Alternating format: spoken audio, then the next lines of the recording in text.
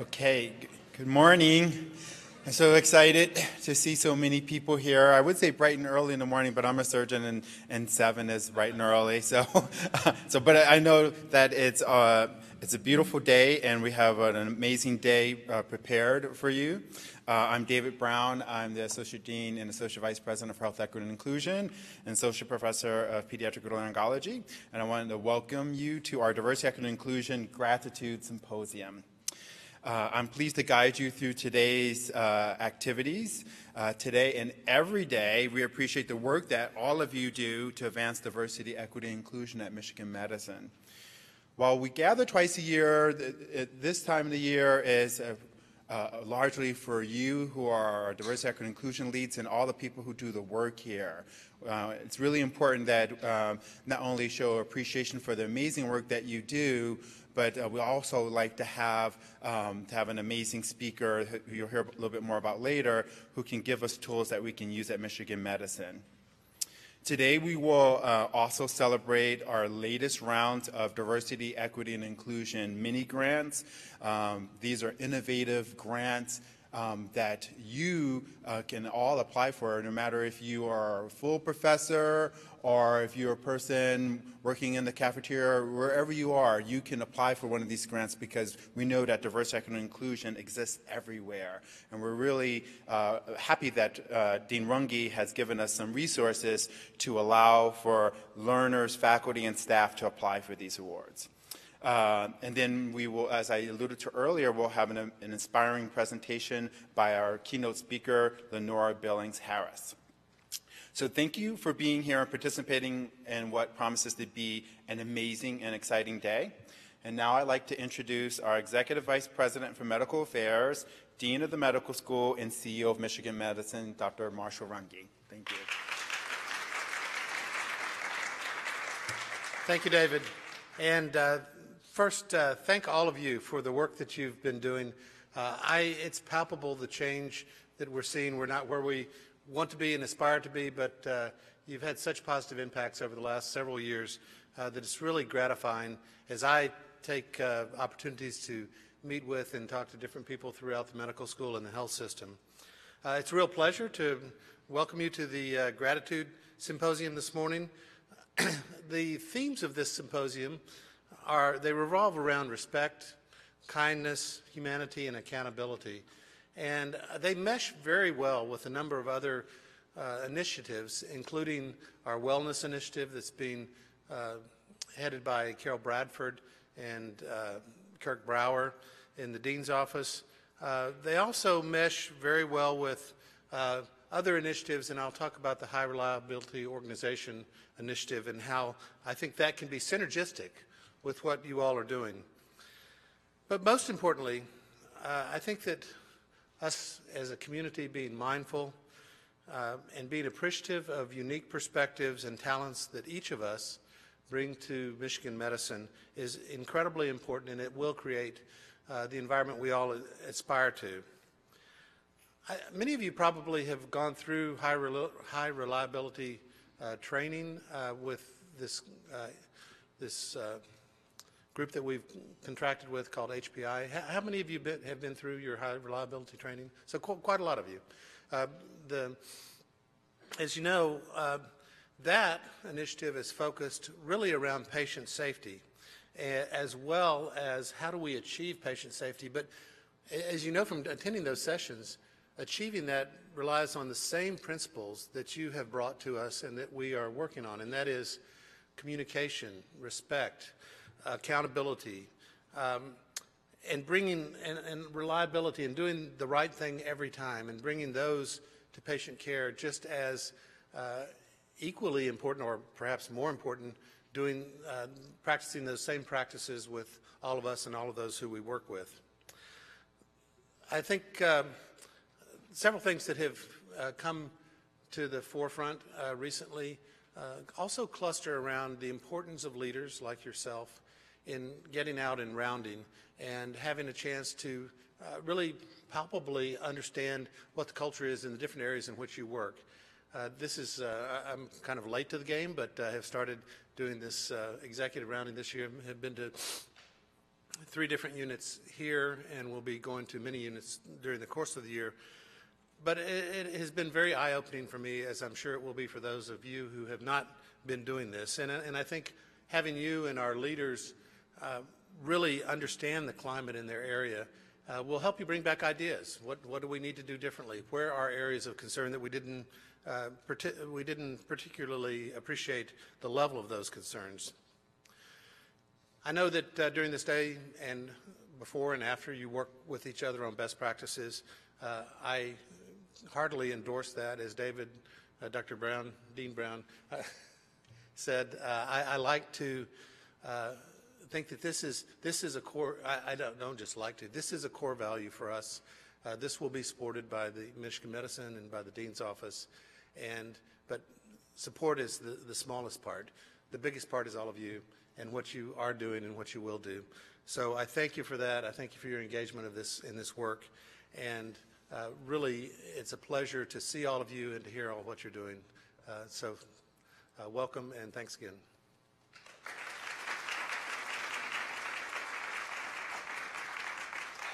Thank you, Dean Runge. It's, uh, for the work that we do, it's, it's incredibly important to have the leadership not only endorse this but support this, and which I, I think we're all leaders.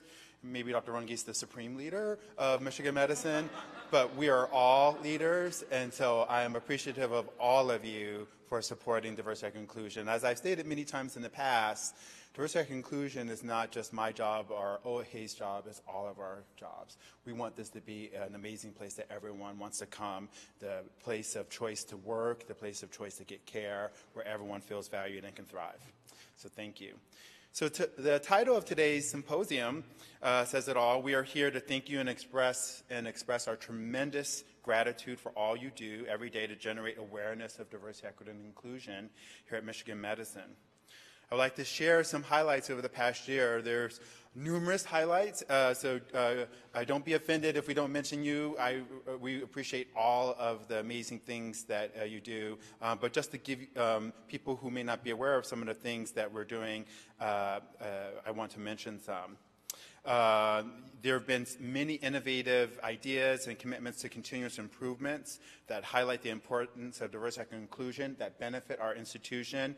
And they're felt not just here at Michigan Medicine, but also at the University of Michigan. And um, many of us share the work that we do nationally. So our office does, but I also know that many departments share their work in diversity and inclusion uh, at national meetings we have 176 different leads, diverse equity inclusion leads, that work on diverse equity inclusion throughout Michigan medicine. There are literally hundreds of different and exciting activities occurring.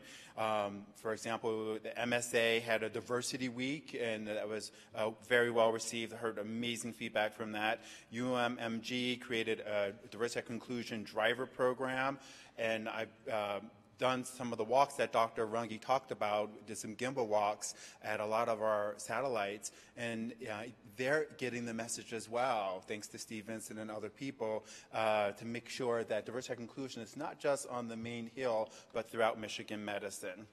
Uh, there have been onboarding programs and videos, and you actually see one of them um, from nursing today uh, and you're developing innovative and creative classes and programs to advance diversity and inclusion. When we go and talk to our colleagues around the country, uh, we realize that um, we're we're doing things that are far advanced than some other individuals. Here, we sometimes feel like we can do more, we can do more, and yes, everyone could do more, um, but I think we are doing more, so thank you. The Health Equity Index, this is uh, sponsored by the Human Rights Campaign. Uh, we had an opportunity to improve the work that we do uh, and with the help of Pedro from the office and our partnership with the Office for the Patient Experience, uh, we were able to get a higher score and this um, Health Equity Index looks at how we um, care for individuals uh, with LGBTQ plus um, and, and, their identity. Um, we've made substantial progress uh, uh, over prior years. In fact, this year was the first time that we were the sponsor of Ann Arbor Pride. Uh, and we will continue to grow this because we know that this is important for the LGBTQ community. So we're happy to, uh, to sponsor um, activities and programs and education uh, for this community and other communities. This is just one example. There's a lot going on at Michigan uh, Medicine and Diverse Equity Inclusion, um, and it's sometimes exhausting when my when I my mind thinks of all the things. Um, but it's really important that we keep this top of mind because this is how we create culture change at Michigan Medicine. Part of what we're doing today is also taking a breather uh, and acknowledging the work that we're doing instead of being on the, the treadmill of diversity and inclusion and, and doing uh, amazing work. Today we get to relax and reflect and also think about how we want to move forward. And it's, it's also important to realize where we are and where we need to go. One of the things I'm really excited about uh, is uh, an innovation that we've had in combination with human resources, uh, the Office for Health Equity and Inclusion, and, and IT and quality and safety, is to, uh, to figure out how do we evaluate the work that we do. Everyone, you know, all the finance people want to know what's the return on investment, and sometimes that's really hard to give a dollar number. But we've been very innovative by putting our collective, inclusive minds together to develop the, the Net Promoter Score. Uh, this will allow us to measure the culture here at Michigan Medicine. And many of you might have seen the question uh, that asks, how confident are you that your work unit or department's diversity, equity, and inclusion efforts are making a positive impact on culture in your work area or unit? This, these data from uh, the Net Promoter Score will allow us to track our progress and see where the areas that we're doing really well and understand why those areas are doing well and see areas that are not doing so well and figure out what do we need to do to help them along. Also allows us to track our overall system. So these data will be available to all of you uh, in the unit area as well as for all of Michigan Medicine.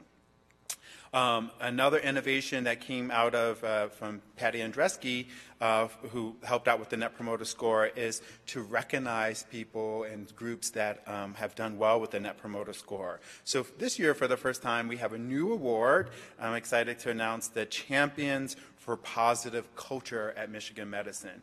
And as we're doing diversity, equity, and inclusion, uh, one of the things that we really want to do is to impact uh, the culture of this institution. And it aligns with many of the things that Dr. Runge talked about.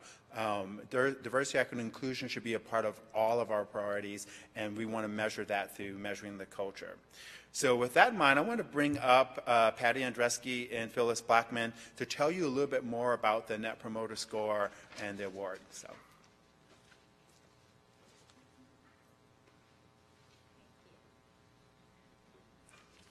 Thank you, David. So I'm so excited about this award because you know that everyone asks you all the time, what's the impact of the work that you're doing? And that's hard to measure, and we can and do use several measures, as you know, because a lot of you have been using the dashboard, and we have several different things going on there to help you gauge if you're making some impact in your areas. But another method that we've been promoting throughout Michigan Medicine is as David mentioned, the Net Promoter Score. And that is really simply to ask the people that you serve with, these are your colleagues, do you see a difference? Are we making a difference in the culture in our setting, in our unit, in our department? And the question was added to the annual employee engagement survey and the faculty satisfaction survey, and will roll out in the Pulse survey on Monday. So please make sure that people in your unit ask, take the survey and answer that question. It's very important. It really has sh been shown to be a tremendous indicator of employee engagement. So not only do we find out if you have done some impact in your area, but are the people that you work with actually feeling engaged in the work? So it's very important. Please continue to encourage people in your units to participate in surveys. It really does give them a voice, and we really do listen to what people have to say. Now, the DE and I Net Promoter Score ranges from minus 100 to plus 100. So it's a huge range of available options for that score. And the champions for positive culture who are being honored today have been selected because the people that they work with said they are making a positive impact in culture in their areas. So they have a positive net promoter score, and they also submitted a report to our office, which is very important because if you don't submit the reports, we don't have information to give other units to serve as best practices because we want to spread what's working out there, what is encouraging people, and what is increasing those net promoter scores. So we've also taken into account the size of the departments. So as you hear the awards, we'll have different sizes because we know it's sometimes a little easier when you have fewer people in your department to get more cooperation. So the larger size units have a little bit of a harder task. So we did take that into, into account. So I'm really excited. And I think, is it David, who's going to announce our first set of winners. We're going to do um, two of them at a time throughout the day. Thank you, Patty. And this is truly a, an innovation that um, we are doing here at Michigan. No one else is doing this particular question. And I know there's survey fatigue, but trust me, this only takes like a couple minutes to fill out. Uh, it's just a, a, quick pulse survey. Um, and um, as Patty uh, said, the scores range from a negative 100 to positive 100. And so the scores uh, are actually excellent. I remember there was a time when we first started, we were negative 60. And we were excited when we got to zero. And so, uh, because, you know, move from negative 60 to zero is humongous. So when I, um, when I uh, give you the scores for this, uh, realize that these are actually impressive and we still want to move forward. Uh, so uh, the first reward, and um, we have Patty Andreski and Phyllis Blackman to present them, and we'll have the, the individuals come up uh, to receive the award and take a photo with us. The first award goes to the Medical School Office uh, of Research, and the DI lead for this area is Sue Lowe, and their net promoter score was 18.2, which is excellent. So come on up. Is there anyone from um, the Medical School Office for Research that would want to come up and since you're part of that team? If Sue's not here, okay, no worries. We'll move on to the next one. Um, so uh, this one is uh, off, uh, um, will be awarded to patient relations and clinical risks. And the diversity, equity, and inclusion lead is Carrie Schultz. And their net promoter score was 12.4. And again, this is excellent. So, are anyone here?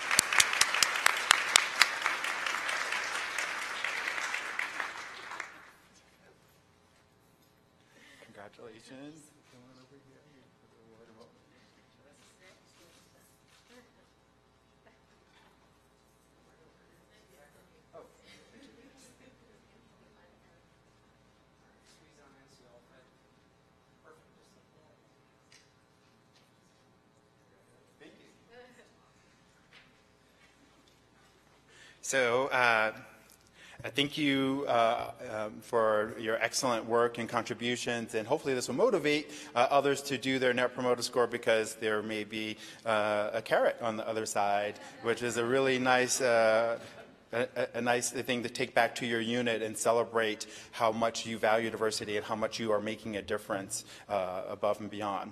So now I'd like to reintroduce uh, Phyllis uh, Blackman, who is the uh, managing director of the Office for Health Equity and Inclusion. You know, some people have a right-hand man. She's my right and left-hand woman. So come on up, Phyllis.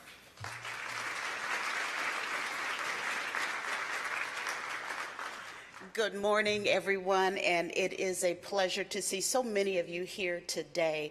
It is um, refreshing to see so much commitment to the diversity work that we are all doing at Michigan Medicine.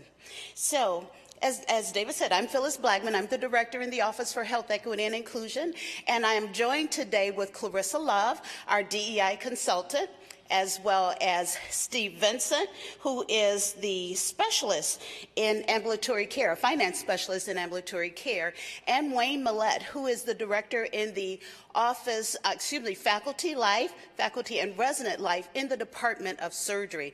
So today, we're going to talk to you about um, the title of our presentation is Building Bridges Across Difference for Sustainable Change.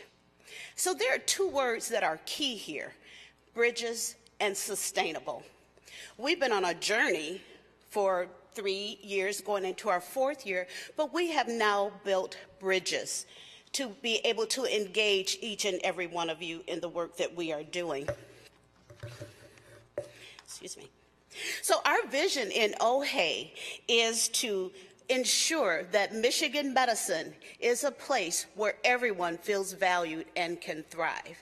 So that's everyone. That's our faculty, our staff, our learners, our, our visitors, our patients. We want to make sure that everyone feels welcome to Michigan medicine.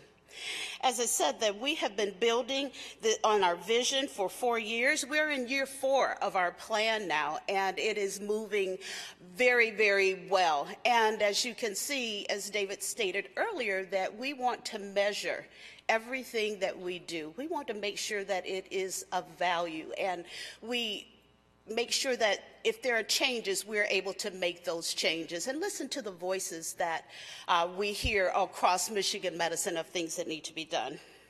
So we're asking all corners of Michigan medicine to embrace diversity, equity, and inclusion and bring it to their workplace and make it part of their culture.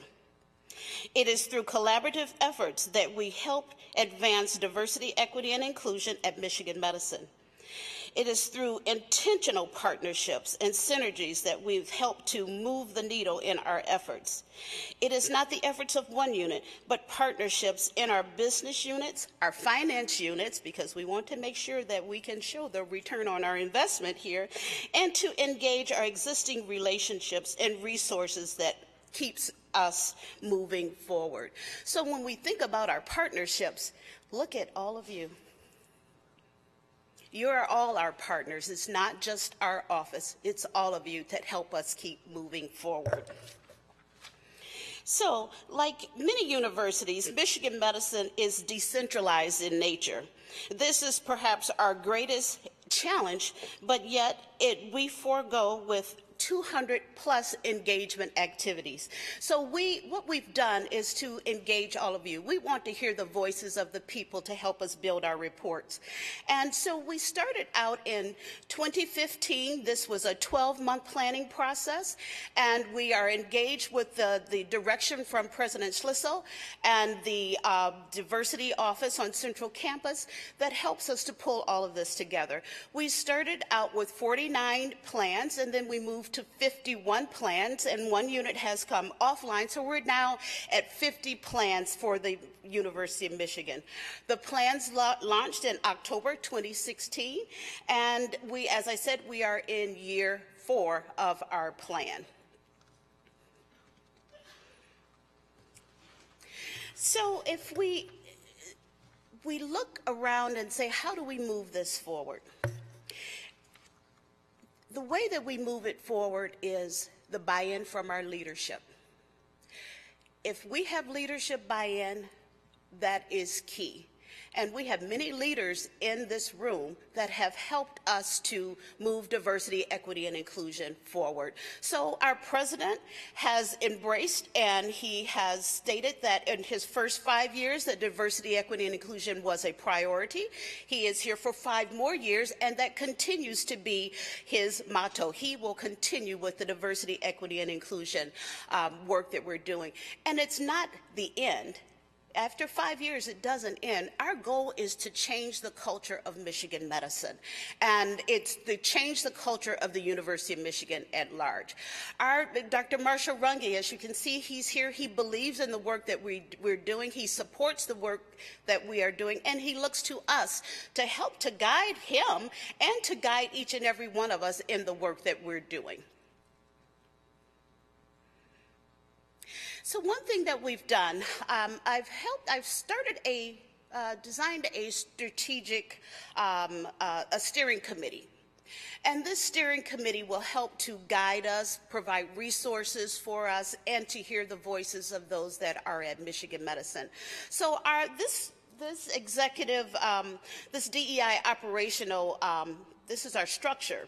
And so we have an executive sponsors, Doctors Runge and Bradford, and Tony Denton are our executive sponsors and they will help to set the vision and the overall strategy and direction that we are going for Michigan Medicine. They will build our institutional support and to lead our operations through um, implementation and to assist us with the resources and removing the barriers that we often face. We also have our leadership sponsors, which is Dr. David Brown, uh, Dolores Hunt, or D. Hunt, who is our Chief Human Resource Officer, and Sonya Jacobs, who is our Chief Organizational Learning Officer. These are our key partners. If you think about it, that our um, our human resources a key partner for us because they have access to many, many of the staff members that are here. So it is important to make sure that HR is engaged. Sonya Jacobs is our Chief Organizational Learning Officer, and she helps to provide us direction for us as we begin to build programs and educational opportunities for faculty and staff and our learners. And so they are, um, they are the oversight for our strategy. They approve the decisions that we um, make and make sure that we're on the right track with things. And what is key here is our steering committee members and that's many of you in the room here. And this is a very diverse group of representation across Michigan medicine.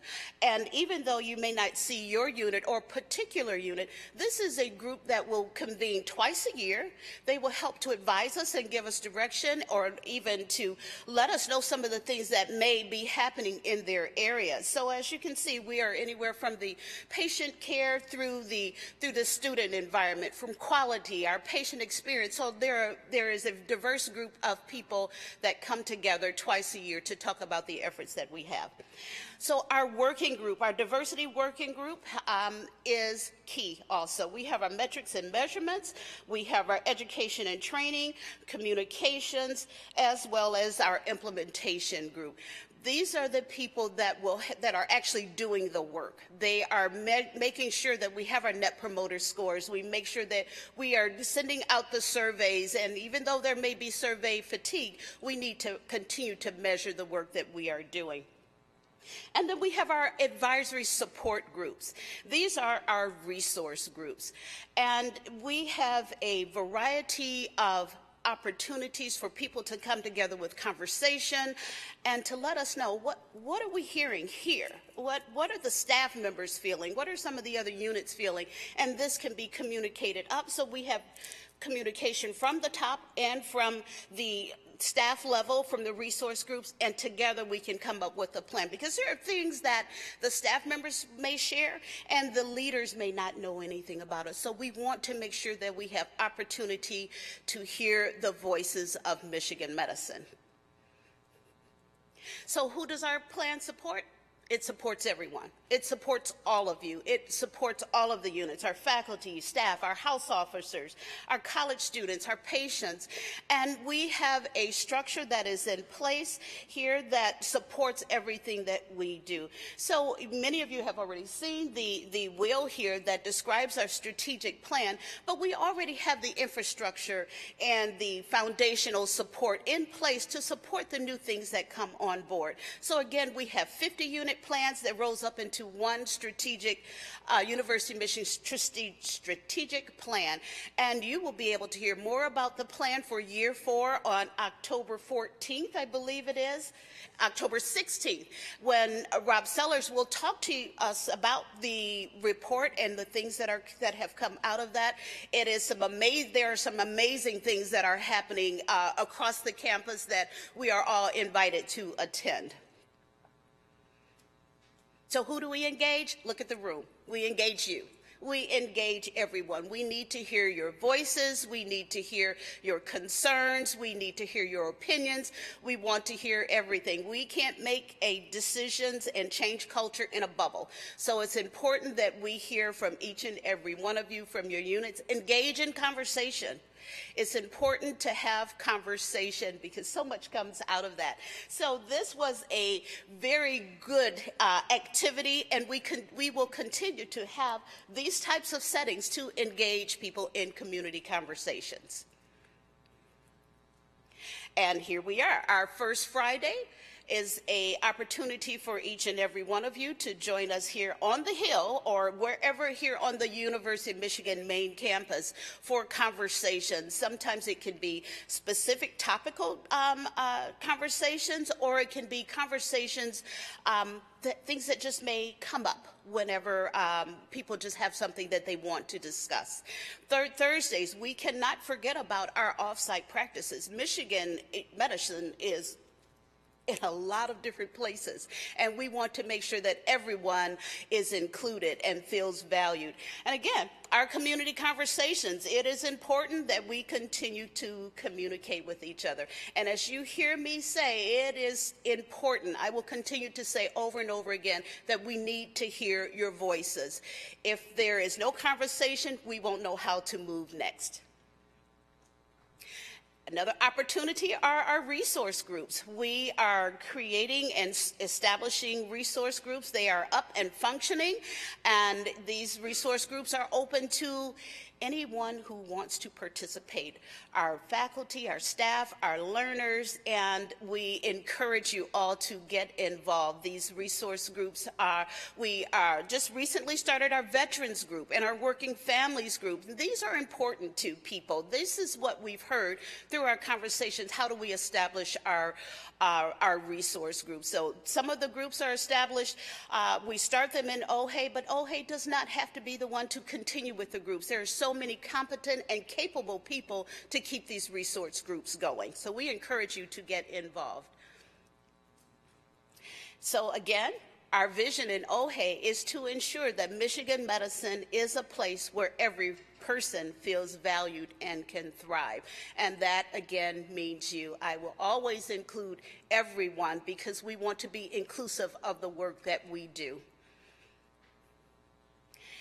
Relationships, there is there are so many resources here at Michigan Medicine. Excuse me, there is no need to reinvent the wheel. There is no need to start something new because it exists. And you will find in your communications that people are here, they are they are willing to help. All we have to do is open our mouths and ask and you would be surprised at how many people will say, I want to be involved. Thank you for asking me. What else can I do? And this is how we show that we are the leaders and the best, that we are an inclusive environment, and we have so much to offer to our public, to our patients, to our, our families, to each and every one of you to make sure that you are successful in your day to day work. And I thank you so much for the work that you're doing for diversity, equity, and inclusion. And if there's anything that I or my office can help you with, or if you have questions, feel free to reach out to us. So now I will turn this over to Clarissa, and she will tell you a little bit more about what we do to engage our leads. So thank you.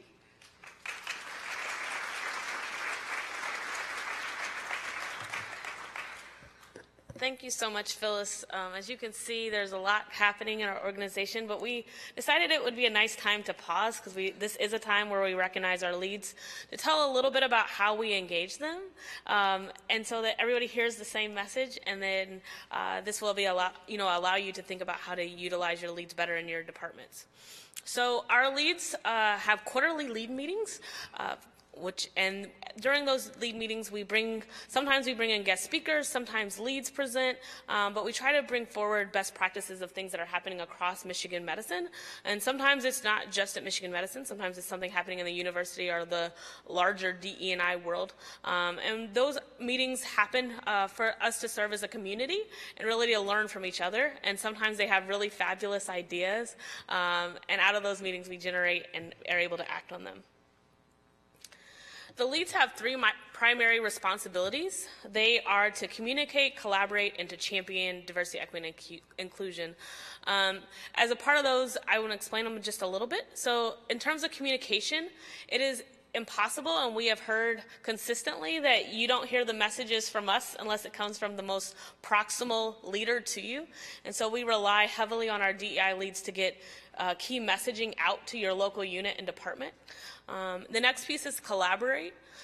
One of the things that we've learned from doing this work is it works best when there are centralized DE&I committees based in the local department that are able to identify actionable items uh, that really apply to that local unit. And so we ask them to collaborate and not come up with those action items alone, but to pull in others from the department, even if it's just for a focus group, but really to have some sustainable conversation around it.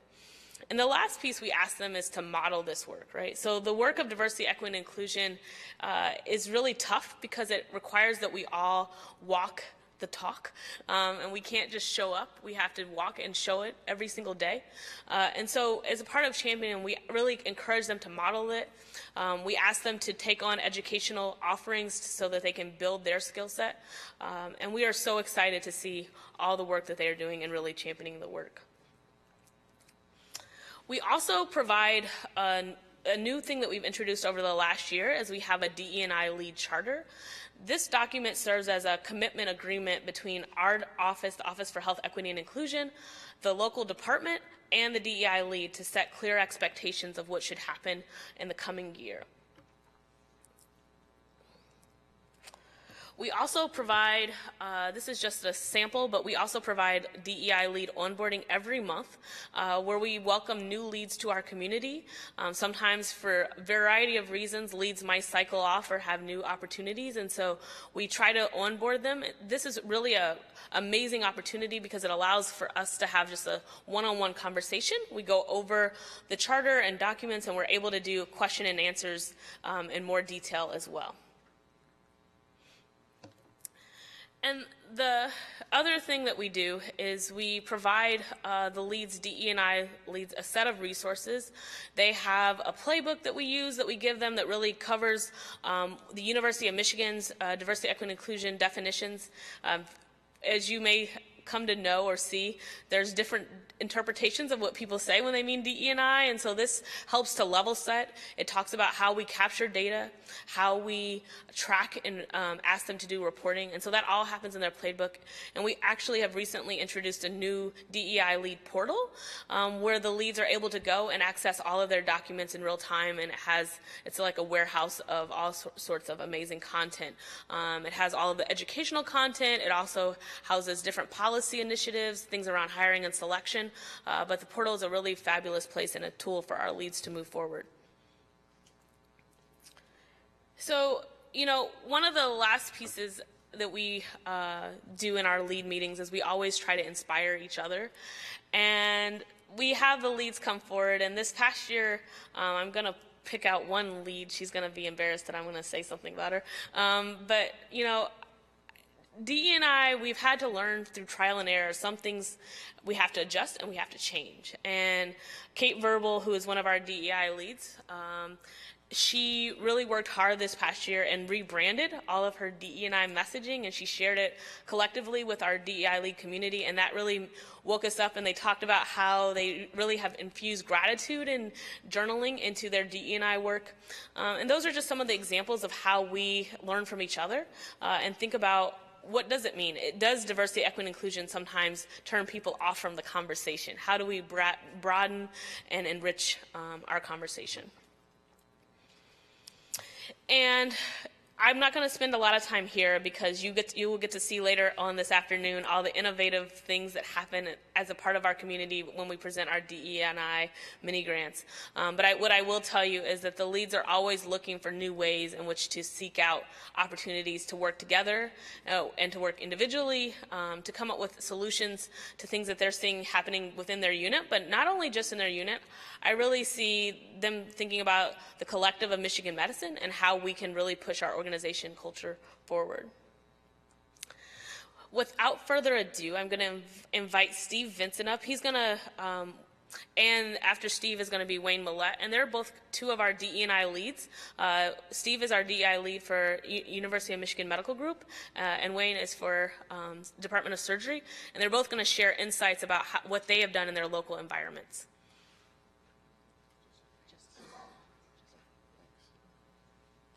Thank you, Clarissa. I love coming in this room. The uh, creative football shape at the uh, edge of the, the building, I think, is pretty cool. Uh, an innovative football reaching the end of the landscape is a rarity in Ann Arbor these days. Shh. Um, I just wanted to share real quick um, the scope of ambulatory care, which is the, uh, the service that our committee represents. So we have over 50 locations, uh, I'm sorry, 50 locations, 165 units, um, 2.5 million outpatient uh, visits, uh, procedures, uh, over 18,000 ambulatory care or OR cases, um, about 300,000 ambulatory care radiology exams, um, over 2 billion in, in uh, operating revenue, and 6,000 staff members, um, about half a, a, billion dollars in employee staff uh, benefits and salaries. So we have a, a, large group, and this does not include faculty, uh, a large group representing a, a diverse population of individuals. Our committee uh, is pretty diverse. It doesn't look that diverse, but it is, trust me. Um, we, we have 14 members, volunteers, who really represent uh, a different range of perspectives. We have frontline staff, we have managers, we have administrators, uh, we have our HR uh, business uh, partner and uh, administrative uh, administrators on that committee as well. In addition to our committee, we have partner committees um, in the departments. Odo, Dr. Prince is here, is a, a committee that we work with as well, psychiatry, social work, uh, and Cancer Center. So we work with a lot of different groups throughout um, uh, Michigan medicine. Um, our, our, committee, a couple of things that we focus on uh, when we have our monthly meetings. We've, I think we've had about 36 straight meetings. We, we never cancel. We, we try to make sure we have that face-to-face time because that's important, uh, even though we're, we're spread out. Uh, we have different subcommittees. Um, one of them is communication. Uh, we have a monthly newsletter that we send out.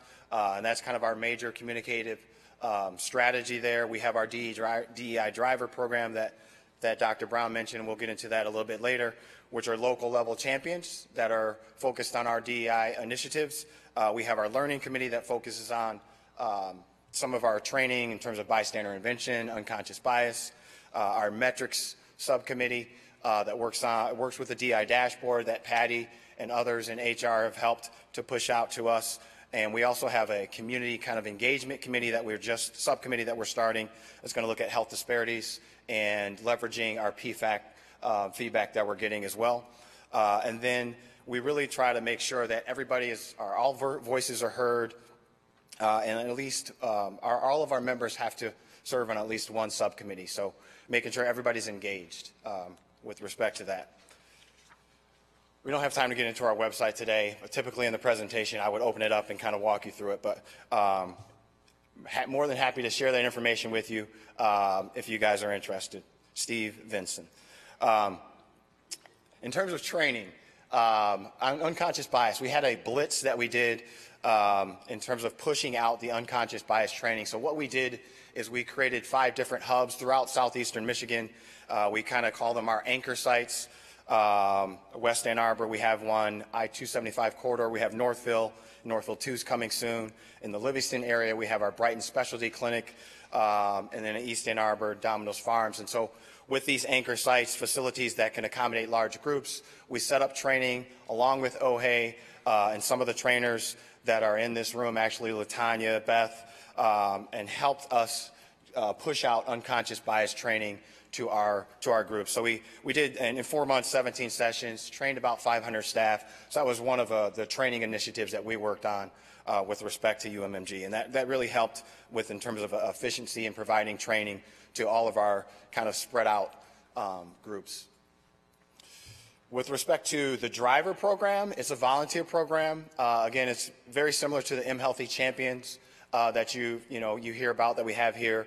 Uh, these volunteers, we, we started the pilot program uh, in 2018. We had seven clinics and 10 drivers. Uh, we increased that to 20 clinics and 30 drivers uh, this year.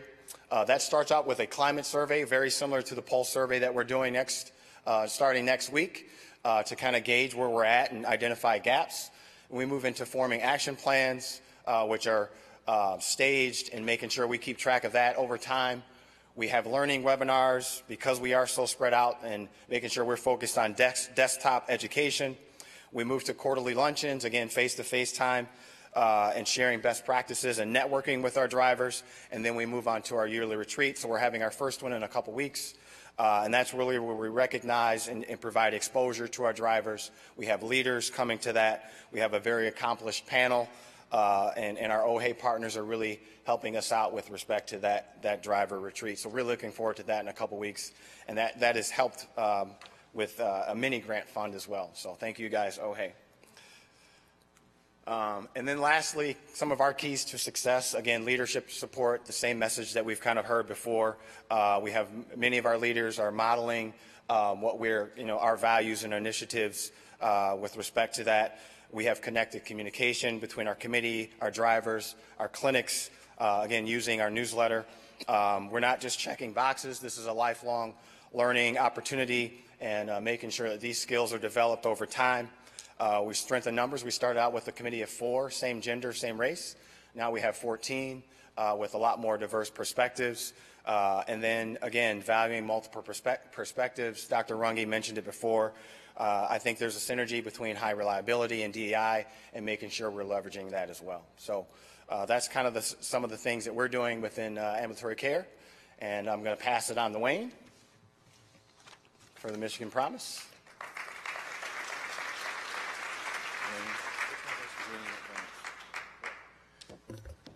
Thank you so much, Steve. It, you know, I'm somewhat um,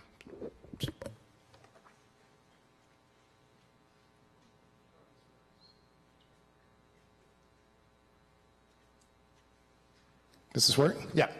Okay. For those of you who don't know me, um, again, my name is Wayne Millett, Department of Surgery. Um, before now, I was a uh, elementary school principal. And as such, I always come forth with a problem for you to solve. So you do need to, uh, just to pull a pen out and a, just a piece of paper to write on. I am going to talk about what we're doing in surgery. But first, I'm telling you a story, and I know it. That we, I'm, okay. So, so, so the first thing I want you to do is to choose a number between one and ten. You really don't need a piece of paper to do this, but you, I want you to write this down as well.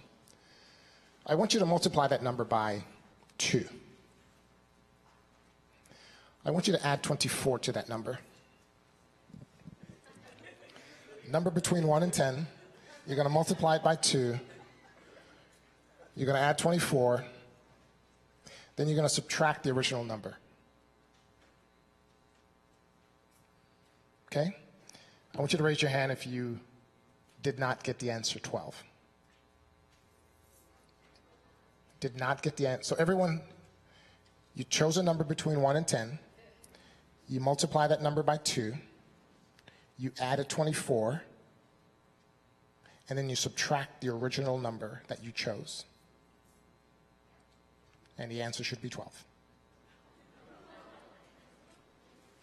Okay. I didn't write my instruction down properly. All right, we'll have to we'll have to solve that problem a little bit later.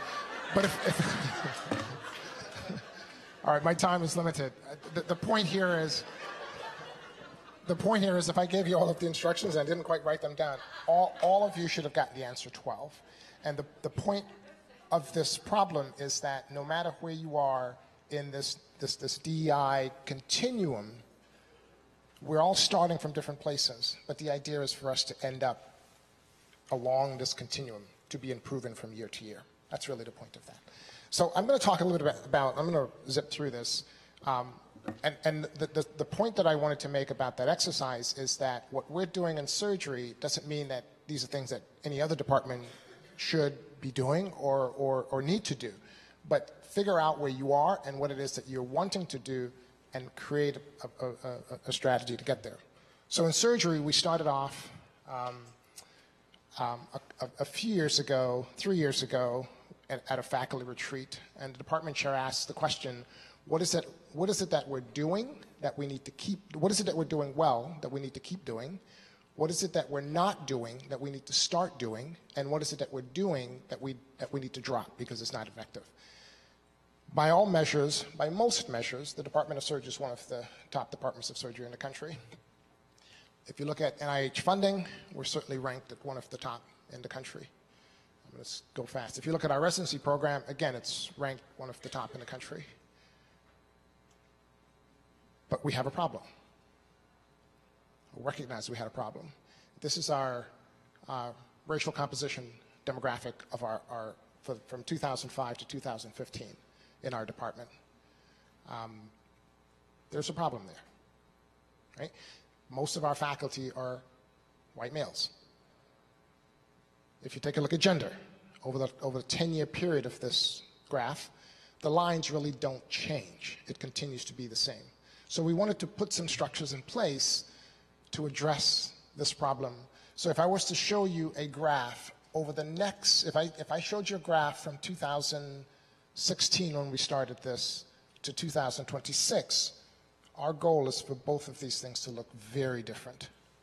And so some of you have heard of Scott Page. He talks about, you know, the diversity bonus. And if in fact you want to change behavior, if you want, in terms of introducing diversity and, and having your organization be diverse, you really have to begin to look at the structures that your, your department, the real structures within your department.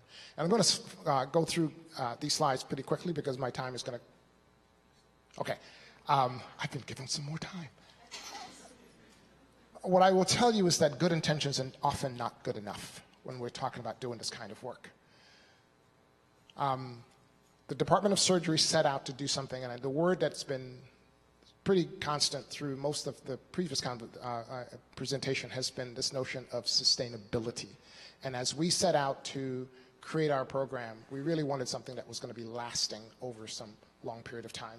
So we talked about a phase implementation, and we're talking about primarily faculty here. And if for faculty in the room, you know, it's a group of folk that don't change very well. Like if you give faculty a form to fill out, you know, like if you give the entire university, HR is really familiar with this. If you give, give everybody on staff at the university a form just to fill out, to check and send it back, the last group of folk that will send it back are often the faculty. Right? And so it's a group that, that uh, so we talked about we have to do consciousness, conscious, consciousness raising, we have to go through education, we have to do empowerment and, and, and governance, and we, again, had to put some things in place um, to really educate our faculty as to why this is really important. So the kinds of things that we have done, again, practical things, but structural things. Our DNC used to be, the, the moderators of our DNC for the last five years were mostly males. And so what did we do? At the time, Dr. Mulholland, who was our chair, said he's just going to rant, like he was the moderator, so he gave up all of his slots. And these are the folks that he chose to be moderators a couple years ago right? In terms of education, we set out to, we have a program called the LDP where we spend three, four times a year where we bring in folks from around campus to really educate our faculty who have an interest in being leaders in the field of surgery. Um, in terms of, we have, a, we have a, a, a series, we have grand rounds, two, three times a month. So we took a couple, a few of those, four of those per year, and we said we're going to introduce, we're going to invite some folks to come talk to us about things that we often don't talk about in our grand rounds. So we invited Scott Page to come and talk about the diversity bonus. We invited Caprice Greenberg, who's a faculty member at the University of Wisconsin. What her title was, interestingly, was Stop Fixing Women. What's her title? We don't talk about that in, in a grand round in surgery. We most recently had Henry Ford, who is the who is one of two African American deans of medical school in the country. He recently came and talked to us. And so again, when you talk about that's nothing new, but we are we're being intentional. The structure isn't we didn't change the structure of grand rounds but we're being very intentional about the kind of folks that we want to have our faculty engaged with. Um, we have a women in surgery program that started a few years ago. Now, not only is it a local program, but we have people coming from all over the, for the world, quite frankly, to our women in surgery program. In terms of, we looked around and our The, the, the, the executive committee of, our, of the department was, again, primarily senior faculty white males. We said, we want some new faces. And so there was nothing in our bylaws that said we couldn't expand what our executive committee, the numbers in our, our executive committee. So we invited some new folks to be part of our executive committee. And this is what they look like. A lot of these folks are junior faculty, by the way. On the executive team, this is the team that really makes the big decisions in the department. We added those folks a couple of, uh, a couple of years ago to be part of that executive team. And again, primarily junior faculty. Um, this word is, is, has permeated. We recognize that what we do in the Department of Surgery at Michigan really affects surgery around the country.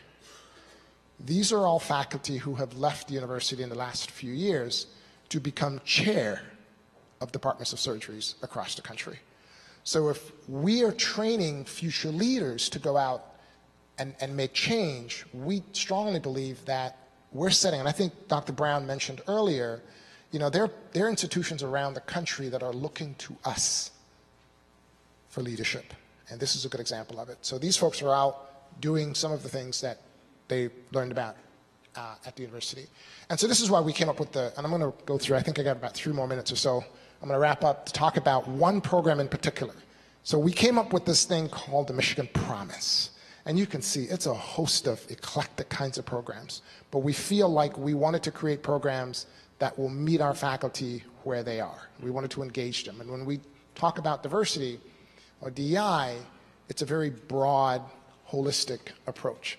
The one program I want to get to is um, we have a, you know, the Michigan Promise, we have our, our, our, our um, mission, um, but I want to get to one program. This is our early development program where we send um, each faculty that we hire, we have a launch team for them, a three year launch team that we commit. And um, that's one of the best programs, according to some of the early surveys that we have done from the young faculty. So we, we, we basically, because young faculty come and tell us that they are interested in lots and lots of things. But then we put a promotional packet on the left hand side and say, how does that impact? What, what does that fit into what it is that you're going to need to do in terms of getting promoted? Um, but the real program I want to get to is our recruitment. Um, going to go back here. I don't know how to go back. There we go. Um, the recruitment, and that's how I'm going to end my, my talk with you this morning. We have seven divisions within the Department of Surgery all seven divisions used to conduct their own recruitment process in the past. Mostly what happened, people replicated themselves.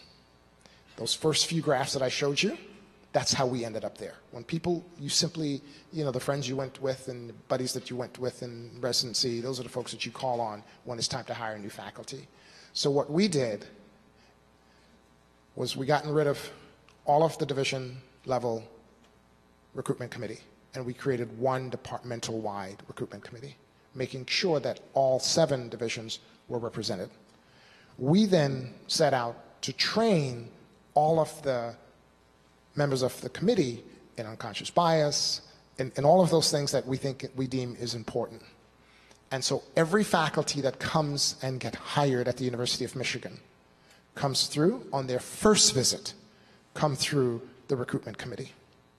Because if we're sitting at a departmental level and we want to change what those graphs in the beginning look like, it's really hard to do that from a section level. You can do that from a from a from a departmental level.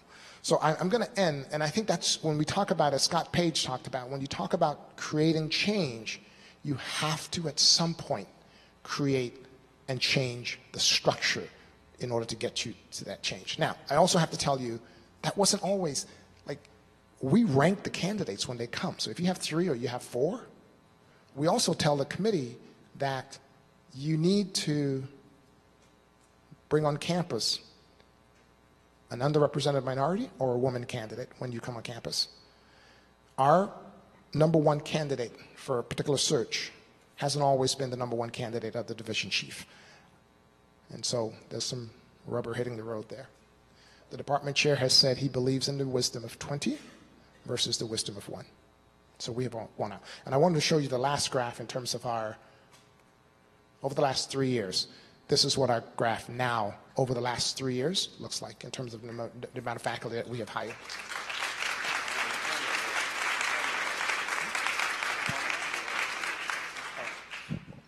So in 10 years, imagine what that was going to look like. Thank you so much.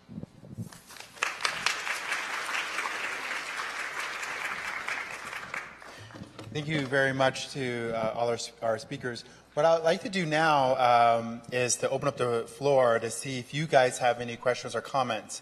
Um, the Department of Surgery is a large department um, and um, maybe differently resourced than other departments as well and has the ability to do this. But you may have some questions and ideas of how uh, all these groups got started with their work, or you may have some comments of things that you've done in your area. So uh, if someone has a question or a comment, uh, I'd open up the floor for that and we can um, have this mic go to that area.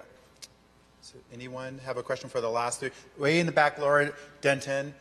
Um, no, let's use this. Yeah, let's use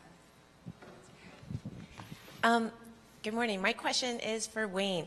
I'm curious about um, your recruitment of faculty. Do you also interview internal um, candidates like trainees when you um, when you're looking to hire?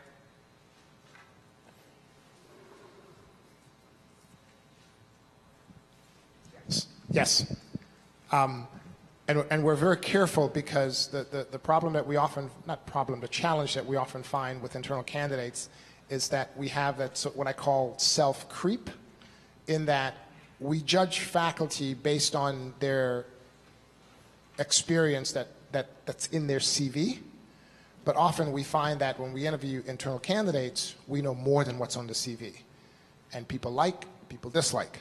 And so we're really careful about what it is and how it is that we allow some of that creep to come in because we do have a couple of residents on the search committee, and we're really careful about not having internal knowledge of those candidates impact their candidacy.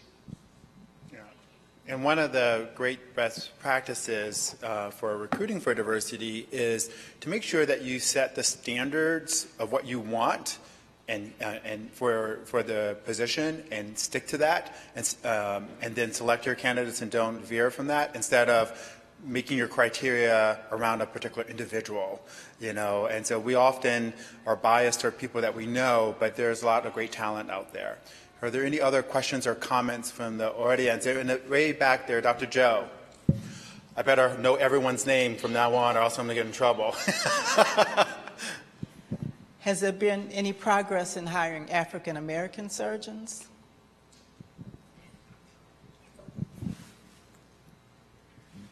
Um, I'm going to be careful how I answer this question.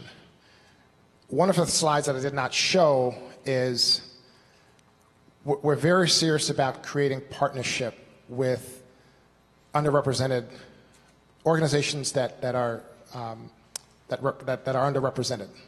So LM, LMSA, we go to Society of Black Academic Surgeon. Every year we go to those conferences and we try to make some partnership or create partnership among them. And so, one of to answer the question, I'm, I'm, I'm, trying to sort of dance around the question really um, and answer it in, in, in, in, a, in a way that um, doesn't give you a very narrow answer. You know, we're interested in hiring the very best faculty bar none. What we have done in the past is that we recruited our window of places that we place ads and recruited faculty was very limited. Right? So if you think about a pie, we didn't advertise for the whole pie. What we're doing now is saying we want to broaden the scope and the areas of, and places that we recruited. And so have we recruited more faculty of color? Um, the numbers are trending upwards. I think it's too few yet to really say. But, you know, for lots of, and I don't want to sort of take the space here, but, you know, we hired Gifty Kwakye um, has had the very best. She's a woman from Ghana. Um, went to the best schools in the country. Went to the best, one of the best residency for her area in the country. And she was headed to. She came from the East Coast. If she didn't get a job on the East Coast, she was very much headed to the West Coast. Right? When we, when she came here, and she saw the Michigan Promise and the things that we said that we were going to, to do and, and have started doing, her mind was changed. And she accepted a position at Michigan. And so it's, it's beyond what you say. It's, recruiting is one thing, retention is a whole other piece. And so I think, you know, rather than the question is about what, you know, like how many Latinos were re- recruited, how many Asians were recruited, how many African Americans were recruited. We want to recruit the very best, but we want to open up the avenue where we, we, we, we initially uh, place our ads and, and try to reach folks. There's a question over here. And then one in the back, so we have time for two more questions in the back and then the front first. In the back first. It's on. Okay. Um, and I work in Michigan Medicine Development, and so my area is a little bit different. But my question is to um, either, um, and that is, has has there been a noticeable difference already, or what is the difference you anticipate in the experience of trainees and junior faculty? Because I think one of the challenges that we have is creating a case for how hiring diverse leadership and um, makes a difference in um, retention and, and, in, and including uh, junior staff. Does that make sense? Yes. And is that directed to Wayne? It's directed to either Where is Wayne? because we're not a, a medical unit, so. Yeah. So I, uh, Wayne, do you want to start? So, you know, uh, for our faculty uh, ranks, 70% of our faculty actually come from our training programs.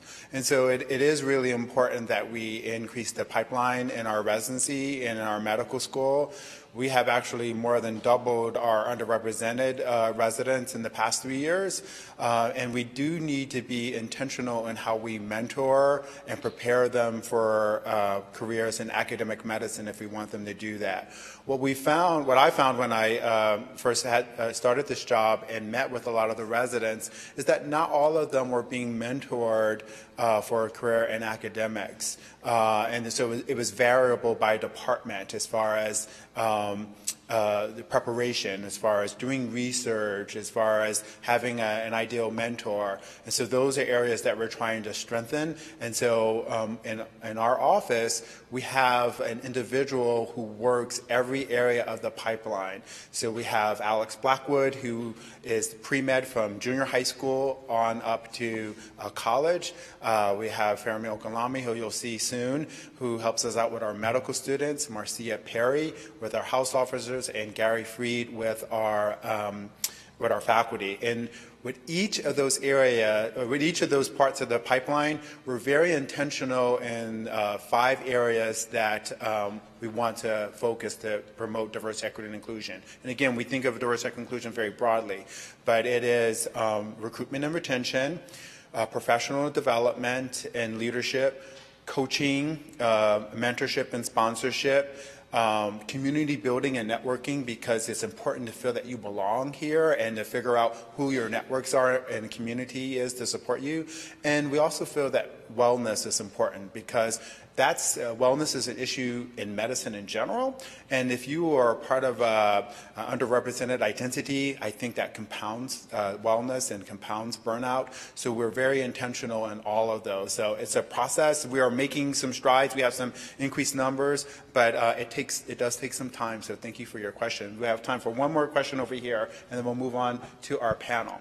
Um, mine is more of a statement um, and it kind of segues into what you just said. Mm-hmm. In, I'm in radiation oncology, and what I find on resident interview day is I don't see um, that diversity um, coming through in those um, med students coming through on resident mm-hmm. day. So one of the faculty and I, I said, how do we find the med students and talk to them in their first year and talk to them about radiation oncology? Yes. And we held that, we held a session um, with some of these med students a few years ago to try to talk to them about, about radiation oncology and steer them that way. um, but we haven't done it in a while. But we need to talk to them sooner when they're in med school and talk to them and, and try to help steer them into that path. So, come resident interview day, um, we see more students um, with that diversity. Great. I mean, you, thank you very much. And so you bring up some amazing points. It's never too early to engage. You can engage people in junior high school. Uh, and a lot of times, like I'm an otolaryngologist, and when I was in, you know, high school, I didn't know what otolaryngology was. And, um, and the fact that you're reaching out and, and, exposing them to radiation oncology, which is an amazing field. I didn't know much about it when I was in medical school. So some of the things that uh, many of you know that we have an annual uh, simulation festival at the Student National Medical Association we have over 55 faculty, staff, chairs, and learners who go. And Dr. Chapman participated as well and, and, and, met with diverse students from around the country to expose them to Michigan medicine. We also have a health equity visiting clerkship, which we partner with the departments to bring individuals, anyone interested in health equity, to come here. And we actually give them a stipend, we give them some mentorship. Uh, every year, we've been very successful in matching uh, some of those individuals. This year, we've had we have close to 20 people from the outside coming here to do a rotation. Uh, it's a very popular program. One of the, I would imagine one of the most popular in the country. So there are opportunities. If you have other ideas of how you want to reach back and to encourage people, we welcome your ideas. And also as an opportunity for you to write a mini grant. You know, if you want to go into the junior high schools and mentor, it's really uh, important that we engage people and let them know that medicine and radiation oncology and, and otolaryngology is possible for them. So thank you very much. Thank you to our, our speakers. Uh, it was, it's amazing to get just a snippet of some of the things that we are doing here at Michigan Medicine. We're going to play a video now uh, from uh, uh nursing, and then we're going to ask our panelists to come up while this video is being played for our next one.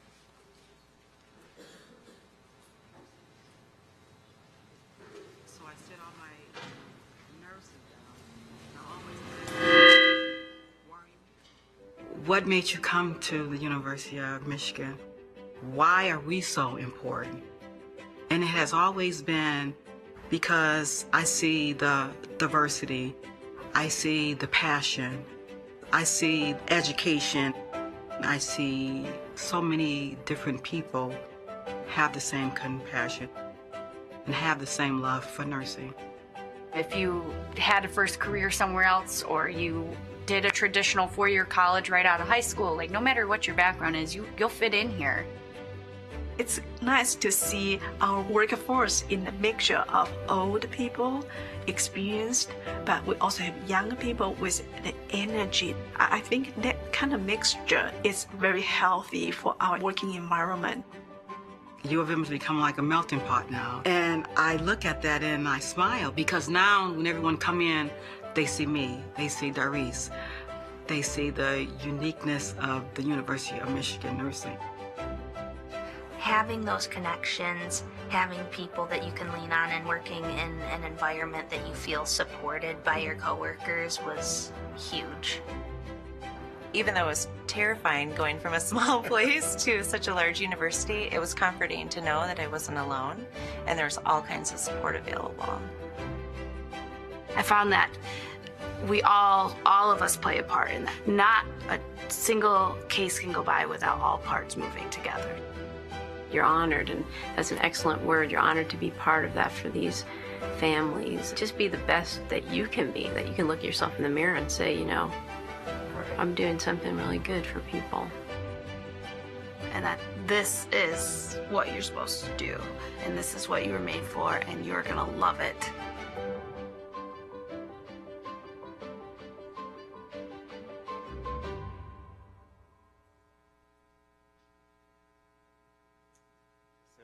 Just one example of the great things we're doing. So now uh, we're going to have a, a, a panel discussion, uh, leading across difference, a panel, because uh, that's the title of our, the theme of our symposium today. And so we're going to welcome our panelists to our stage. Um, the stage is small, but the people are huge in all their efforts. And I'll introduce them to you.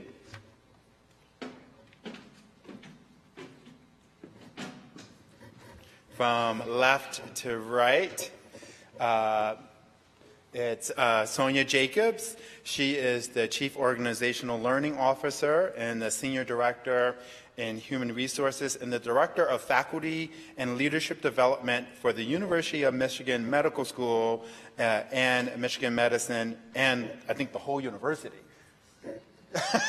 so she is, she is every woman. And sitting next to her is uh, Pedro uh, Corachides. Did I get it close right? Sorry, Pedro. Uh, and he's a project manager in Office for the Patient Experience. I mentioned him earlier today. Uh, he has done amazing work with helping us with our health equity uh, index for LGBTQ patients, uh, and, and that partnership is greatly appreciated all the work that we do in OHE is a partnership. I couldn't do it all uh, uh, by our, ourselves with our own team, so I really appreciate that. Next to him is Sean Dwyer, who's the executive director of University Hospital and the um, um, Cardiovascular Center. Uh, and next to her is Fermi Ogunlami. He's an assistant professor in family medicine physical medicine and rehabilitation, and he's also the director of our medical student programs in the Office for Health Equity and Inclusion. I mentioned him earlier. So what we'll do is we'll have uh, some questions that we'll have uh, at least a few of you reflect upon and, and answer, and you can go in any order that you wish. And so I'm going to start with what is one way that you, in your current role, work across differences?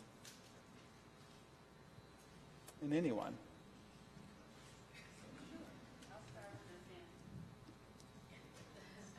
Can you hear me? Yes. Okay, great. Uh, good morning. Good morning.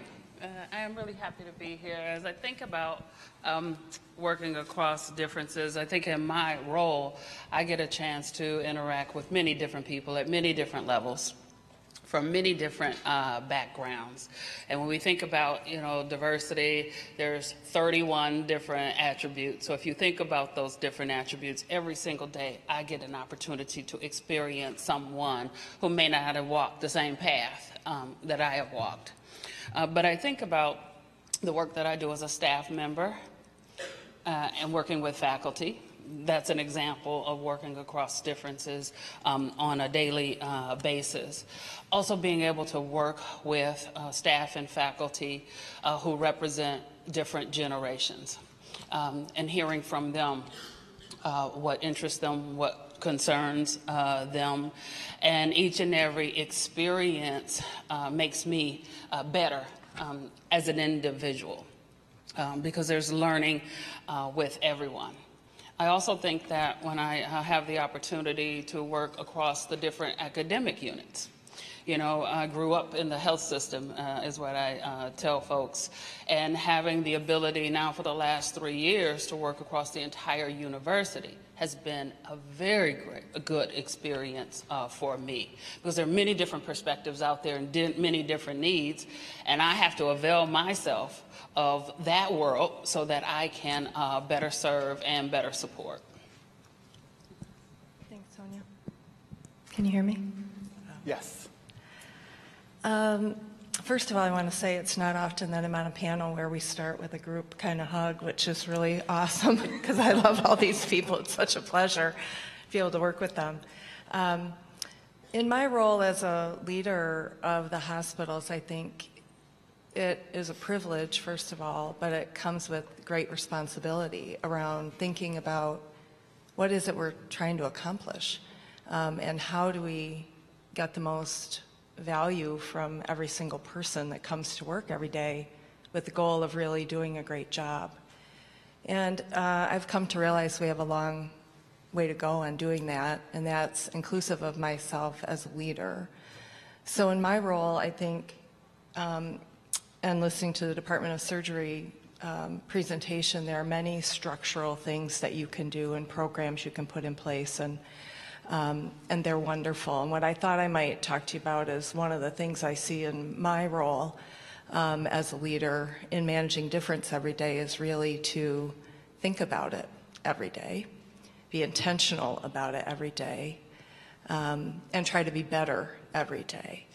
And in order to do that, um, I really try to be curious every day with the people I'm in the room with because I always have something to learn um, and they have more value to give. And so I've just learned a lot from many people by trying to listen. And for those of you who know me, that takes a lot of practice on my part. Um, but I think I'm getting better at it. And so I think part of the leader, you have to be willing to understand yourself, what your strengths are, where you're challenged, what your biases are, be willing to be uncomfortable about that, um, and to allow a group to be uncomfortable with that um, when conflict arises, because we get the best solutions when we can manage across that. So I see that as really a core competency of leaders managing across difference, but I don't think our culture is really very comfortable with that. So um, it's one of the things I'm really trying to uh, work on and see as my uh, role in particular lately. Thanks. I'm going to put my social work student hat on for a second and talk a little bit about uh, challenging the problem or the policy and not the person. Um, I think a lot of times, especially in today's climate, um, it ends up being about the relationship we have with the person, and we shut doors and we close conversations because uh, we see it about you know having hatred against somebody as opposed to having you know a passion for trying to fix what the policy is, which really is the root cause of some of the things that we are seeing as problems nowadays. So when you're working in the office setting, when you're working on um, projects trying to solve a problem, um, you have to look at the policies. You have to look at uh, what the problems are out there and not the people, because the people are the ones you have to work with in order to kind of find a solution for this stuff. Um, so again, taking the emotions out of it, looking at the words and not the not the relationships. I will piggyback on that to talk about the difference that I feel I, I, work in. I have the opportunity to work with our medical students, and the medical students are often the ones that are a bit further along in understanding why diversity, equity, and inclusion is important. And they have a multitude of opinions and ideas as to how things should be, and they want them to be that way right now. I then also work with faculty, and as Wayne was saying earlier, faculty are often sometimes the most difficult ones to change, and I have to balance this struggle of being a faculty member, but also advocating for my students and trying to form this bridge that Phyllis talked about earlier to then allow them to not blame the person but blame the policy and the procedures that are in place because oftentimes the students feel as though we're not hearing them and they don't always see the work that's being done. They don't always see the impact that maybe things are having because it doesn't always tend to get to them right away. And then putting myself in their position as a young black disabled faculty member, I often feel the same way, but I have to do a better job of trying to continue to bridge those gaps in that communication as I'm trying to forge my path in this same system where people don't necessarily look like me as I'm getting further along. So I think that I've had a wonderful opportunity to try to be on both sides of the fence, so to speak, and, and leverage the different sort of demographics that I fall into while trying to uplift everyone at the same time and, and make it clear that we are doing the work even though it's not always visible, the impact right away. So thank you. So some of the things I heard there is, uh, which are true to our institution, that sometimes people don't feel that they're being heard. And one best practice I heard there is to kind of have some genuine curiosity. Uh, and as we are leaders in listening, that this is uncomfortable. If you are feeling uncomfortable in these situations, I think that's um, uh, valid. Um, and it happens uh, to all of us. Uh, and that's where we grow uh, when we're in our outside of our comfort zone. So, having said that, I want to know more about your personal and professional growth um, from working with others of different backgrounds.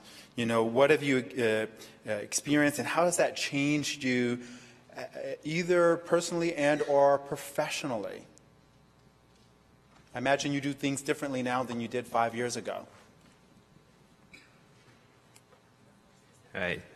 The boss is telling me to go first, so I should probably listen to her.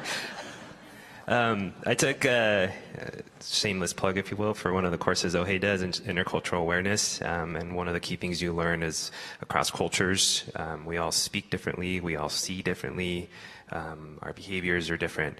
And I think um, in a diverse workplace, we have to acknowledge those and be open to those and understand that when people are perhaps yells, you know, screaming at us, they're not mad at us, um, or perhaps if they're not making eye contact with us, it's because those are their cultural norms, and it has nothing to do how they want to engage with us on a project or solving a problem. So keeping in mind those things um, and looking at them and identifying them um, is important because then that helps again to build those relationships that we have to uh, continue to do if we want to get anywhere with things we're working on. Um, when I first thought about this question, I thought, oh, this would be the eye roll question for my children, who um, they're like, I'm always asking them, so what'd you learn? What do you want to learn to? What'd you learn today? And they're, you know, they're in their 20s. They're like, Mom, I didn't learn anything today, but they did. You're always learning something, whether it's positive or not, every day. And I think the thing that has been the best for me is that by getting to know more people and expanding my um, network and being open uh, to people that are different than me, that I just get more joy out of it.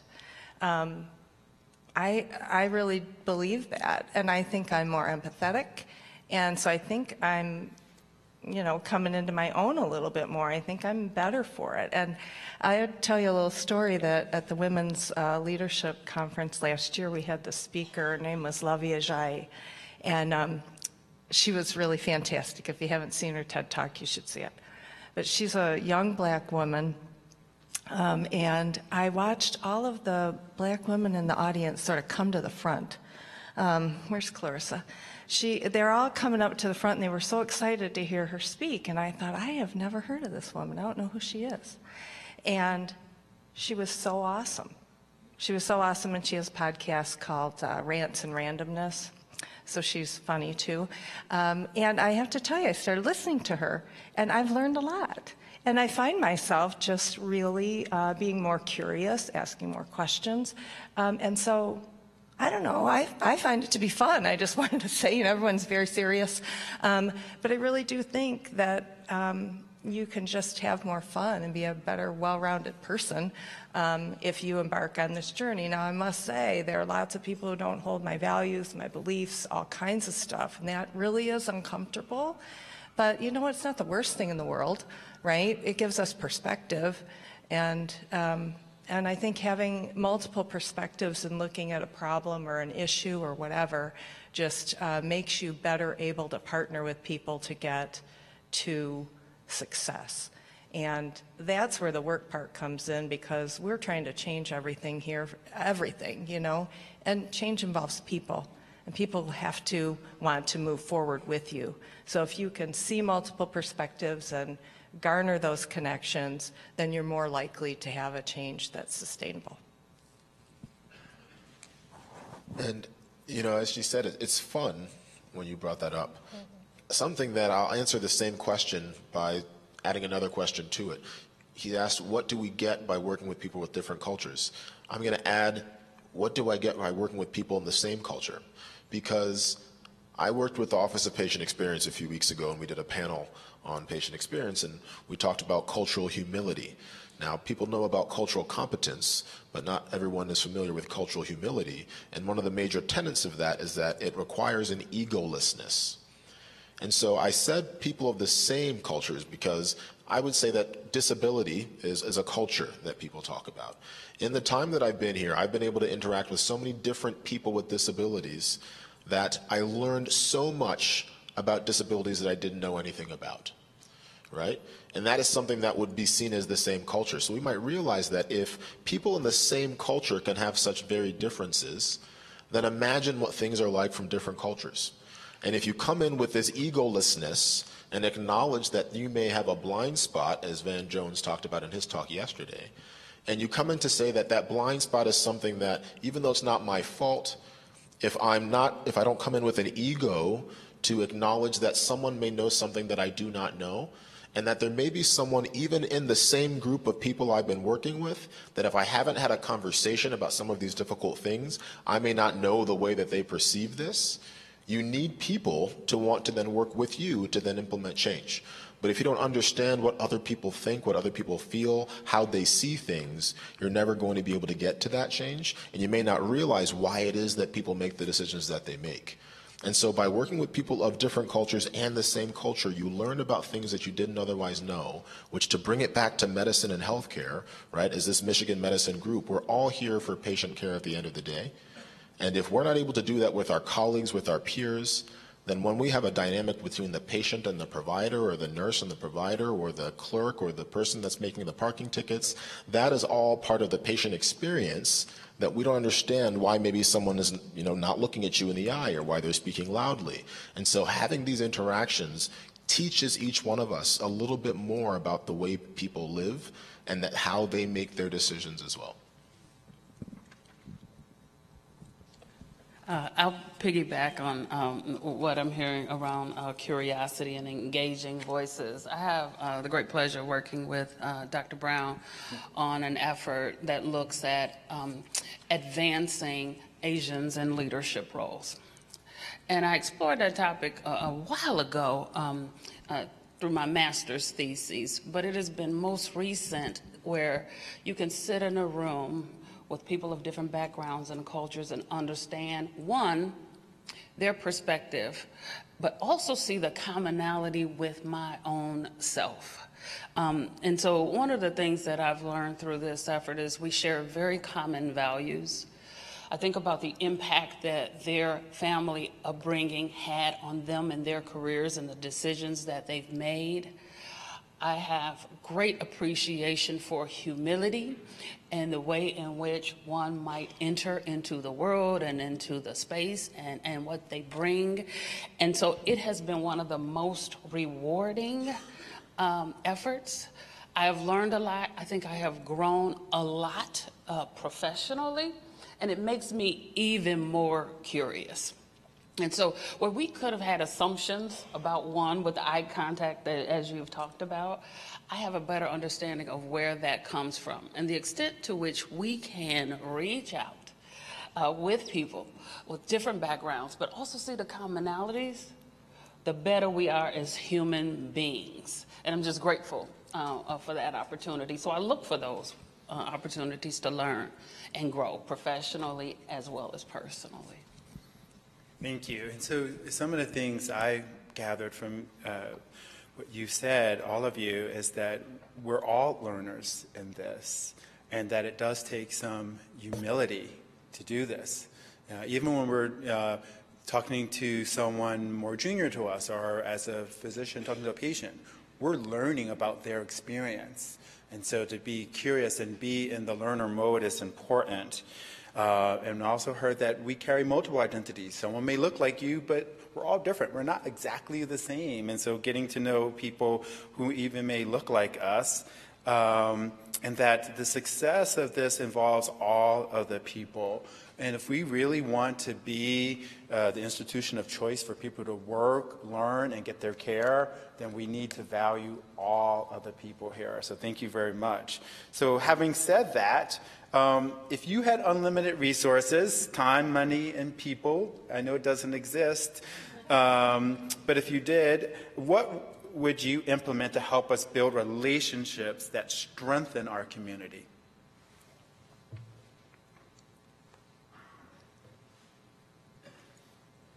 Shoot, that's fine. So I always wait to allow other people to speak first because everyone that knows me knows that if you let me start, I just might keep going. So I'm, I'm trying to, to sort of temper my own enthusiasm by allowing others to go first. I'm already getting the wrap up box right here. So if resources were unlimited right now, I know that we all have in our answers, I think we're all doing a wonderful job of trying not to say the same thing that the other person is saying. But I will say something that hopefully isn't the same thing someone else will say, and that's why I'll put it out there. If resources were unlimited, I would build a health system that is actually inclusive and accessible. Now, we are here to care for individuals in need. Most people that come into the health system have some sort of disability, whether it is temporary or permanent. Yet this facility, this structure that we work in, that we live in, is not one that is automatically accessible. And that is something that our learners are seeing, our patients are seeing, the visitors are seeing.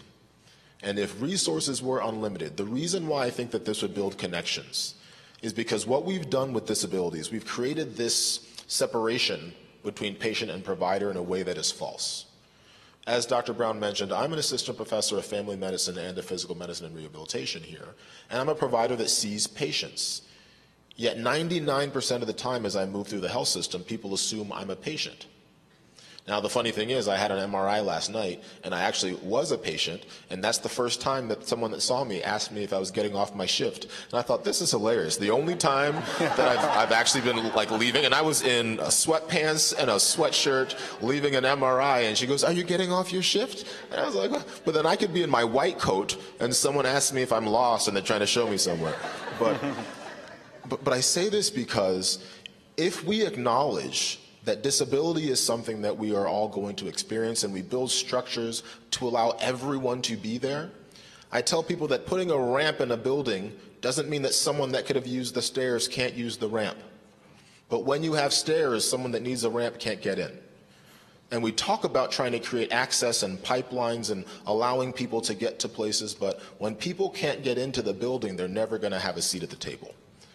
And so if we could create a health system that is actually accessible, and accessible means so much more, and that's what I mean that I've learned over this year. It's not just physical accessibility, because disability isn't just physical or visible that you can see. But there's so many other needs that individuals have that disability has this stigma that automatically it means less than or unable. And I don't believe that. But all of the different things that people have, that the needs that they have to be able to access something, if we created a system that was actually accessible and inclusive, our patients, our learners, our visitors, everybody would be able to benefit from it. So. I'm going to keep on the facilities discussion. And, uh, you know, one thing I think I miss from being a college student, and I see it now in grad school, is the physical spaces that are created for students to come together and talk about ideas and celebrate differences. And, and so, you know, if I was uh, leader of the world of Michigan Medicine one day, I would build a cultural center for staff members, for employees, right? Every company I've ever worked at, it's kind of like we celebrate diversity, we talk a lot about it, we do all these courses, but we never get people the space to actually do this um, and come together and talk together, put different flags up, stuff like that, right?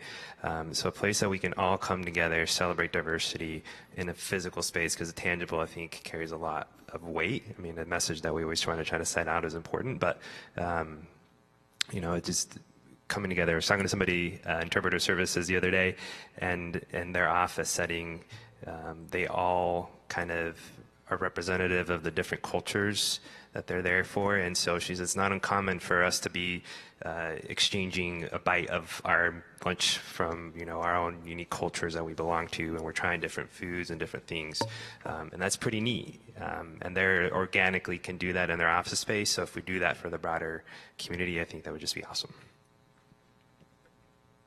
I want to uh, shift from facilities and space and talk about the people and development.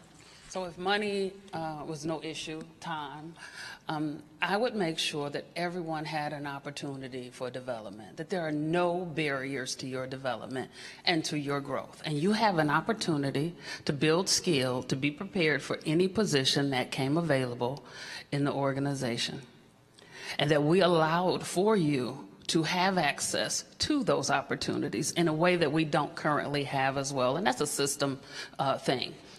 But if we all have an opportunity to build skills and making sure that we have the right people in the right places at the right time, we will build and strengthen our community because that provides opportunities for others with different perspectives to be in different places uh, to build the great university that we have and can have uh, in the future. So mine is all about putting the investment in our greatest resource, which is our people. I think we went in the right order because uh, we need the facility and we need the people to be developed. And I think I would add that we need them to have time. Um, it is such a precious resource and it's for everybody. But what I see is that the pace of change, the workload, things are so busy that pausing to be able to work through things together, to enjoy each other's difference in a space that might be created, um, is extremely challenging. Um, so I would, I would give us some time. And I, I would also put some supports in place um, for people to actually have some facilitated conversations on a regular basis with people who are really skilled at that. I think we have some here, and I'll tell you, if I could take them into every conversation I was having, um, I would take them. I mean, there are just certain people that are really helpful to make that less uncomfortable. I mean, some of them are sitting here. Um, and then I think a couple of other things I would do is I would shut off email for problem solving. Amen? Okay. Um, nothing gets solved complicated on email, and there's way too much of it. And problems are really solved by people face to face, and it is never the technical solution. We have plenty of good solutions technically. It's all about making the change, and we got to do that together.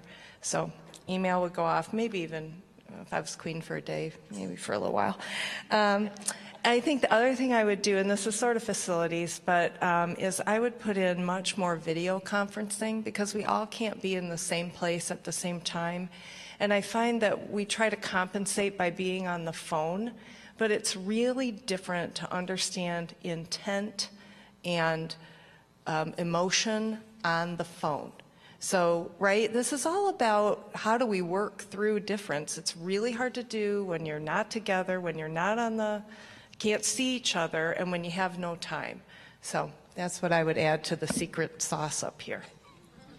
So there are ingredients for advancing this is space, space at the table, and also space to come together to celebrate us, and also cyberspace. I'm going to put uh, Sean's thing to video conference because we don't always have the time because email doesn't replace the individual and the people. Uh, so no barriers to development. And, um, and so it, I'll share from OHE, uh, we actually have one of our dashboard um, goals is to have 100% of our staff participate in a professional development activity every year. So you in your areas as leaders can be intentional about uh, what you do. We actually even give them resources, so they're all accountable. They're hearing me say it is true, and we, we really do want them all to do it because that's going to help them out and time to pause and enjoy that space and each other. So that's really important. So, how do you all celebrate other cultures or provide recognition across uh, roles at Michigan Medicine? And is this formal or informal? How do you, how do you, how do you celebrate cultures and acknowledge them? Or appreciate them? So I- I'll uh, say one, I don't think I do enough. Okay, so I'll acknowledge that. But I have a multicultural calendar that uh, Loretta Thomas passes out every year. And so somebody's got to raise the mantle, and maybe it's me to continue to distribute those now that she has uh, retired. But it's been very informative to learn about different cultures and to be able to reflect on those uh, in the moment. And I thought about uh, today, Yom Kippur, okay? Uh, the holiest day uh, uh, for our Jewish community. And I think about what can I do to, one, try to learn a little bit more, you know, about it. And it's just trying to be more intentional about asking questions related to one's background and or culture so that we can acknowledge uh, and celebrate that. And then just one simple thing that I do uh, regularly do is around the holidays, I'm mindful that not everyone celebrates the same holidays that I do, but to acknowledge those that do in a way that respects their beliefs and background, as in, you know, Hanukkah. And I just think we have to do those things. That just makes us a better community uh, and a more aware and uh, respectful community. I thought about this uh, literally, and uh, I I fill out a Making a Difference award for people with the Michigan Medicine, and then for the equivalent on the university side. Um, and I make sure that the wording and the words I use are, are representative of the people that I'm writing one. So if I submitted one for uh, somebody in campus and um, they use they them pronouns, and I made them pull the uh, nomination back because I think they'd written some script and they'd used the wrong pronoun. I said, hey, you can't mispronounce somebody. So, um, but that aside, I think just taking the second to write something tangible that somebody can get um, goes a long way. Um, and I can't tell you the number of times you'll submit them and you'll just get a quick email back from somebody that says, hey, thank you very much for taking the time to do that. Doesn't always happen, um, so I appreciate that. And I think that just goes a long way, again, when we talk about building bridges and making connections with people. Um, it goes huge, huge, huge, huge thing to just kind of send that out um, and, and write this stuff to people. This, the system's in place, so let's use them. Um, I think this is hugely important, and while I know that in my head, um, the importance of, importance of recognizing and celebrating, um, it is not my strength. Um, and, you know, my assistant knows that. People in my department know that. I'm on to the next thing. And so I, this is where I have to use structure, right? So because I have to remind myself, so I have literally a weekly uh, worksheet that I use around key things that I want to make sure I remember to do. And saying thank you and celebrating um, is on there and I'm, I'm really good at it now. I'm getting much better. So, uh, you know, I've written probably over the last year over 100 thank you notes personalized. Um, we do this on our structured rounds. We round at least once or twice a week. We ask for who should be recognized for what. We write personalized letters. We send them to people's homes. I think people need to have recognition by the leadership that we understand what you did and we appreciate it.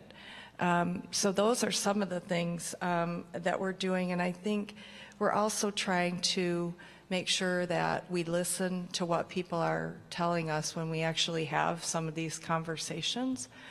And uh, so, for instance, when I met with uh, my group recently, you know, they said, Sean, you know, we talk about these issues, but we don't talk about them enough. So why don't we come together and do something monthly? and I'm looking at Michelle because she organizes all of it, bless you.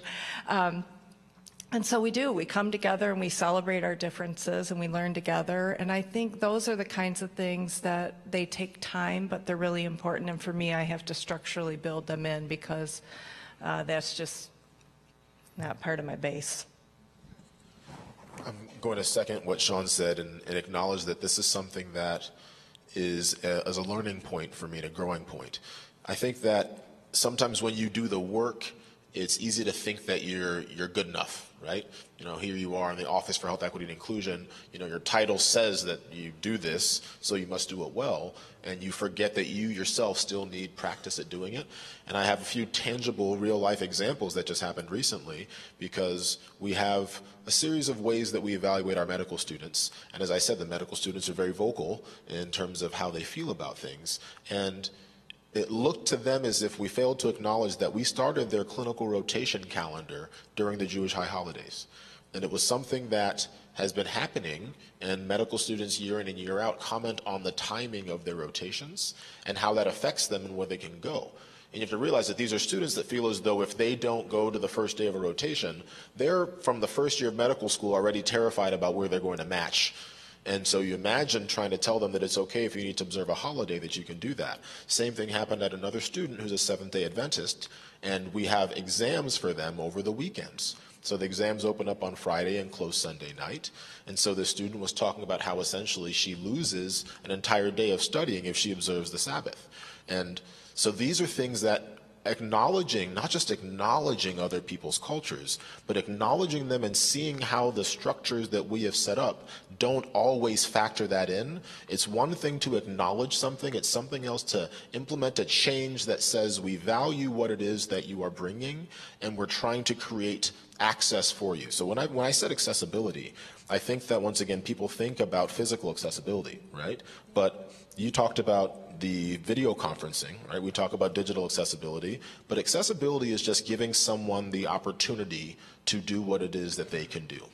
And if a student feels as though they don't have the opportunity to observe their faith, if a student feels as though they don't have the opportunity to do as well as they can on an exam because of the way that we have structured it, I, I think that we are not fully sort of doing the due diligence and the justice for them. I will say that our institution does listen to them, and Dean Mangrulkar does a wonderful job of trying to make sure that with the variety of cultures that exist here, because we then we we, we include people. We actually invite and recruit medical students from diverse backgrounds. But as I believe it was Wayne said, recruitment is one thing, retention is another.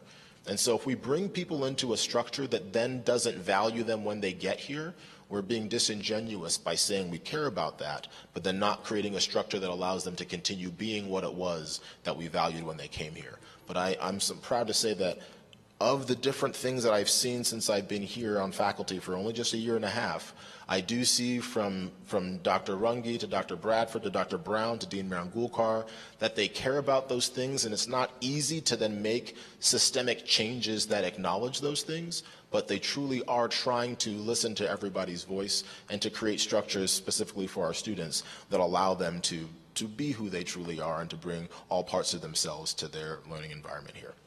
Great. And so some things that I heard there is, you know, kind of continuing our own self-learning journey, uh, asking questions about experience and acknowledging people, to use structure to complement your strengths, and that we're always learning and growing no matter what our titles are uh, and where we are in the hierarchy and listening and valuing people. So with that, I'm going to transition to the last question, and we have five minutes, so I'm going to call this a lightning round uh, for you guys uh, with one minute apiece uh, for your answers. And, but I'm going to give you a hard question, I think. And so since we talk about listening and value, how do you encourage people to speak up, to, to vocalize what they are concerned about, especially at times when there can be power differentials? And if you have time in your 60 seconds, if you can tell me about how that impacted you yourself. 60 seconds, go. I'll take a stab at it really go. quickly. Um, one is creating the space so you can have that conversation. So making sure that whatever the issue is, it's focused on the behaviors and not the person. Okay? Because when you can describe the impact that behavior has on you, a person can receive that. And I think that is critical for dialogue. Thank you. She did I- great. I, I, you get her time. I, I I will say that from the position in which I sit, no pun intended, I, I think that what we need to do is not just give people the space to then to then be courageous and say something or have agency when the, there's sort of their hierarchy differences, but I think taking that and leveraging the position that you are in to then demonstrate to that person it's important. Because you can let someone talk to you and listen to them in this circle, but if you then don't represent them at the highest level when you have an opportunity to, I think you miss it. So students don't always get to speak to the dean, but when you have your five minutes, if you make sure that one of those minutes is used to then say something that that student or that staff member would have wanted to say that they couldn't say because they weren't yet at that table, you are then leveraging the position that you have to demonstrate that those words that they have all the way to the top. I would say it's not what you say, it's what you do. Create the space, put the arm out, and help them to speak up. It's a, not an easy thing to do, um, and you have to make that okay, and you have to thank them, and you have to not let there be any retribution. You need to protect them when they do speak up, and it's not popular. Mine is uh, mental health, and just from the standpoint of for so many years I was fighting uh, depression and anxiety, and um, we don't normalize, as we say, talking about addressing these things, and um, you get so much courage, and you find so much uh, strength in yourself to go talk to other people at different levels of the organization with people that may not agree with your beliefs, your values, um, because you can work through those emotions of anxiety and fear that you might have as a result of of um, any barriers that you're putting up for yourself. Um, and then once you're in a good spot for yourself, helping other people that are in that in that space, right? Meeting them where they're at and understanding where they're at emotionally and helping them through that, um, so that they too can find the courage and the strength to engage. Great, you all did amazing. I don't think anyone took more than 60 seconds, so thank you. So in that, you, you guys talked about courage to meet people where they are, the space for listening and advocacy, and lever- leveraging your privilege. And also, as leaders, we need to uh, take that to our actions and behaviors. That's going to change our, our culture. So, thank you all. And let's give another round of applause to our panelists. Um, and I actually want to thank David because every time he summarized, it's as if we gave him notes, but we didn't. And, and he like put it together in this amazing sentence each time. I was like, well done. Even that cyberspace thing that you did, well done. I have certain talents. Thank you. Thank you very much. And so now what I'd like to do is to invite Patty Andreski and Phyllis uh, once more, because we're going to give another round of awards. Ye- Yes, Clarissa. Oh, so we're going to do a 15 minute break, and then we're going to give some awards. So you have to come back because you want to see these people get their awards. So 15 minute break. Thank you.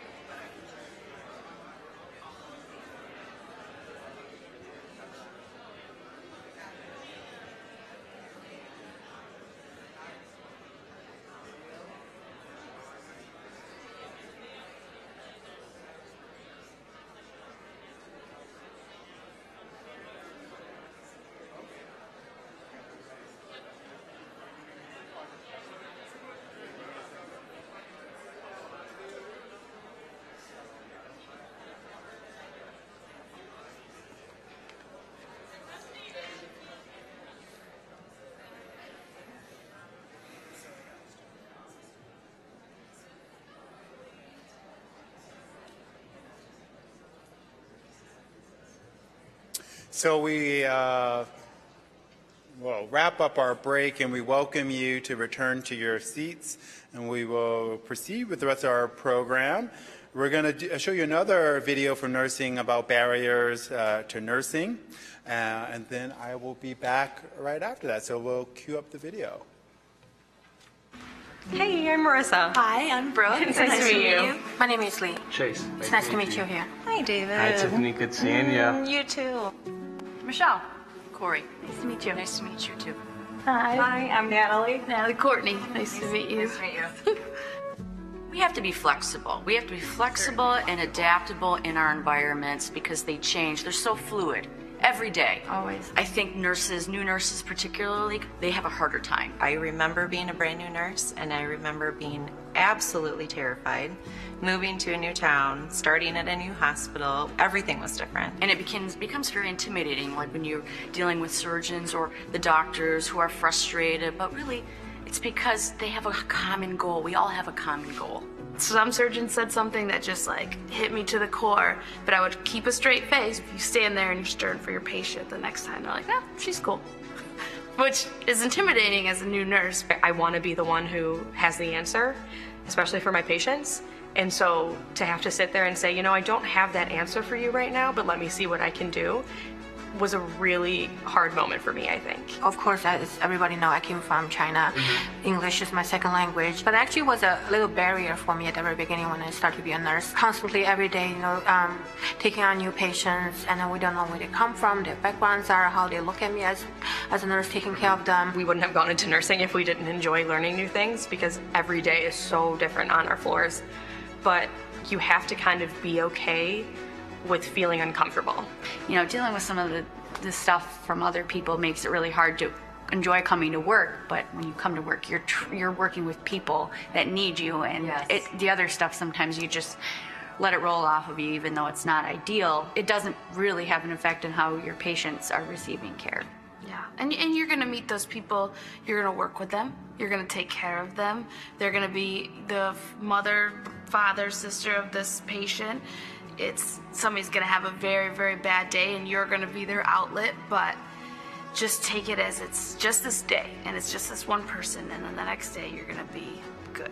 I have days that make me really feel down, but I have days that my patients really appreciate my care, and regardless of like the color of my skin, I really believe that my language, the way I look, doesn't matter. Like the way I'm going to take care of you. And I would say almost all of the time, by the end of the day, they appreciate having me as a bedside nurse taking care of them.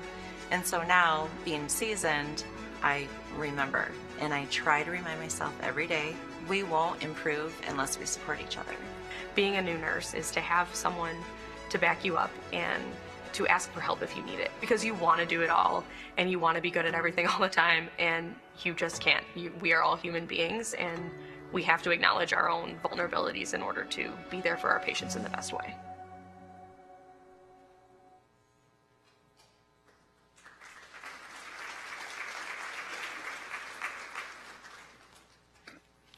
Our nursing colleagues are doing amazing things, and so we can learn from them and from everyone at Michigan Medicine. So all those things are important for me as a surgeon and how I interact with them and with uh, my learners and patients and, and residents. So next what we're going to do actually is we're going to, um, I, I want to invite Patty Andreski uh, up and um, Phyllis Blackman because we're going to give another round of the champions for promoting positive culture at Michigan Medicine. And this round is for departments or units that have more than 50 staff and less than 500. Yes, there is a group that has more than 500.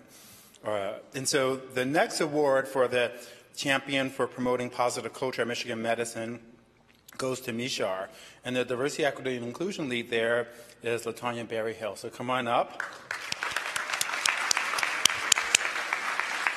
We have our photographer. Oh, there we are. He's, he's on cue. And their net promoter score was 12.7. So another amazing score. We'll take a picture here.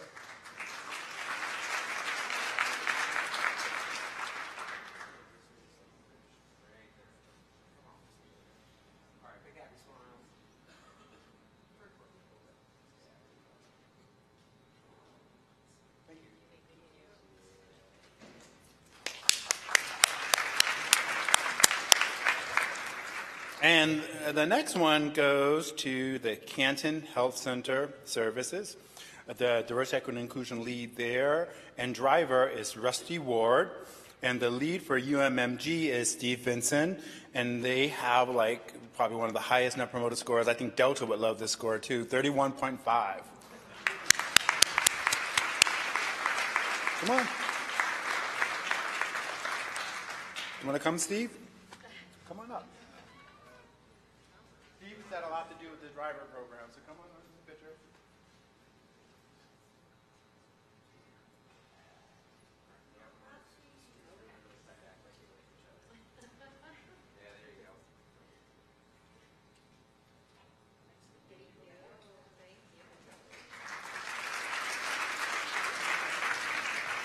And one more in this category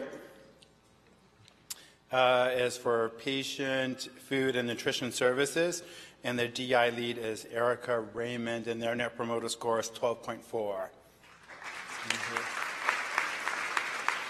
Anyone here from patient food and nutrition services that want to come up? Yeah, come on up.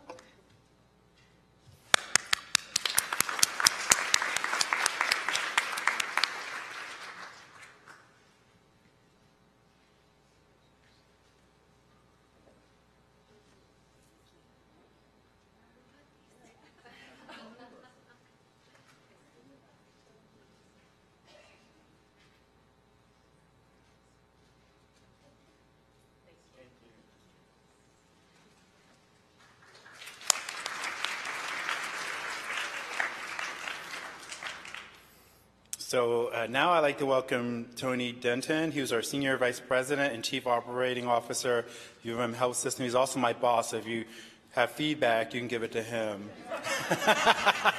so welcome, Tony.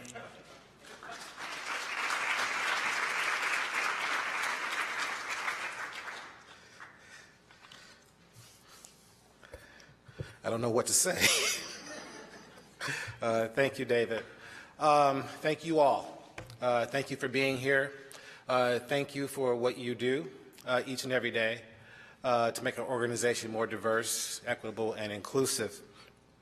Just want to make a, a couple of comments because um, this is such an endearing and important um, place for me, a special place, the University of Michigan and Michigan Medicine.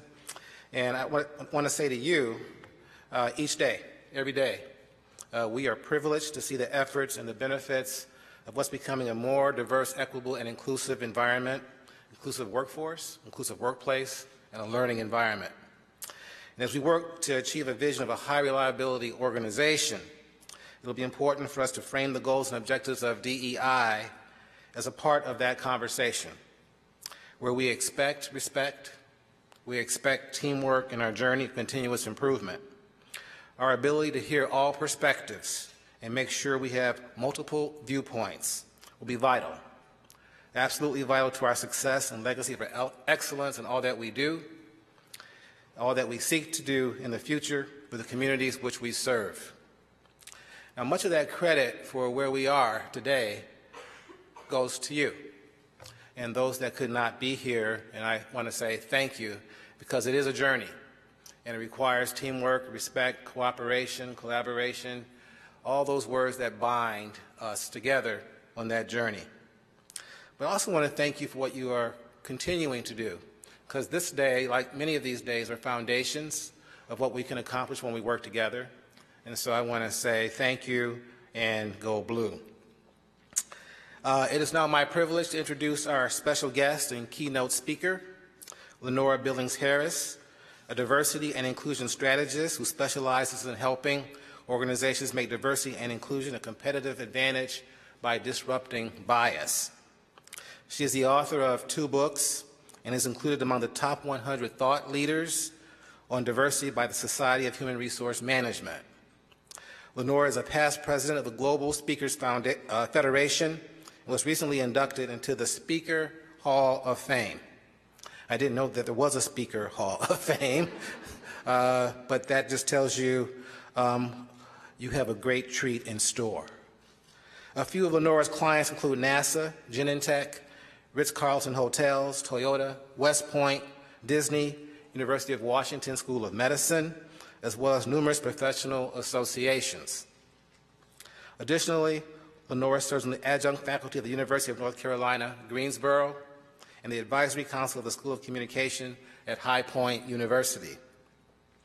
Quite the traveler, Ms. Billings Harris has presented to audiences on six continents and in 41 countries, with intriguing engagements in the middle of the Atlantic and Pacific Oceans. Finally, it should be noted that Lenora Billings Harris received her Master of Arts in Adult Education program from the greatest university in the world, our University of Michigan.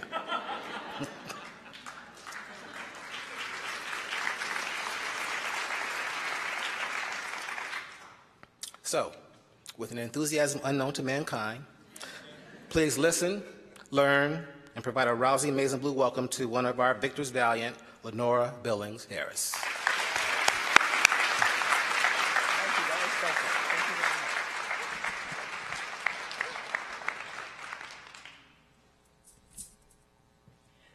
Don't worry, this is a temporary disability. And I figured it would be okay to come here today wearing this medical boot because if something happened, this is the best place for it to happen to get care.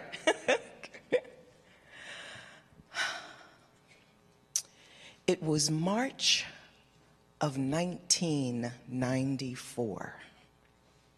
I had been invited to speak in Johannesburg, South Africa. I had been there several times before. I started going after Nelson Mandela was freed from prison in 91. But this time was different. You see, in March of 1994, it was a month before Mr. Mandela would become president. It was a month before democracy would reach South Africa. So it was different because everyone was afraid. Everyone feared that there would be violence and death because no African country had ever transitioned to democracy without violence and death. I hadn't made a commitment to do diversity and inclusion work, and we didn't even have the word inclusion back then, it was just diversity. But I was really fighting doing this work. My background was training and development in HR, and so I was there to lead a full day leadership development program. I was in a room a, a, little bit smaller than this, but there were going to be 60 automotive executives. Now, when I was working here at U of M, eventually one of the executives at General Motors stole me away to work for them, delivering uh, workshops and seminars. So I had an automotive background. I was excited that I was going to speak to these automotive ex executives in South Africa. So I'm in the room and I'm setting up because it was a full day workshop, a lot of interaction and engagement.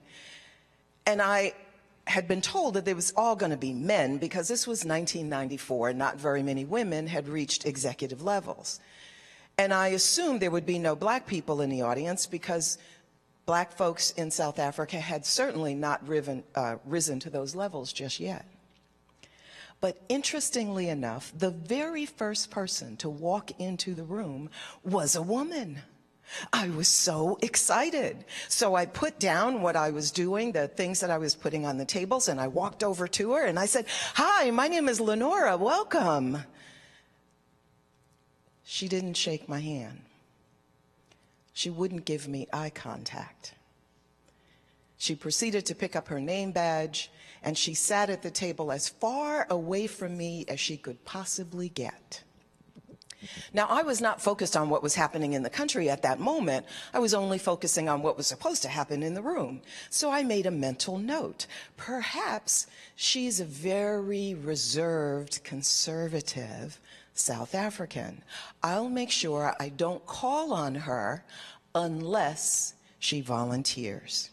I did notice that her name was Annie.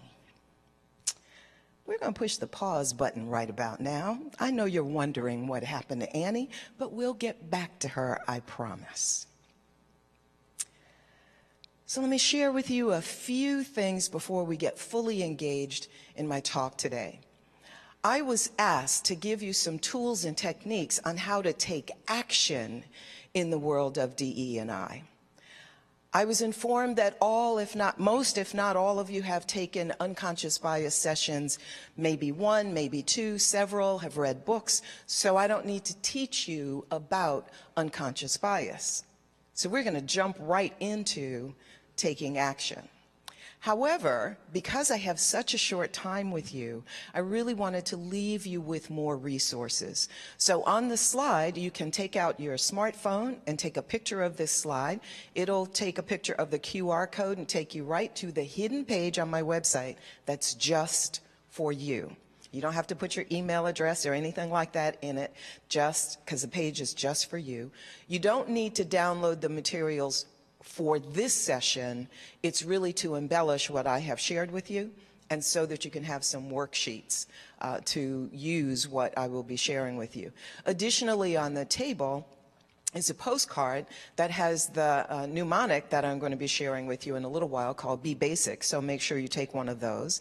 And there's also a blank worksheet that you will need once you start applying the STOP technique. Now, if you didn't get a chance to take a picture of this or to write down the website, don't worry because it is going to come up in several other slides just in case. So to start, I have a question for you. Why do you suppose it is for most people, probably not you in this room because you're all already engaged in DE&I, but why do you suppose it is for so many people, it's uncomfortable, scary, hard to talk about diversity, inclusion, equity, or bias. Why do you suppose that is? Now, what I want to do is going to give you about 20 seconds to share with people at your team, your table team, why you think it's difficult for people to talk about this subject. Just share a word, a phrase. Why do you suppose it's hard? Go for it.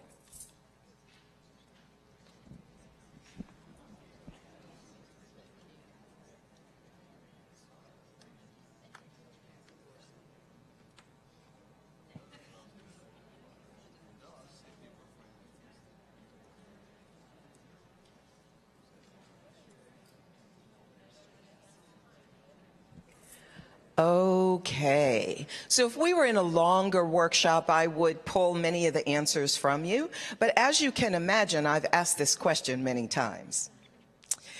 And the answers tend to be the same. So as you look at this slide, see if your answer is up there or something close to it. Right? Folks will say, I don't know what to say. I might say the wrong thing. Some people say, well, it's not about me, because we do have some folks that do not understand that diversity is about all of us, right?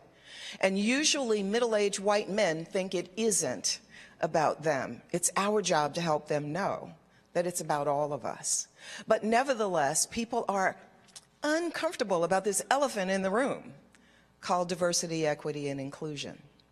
So my intention today is to share with you a couple of ways that you can continue your journey in understanding people different than you, and you can share it with other people, then secondarily, what do you do when the most well-intentioned people open mouth and insert foot?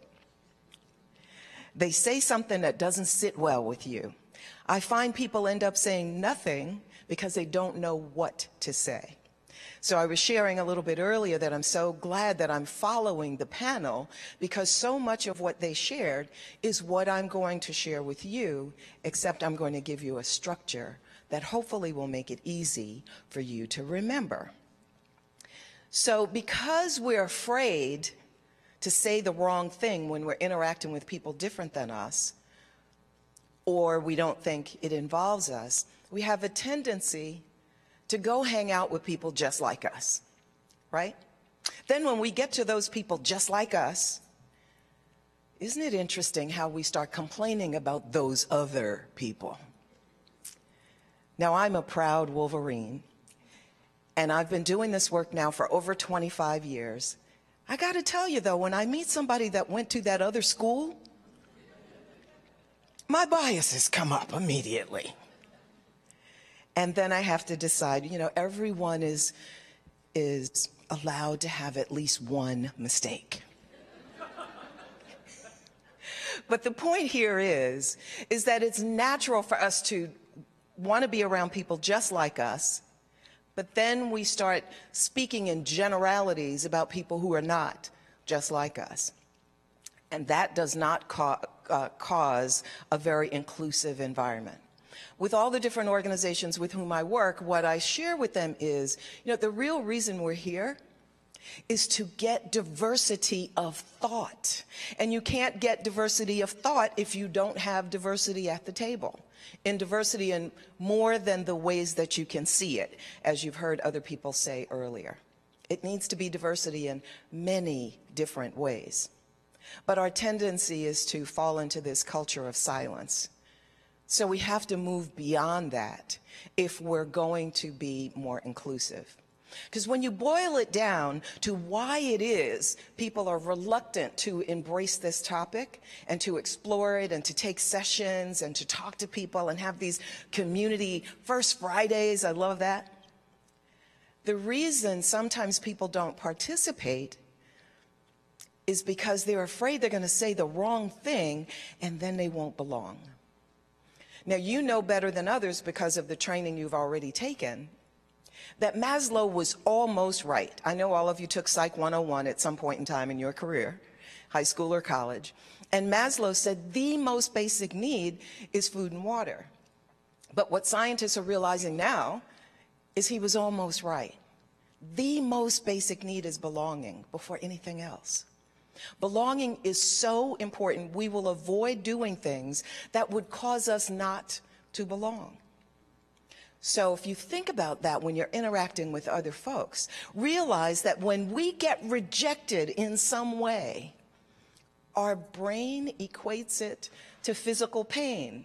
And I'm proud to say, I hope you know that because it's your research that found that out every time we get rejected in a big way or a small way, our brain equates it to physical change. So some folks don't feel rejection all that much. But other folks feel rejected or put down on a regular basis. So imagine what that says to them. So someone earlier said was not only about attracting the talent, but retaining it. People leave when they don't feel like they belong. And we live in a world now where we have what I call imitation belonging. Every time I see these two little babies, I think, oh my gosh, what are we doing to their brain? Because adults and young people feel that they're connected to all these different groups. You might have 2,000 people following you on Facebook, but that's not real belonging. Because in a time of crisis, what we know is people don't go to Facebook immediately they try to find other human beings first. And then they try to find food and shelter, etc. So we have to break this silence. That's what we in this room have to work at doing. Create that space where people are comfortable enough to break that silence because bias is normal. It's normal because every human being has it, but the folks that you interact with don't necessarily know that. And so most people tend to think bias is a bad thing. Except bias is not a bad thing, bias is a thought. What you do with that thought might give you a negative consequence, or it could be a positive one. It just depends. So if we can break that silence and give people some tools that they can use, then perhaps we can create that space of inclusion. So here's an example of what I mean. Now, some of you may know her because we are at a School of Medicine. You may know who this person is. Well, I was fortunate to be in the audience at Society of Human Resource Management, one of their conferences, and this person was the speaker. What most people noticed immediately was that she was a little person. And these were folks that in, in the audience that many of them were diversity practitioners, but still the conversation that I was hearing when she first came to the platform were all comments about her size. Because in her introduction, they hadn't yet told her, told the audience who she was. That was intentionally. They didn't tell her, tell us who she really was. My point is this, they were so focused on her size, they didn't necessarily notice who she really is. And who she really is is a pediatric surgeon that's world renowned. Now, you might know her from The Little Couple, the TV show. But my point is, how much do we miss when we assume that people, because people look a certain way, that they must not be smart? And that comes up in so many different ways in how we interact with folks. Now, in the US, colorism is still alive and well, but not nearly as bad as it used to be back during Jim Crow time or before that. But colorism is something that's international. If you get to DC, go to the African American Museum and look at the brown bag exhibit. How many of you know what the brown bag test is? Okay, there's a few of you in the audience. So there's going to be a, a fireside chat later, and I'm going to ask Clarissa to ask me to tell you what it is then, because we don't have enough time right now, but I'll tell you what it is then, and, and you could certainly tell the people in your audience. But the point I want to make now is that colorism isn't something that's owned in the United States. What I have found in my travels is that colorism exists everywhere in the world, every country where there is a lot of diversity of skin tone. And my clients will often say, oh, we don't have the diversity issues you have in the US because we're all, and then they'll say whatever the nationality is. Except if it's a place I haven't been before, I'll go early, a couple of days early, and do research by walking around. And inevitably, what I find is the people with the darkest skins tend to have the lowest level jobs. Intentionally or not, the bias is there. So the question becomes when you are interacting with a patient or when you're interacting with a colleague, does that bias come up for you? It doesn't make you a bad person. It just means that you have taken in information that is no longer useful, that you might need to say, hmm, need to put that one aside because intention is not enough. It's impact that makes the difference. Regardless of what your intentions are, and I believe that most people have good intentions when they're interacting day to day in the workplace, still that's just because your intentions are good, it isn't enough because I can't read your mind. And the other person can't read your mind either. So the more that we can realize that the world, we see the world the way we are, not the way the world is, and when we're interacting with others, we realize, oh, they're seeing the world the way they are. To give you an example, I'm a Law and Order junkie. Any version of Law and Order, I like to watch it. And as you know, in the beginning of Law and Order, there's always starts with a dead body, right? And then two detectives come up and they kind of look at the situation and, and they tell the uniformed officers to canvass the area. And they're looking for eyewitnesses, right? they could find two or three eyewitnesses. And you have to watch the beginning of the show so you can see how different it is at the end of the show. So they might find two or three eyewitnesses, but the eyewitnesses don't tell them exactly the same thing. They never tell them exactly the same thing because each eyewitness saw the circumstance from their point of view. And they believe their point of view is right. So I know you've had a lot of training in unconscious bias, but I want to give you an exercise to do right now anyway. Shake the hand of one person at your table. Just shake the hand of one person at your table. If you're sitting at a table of, of uneven number, then, you know, you'll work it out. Okay? So you're such a friendly group. I know you shook everybody's hand at your table. I was watching you. now, let me reframe this. Let's imagine that you are the manager who is interviewing a candidate. Now, you're going to be the manager and the candidate at the same time because here's what I want you to do. Shake that person's hand again, but this time give them no eye contact and give them a dead fish handshake.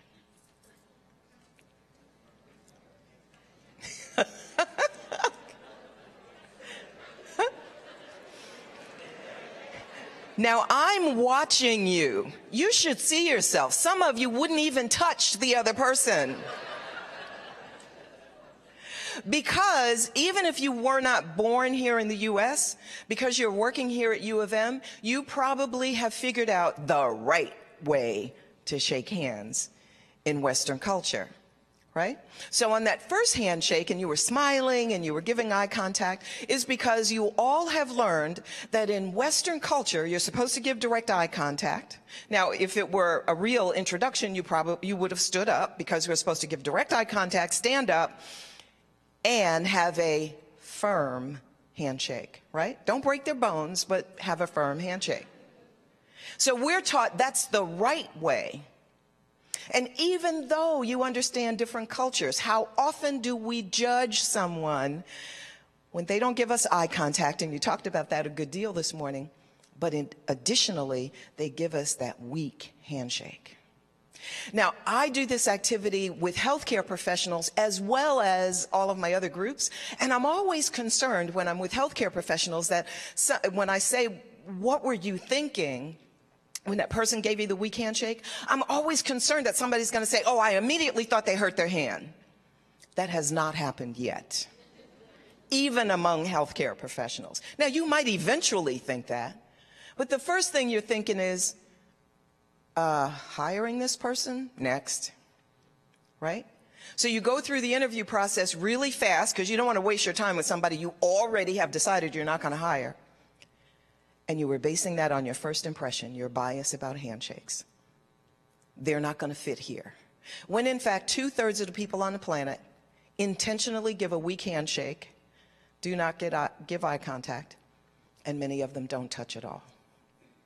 But how often do we slip into that confirmation bias? I already made up my decision about this person, and now let me just ask questions in a way that will confirm what I already was thinking rather than the other way around. Let me see if I can prove myself wrong, is what we need to be doing. So, just as a refresher with that handshake, to remind you that we're all on this journey together. It is a continuous learning process. We don't take a pill and then we get it. It's constantly doing the work. So there are times, though, when we have microaggressions or micro inequities. And the only difference between the two is micro inequities are uh, subtle and it was unintentional. Microaggressions could be very intentional, but the result is the same. People are feeling ouch, they're feeling that pain. So as these come up, think about have you ever either experienced these questions or comments or do you, you know someone who has? And these are just a few examples of microaggressions. Now, I've got to make a comment about the hair one. There's two there about hair. Now, one of them says, Is that your real hair? If she paid for it, it's her real hair. Why do we have to ask that question? Now, here's the thing is we often do or say these things when we're trying to make friends. So why can't we just say, "Ah, oh, your hair is beautiful." and leave it at that? Then the other one that African American women tell me they experience all the time, and I used to say, "You see what I did, I don't experience this." But I can't tell you that anymore because this summer in July, somebody actually put their hands in my little bit of hair that I have. and here's the point. The person putting the, what they, they say is, may I touch your hair, but their hands are already in your hair.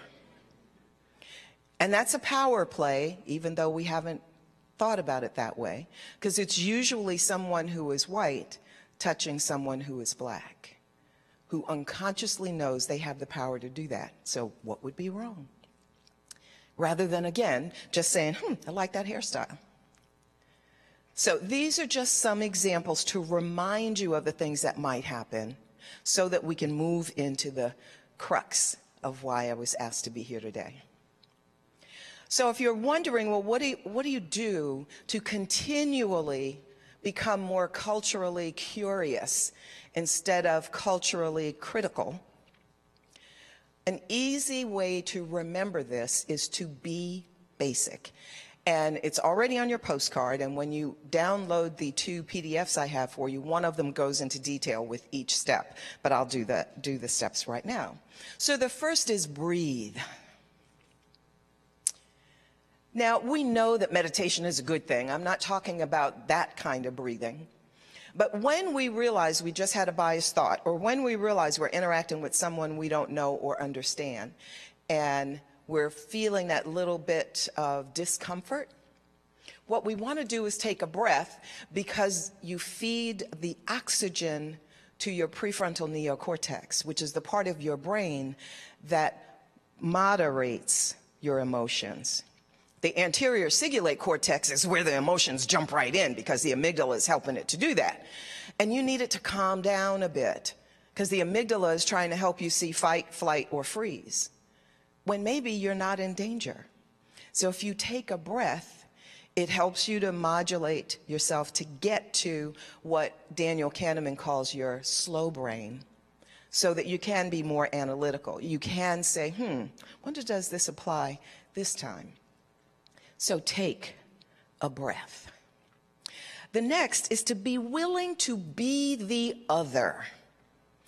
And panelists talked about this this morning with various things that they do to learn different cultures. Now, I'm not suggesting that the only way to do that is to go to a different place of worship if you happen to go to a place of worship. But I use this slide because 11 o'clock on Sunday morning is the most segregated time during the week. So if you do happen to go to a place of worship, go somewhere else occasionally. If you're a little uncomfortable about doing that by yourself, find someone that you know that has a different, that worships a different religion than you and experience their traditions. I've even shared that comment or that suggestion with clergy, and I'm stunned at how surprised they are. Even, really? I could tell my congregation to go to another church. Hello? My point, though, is all of us are human, and we're so afraid of what's different. Now, you don't have to just do that. It could be all different things. Now, you happen to work in a place that is very diverse. That's not enough to be around people during the work time. Intentionally use your own time to learn about cultures different than you. Intentionally go to those cultures around which you are most uncomfortable. Because what will happen is your biases and stereotypes will come to fore and you'll realize that that's all it was. Now, I'm not suggesting you put yourself in a dangerous situation, of course, but you'll realize that most of your fears just don't apply anymore. So be willing to be the other. Ask for feedback. Dr. Brown, I think earlier, had said that all of us in this room are leaders in one way or another. When you're the leader, don't share your ideas first. Ask the rest of your team what their ideas are. Because since you're D, a DE&I lead at one level or another, people do assume you got it, you know it all. And we know that's not true. We're always learning. So ask your team for their ideas first. If somebody comes up with an idea that is very similar to one that you had, give them the credit. You don't need it. Give it to them. Be willing to ask for feedback. If you know you have a particular bias, and you'd like to get beyond it, we can't get rid of them, but we can disrupt them, then go to somebody you trust, not your partner, spouse, um, or significant other, whichever term you happen to use. Don't go to them, it's too much emotion. But go to someone else, like a best friend, and say, you know, I realize I've got a bias about weight, size, what, whatever it might be. And because so many of our biases are unconscious, I need you to point out to me if I happen to say or do something that shows that bias, just bring it to my attention. Now, don't throw me under the bus, you know, call it to my attention offline, just you and me, so that I can become more aware. Be willing to ask for feedback. Suspend judgment is the S. Remember, being biased is normal. So when you realize you're having a biased thought, just suspend it for a moment and see if you can prove yourself wrong instead of always proving yourself right. Invite others. Invite people different than you to be in your space. Now, not only at work, again, not just with your team, if you're going to have a dinner party, invite some folks to your dinner party who you haven't invited before, who are very different than the rest of the people. Now, don't just invite one person who's different, but invite a few. It'll change the tenor of the conversation. most likely it'll make it make the party much more interesting. So be willing to do that. This is the hardest one. Check your ego at the door. Because you see, you got to where you are today in your career because of the, the decisions you've made in the past. And those decisions obviously were good ones because they got you to where you are. We're not suggesting that you don't continue to make those good decisions. What we are suggesting, though, is to expand it, to recognize that just because you were right five years ago doesn't mean that you were right this time with this person. So we can put those things in place, but we still need one more thing. The first is to assume positive intent. Most people don't get up in the morning trying to make your life miserable. All of us are much more self-focused. So they're not busy trying to make you miserable. Now, by the way, I know there are some people who do that. I'm not talking about those folks. I'm talking about most of the people that you interact with. They're just doing things the way it makes sense to them. So take a breath and assume positive intent. Now, in some cases, when somebody's doing something on a regular basis that just gets under your skin, you can just avoid them. Unfortunately, the people who do that are usually the people you can't avoid. But so here's the thing is pick your battles. If something happens with someone you're never going to see again, and you have a sense that they aren't going to hear you anyway, then don't waste your energy if you're never going to see them again. Now, sometimes you can just accept people the way they are. They're doing something that might get under your skin a bit, but you can accept them anyway. Let me give you an example. My favorite aunt, we call her Aunt Lou. Her actual name is Looney Pearl. Looney Pearl had four kids. She was my stepmother's sister, is my stepmother's sister. She's still alive. My uh, Looney Pearl is. She had four kids. So when I was living with my dad and my stepmom, I loved going to her house because her kids were in my age range. So we hung out all the time together. And Looney Pearl was a great cook. My stepmother, not so much. Now, she would tell you that. Okay, so I'm not saying anything out of school. But Looney Pearl was a great cook. I loved being around her. I always felt like I belonged. Well, then I went to college and then got married and then moved to University of Michigan, Ann Arbor. And so I didn't see Aunt Lou very much. I would see her one time a year. My husband and I were lucky. My family's tradition was on New Christmas Eve. His family tradition was on the day after Christmas. So we'd come to New Jersey, which is where I was from. We'd hang out with my family. I'd see Aunt Lou. Then we'd fly on Christmas Day and go visit his family in Virginia the day after. It worked out really well. So when I would see Aunt Lou, she'd always ask me this question. So, Lenora, when are you going to have kids? Now, my husband and I have just celebrated our 45th anniversary, and we chose not to have children. So we call ourselves child free, not childless, as we like everybody's kids and we can send them back. now, I'm proud of that decision that we made because still today it was the right decision for us. But my point is this Aunt Lou would ask that question every year. And I love Aunt Lou, so I didn't want to get into a whole philosophical debate about it. You know, she had four kids, so she didn't understand why anyone would not want to have kids. And plus, I frankly didn't think it was any of her business why we chose not to have kids. But here's the thing. I still see Aunt Lou at Christmas. She's now 95. She is not suffering from dementia or Alzheimer's. And I think she now asks me the question just because she knows she's going to get a laugh from anyone who hears her. But she still will lean in and say, So, Lenora, when are you going to have kids? And what I say to her is, Aunt Lou, we're working on it. and then we can move on. So there are some people, depending on the relationship you have with them, that you can just accept them. But then there are other folks that, I have to take action on this because, see, I'm taking home that stress every time they say something or do something. I, I need to figure out a way to help them know how important this is to me. And that's where the stop technique comes in.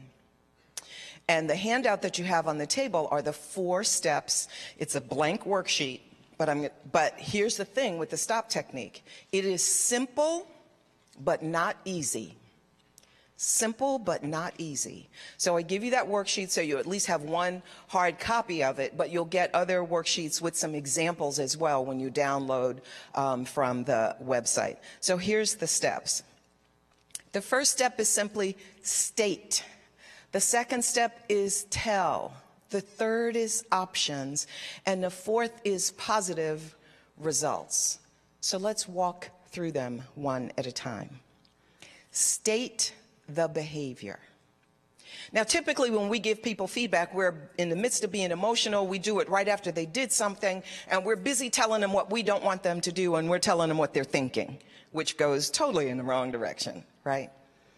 So we want to start with what is the behavior? You should be able to see it, smell it, taste it, touch it, count it. Some kind of way, some behavior, so that when you state this behavior to the other person, they know exactly what you're talking about. If you don't get the behavior clear, the rest of this technique falls apart. Now, by the way, this is not a technique to use when someone is breaking company policy, when someone is breaking the law. This is not for that. This is to use with your colleagues and your coworkers when you need to give them feedback in a way they can hear it. Now, if you've taken any feedback sessions, and I bet you probably have, most feedback workshops will say, don't start with you, start with I. This switches it, and it's intentional. So you start with the behavior so they know exactly what you're talking about. So let's practice a little bit. Which of the following is a clear behavior? I'll give you a chance to read it, and you just shout out which one you think is best.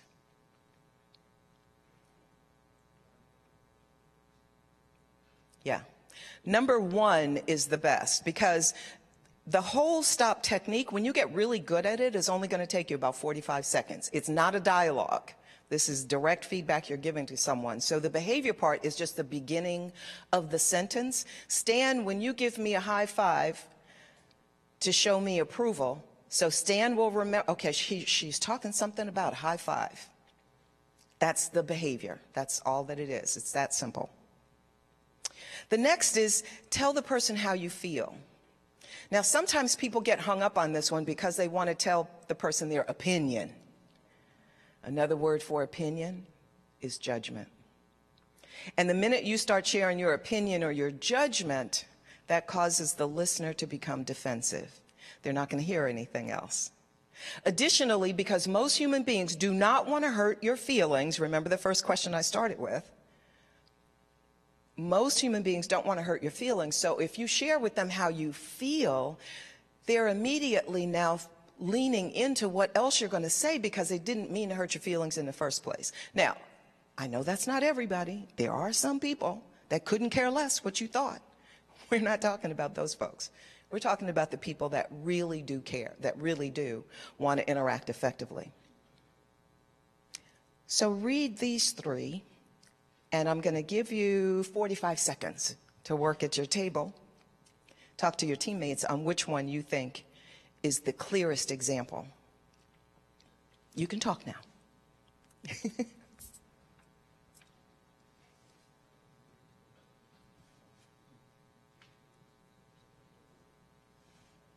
and it could be I should say, what's a way to rephrase it? I didn't say, a clearest example was the earlier one. This one, you want to rephrase it. How could you rephrase that so people would actually hear it?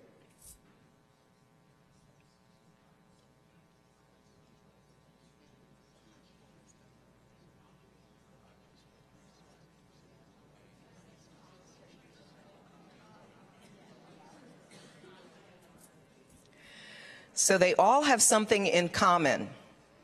This is the feeling stage, but all three of them start with you. And I started hearing your answers already. Whatever the statement is here, it needs to start with I feel.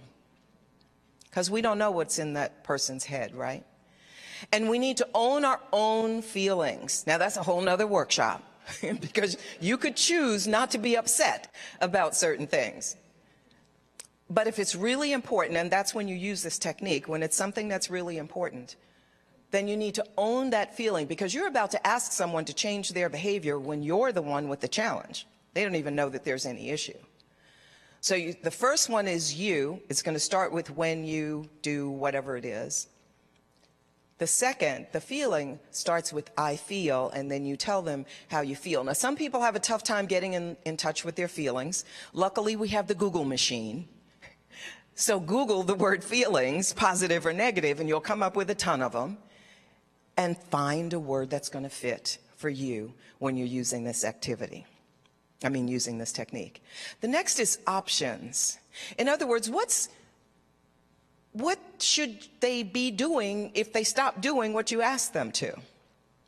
So what do you put in place of it? Again, this is where our feedback usually falls down because we tell people what we don't like, but we don't give them a replacement. We don't tell them what we'd like for them to do instead.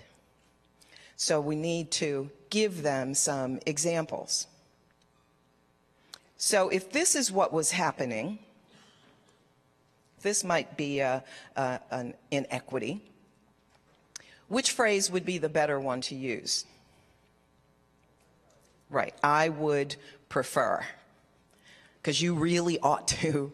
That, that's being judgmental. And not we think you should. This is a one on one dialogue, I mean, one on one interchange here. Even if you know three or four people in the department feel the same way you do, you're not speaking for all of them at this moment, especially if this is the first time this offender heard about the particular things they're doing. So it's just between you and me. And obviously, you want to have these conversations in a private place. The last is positive results. In other words, what's in it for them to change their behavior? In training, you know the term WIFM, what's in it for me? That's what they're going to be thinking. What's in it for me to change my behavior? You want to answer that question. And I don't have an example for this one because it's totally dependent upon what the situation is. It could be that you'll be able to, you and that person will be able to get to the task quicker because you'll really be listening to everything they're saying, not waiting for this thing that they do or say that upsets you. Maybe you already have a great relationship and you want to make it even better. But the point is, you want to find something that's in it for them as well as for you so that they would be willing to make this change.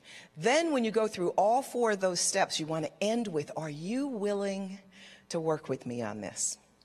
Are you willing to help me with this? So that you're saying to that person, I own this problem. I need your help.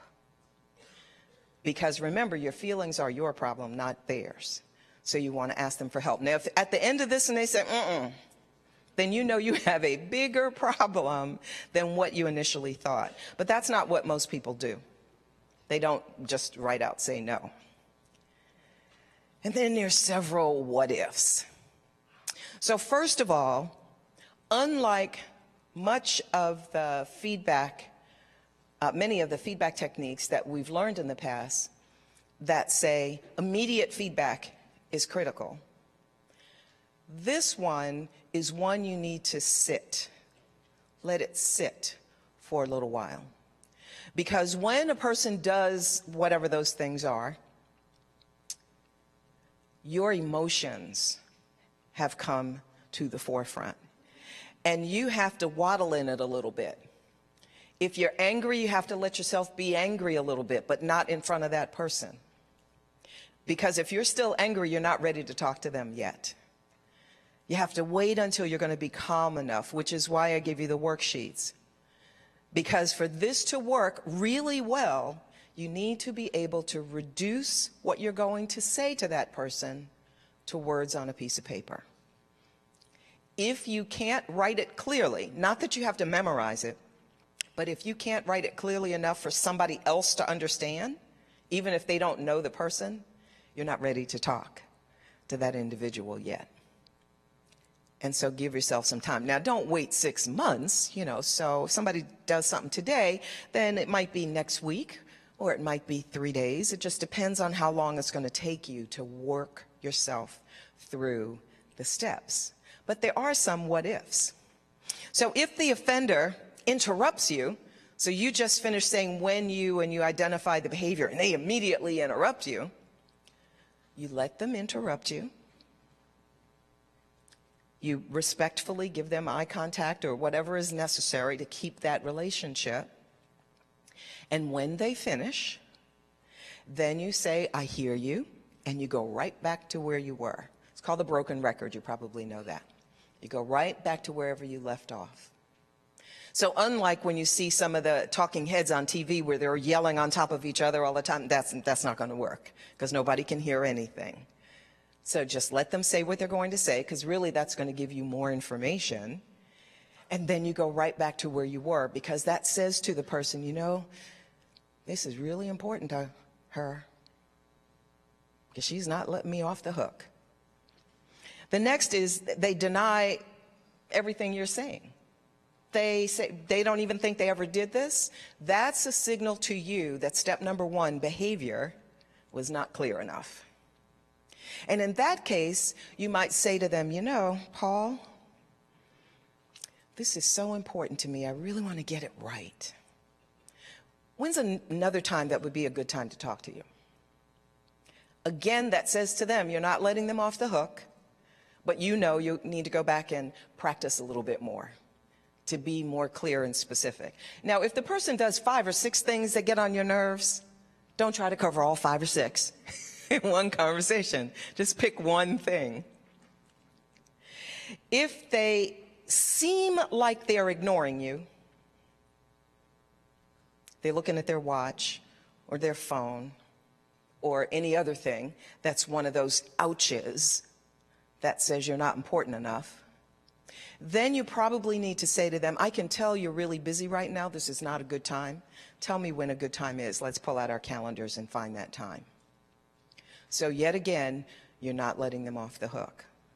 Now, sometimes people hear better when they're not looking at you. So, you know, they may need to look away and they're processing what you're saying to them. So don't immediately assume that they're ignoring you. Oftentimes people will say, oh, oh, I didn't mean any harm. I, just get over it. You know, I was just joking. That will oftentimes come up. You can say something like, Sam, I understand your intentions were good. It didn't land quite the right way for me, or something along those lines. So you acknowledge that their intentions were good, and then you go back to where you were. This is still important to me. Now, don't say but. Just put a period there and say it's still important. So the challenge is we only have a short time together. Where normally what I just shared with you, I take at least two hours, usually three, so you have lots of um, practice. What I encourage you to do is to find an accountability partner, someone else, hopefully in this room, who's also heard the same thing, and you practice this with them before you use it. I promise you, it really works. I get stories all the time of people using this technique, both at work as well as outside work. It's amazing. It works particularly well with kids, so practice it first with kids that don't impact your salary. it works really well with kids because you're telling them essentially why you need them to change. So there was Annie. Now remember, it was March of 1994. I had not made a commitment to this field of work, diversity, equity, and inclusion. Although when I started my business in 1986, by 1988, many of my colleagues were saying, well, Lenora, you should do diversity work. Now, for those of you who, who know the history of diversity and how it became the uh, word the way we use it now, it really kind of started with Workforce 2000 when that government report said that by the year 2000, the majority of people entering the workplace would be other than white males. And so corporations were saying, uh-oh, we need to figure out a way to attract the best talent. We probably need to do some things differently. So my colleagues were saying, well, Lenora, you should do this work. And I would say, why? And they said, well, you're black and female. That was not a good enough reason. Because I did start paying attention to what other people were doing. And at that time, people doing work in this field, at least those that I saw, were judgmental. They made their audience members feel guilty. Now, not all of them, but many of them. And what happens when we know this information, all of us collectively in this room, sometimes we get a little righteous. We have to be careful of that. But that's what I was seeing, and I thought, that is so not my style. So I need to figure out something else. So I was in South Africa with this leadership development program. And I had been delivering leadership development and customer service and just all kinds of things, trying to figure out what I should do because my colleagues who had been in the business a long time said, you've got to pick a lane in some way. You either need to pick a topic or you need to pick an industry. And although I loved automotive, that was not the industry I saw myself being in for my full career. So while I was there in March of 1994, in the back of my head, I was still searching for what my area of focus should be. So there I was. It was a full day leadership development program. Now, in a full day leadership development program, you know how you have people walking around in blindfolds and doing all kind of other things so that they can get a sense of, of what it's like to be led and all kinds of other things like that. So we had a great time. And at the end of the day, several people came up to talk to me. And I was chit chatting with them, and I noticed that Annie was still sitting in exactly the same place. I remembered that she did not participate at all unless she had to. So that was a clue to me that she probably wanted to talk to me alone. After all 60 of the other folks had left, she finally started to get up. And as she got up, I saw she was heaving. She was crying. She was crying so hard that the tears were falling off her face to the floor as she's walking toward me. Now, my immediate thought was, was I that bad? Because I was still too self focused, quite frankly. So I started walking toward her just so that she wouldn't have to struggle so hard. When I got to her, she gave me a bear hug. Now, I'm a hugger. But you know when you hug somebody and you're ready to let go and they're not? It was one of those kind of hugs. And as she was hugging me, I could feel her tears on my face. So when she finally let me go, it was when she thought she could talk at least a little bit through her tears. So, what I'm about to tell you, she was crying through the whole thing. But what she said to me was, I'm an Afrikaner. Do you know what that is? Afrikaners were the people in power that implemented apartheid for over 40 years.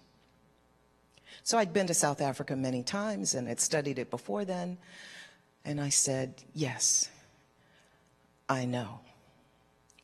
She said, When I walked in this room and I saw that you, a black woman from America, was our presenter, every bone in my body, every ounce of my being wanted to turn around and leave. And she cried some more. She said, I couldn't leave because my bosses were here. So I was determined to not do anything but sit in the back. But then she said, I know the real reason why I was supposed to be here. You see, as we speak, my husband, my brothers, and my sons are gathering guns and ammunition to be prepared to kill every black person they see. And I realize now that I was supposed to be here to experience you as 100% human. And my job is to go home and convince my husband, my brothers, and my sons to lay down their arms. So we cried together. We talked a bit more. This was 1994. There was no internet. There was no email. There was no way for me to find out whatever happened to Annie.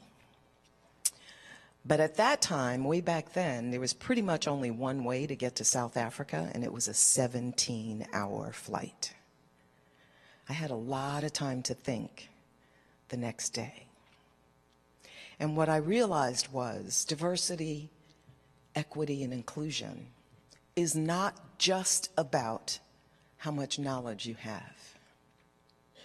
It's not even just about the words you use. It's also about showing up and being 100% authentically who you are and creating a space for other people to be authentically who they are. I shared last night at dinner with several folks that there's two groups of people that I most love to do this work with. One group is educators, because I believe teachers are the brain surgeons of our kids. And what they say off the cuff can change a child's life for good or for bad. And it's usually those things they say off the cuff, not the stuff that's in a lesson plan, that impacts children the most. And the other one is healthcare professionals.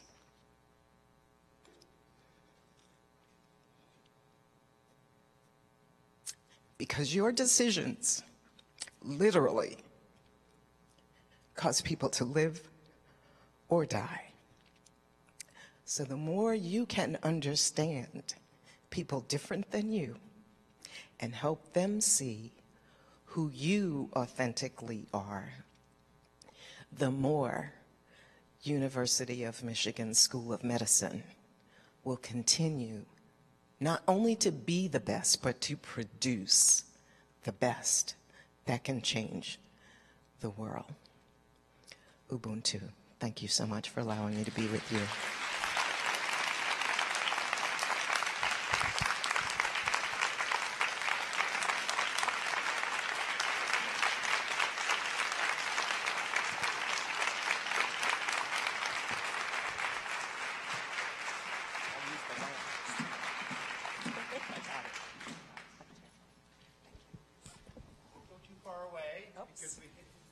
you know, uh, thank you very much for all the wisdom that you shared with us today. We've uh, had many years of people coming and sharing, and it's always great to know that there are new things that we can learn and new ways that we can think about the work that we do. So we really appreciate what you've done for us today. And we have not one, but two. Since you're a Michigan alum, you get two gifts from us. So we hope that you enjoy this. So thank you very much.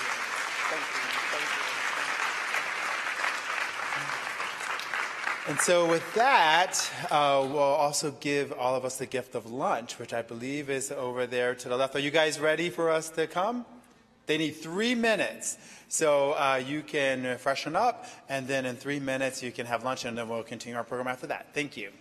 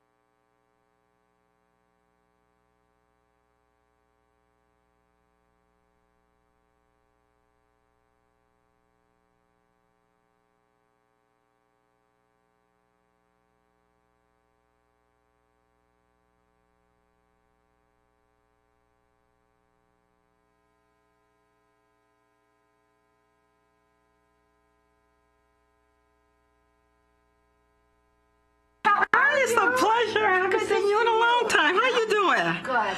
My name is Lee. Chase. It's nice to meet you here. Hi, how are you? Nice to meet Nice you. to meet you too. yes.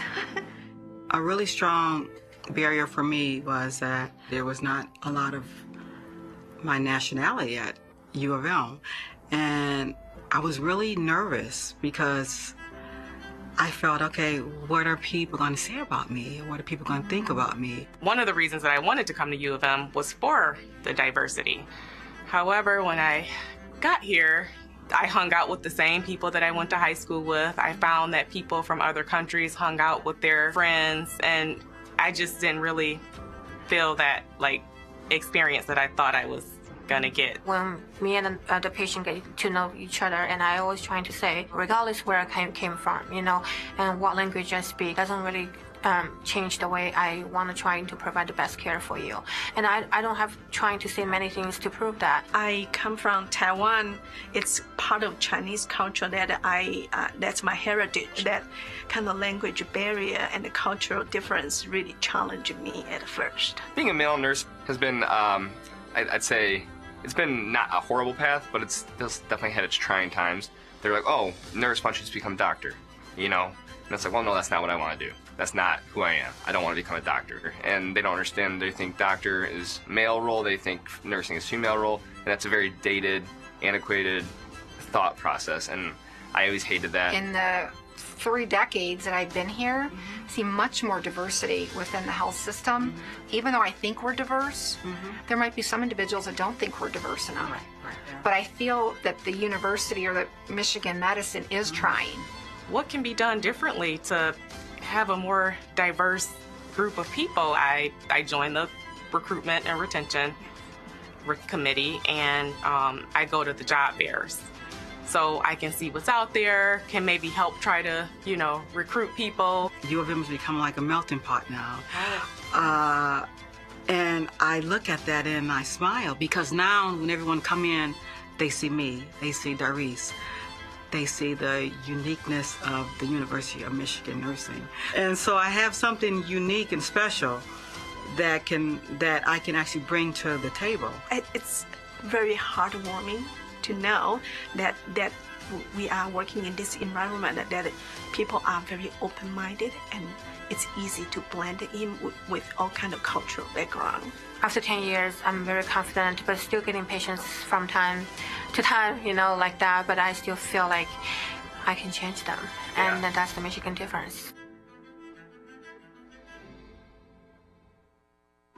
Hey, I'm Marissa. Hi, I'm Brooke. It's nice, to meet you. Nice to meet you. Yes. Michelle. Corey. Nice to meet you. Nice to meet you too. Hi, it's a pleasure. I haven't seen you in a long time. How you doing? Hi. Hi, I'm Natalie. Natalie Courtney. Nice, to meet you. Nice to meet you. We have some nurses who have been there for 20, 30 years, and they have so much knowledge to share. But I have noticed at times when there's a new policy or we get some new technology, those tend to be the people that fight the the change. So it's intimidating for us to be to come into the new profession, but I think it's really intimidating for older nurses to go into all of this new technology and computer stuff because they're not used to it and they didn't get into their nursing habits that way. I was always afraid, oh, when we get older, will, we be pushed out by the technology, the new things? And thankfully, we always have the new, new recruit, new generation, newer blood coming to the office, work with us, and I'm, I'm happy to see that newer generation. That has been where I have found connections with the older nurses because they all want to help patients just as much as we do.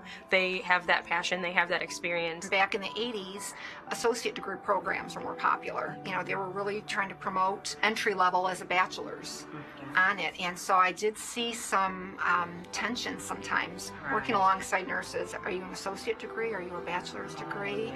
Um, with that, and a lot of discussion on should it be the same pay, and and you know we we all take the same state boards, but we have different degrees behind it. When I hired in, they're like, "How did you get a job here? You're not a you're not a U of M alum." Same thing too.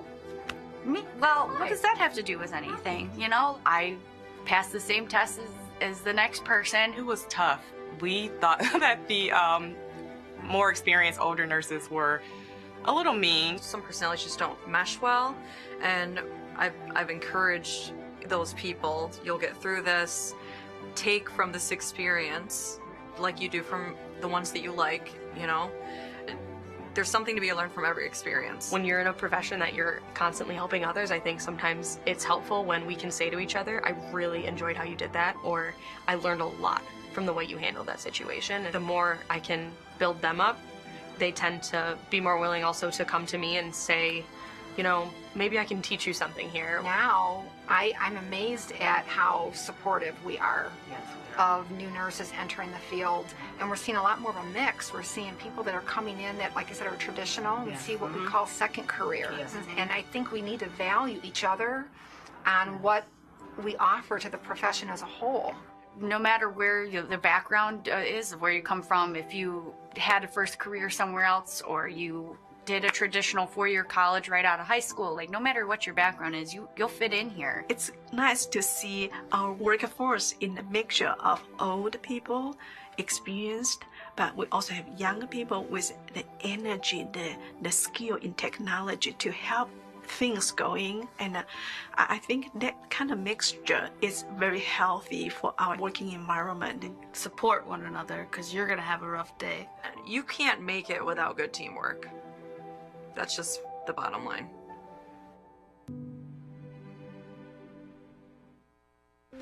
Hey, I'm Marissa. Hi, I'm Brooke. It's nice to meet you. My name is Lee. Chase. Nice It's nice to meet you here. Hi, David. Hi, Tiffany. Good seeing ya. Mm, you too. Hi, I'm Dia. Hi, Andrew. Nice to meet Nice you. Nice to meet you also. Hi, it's a pleasure. I haven't seen you in a long time.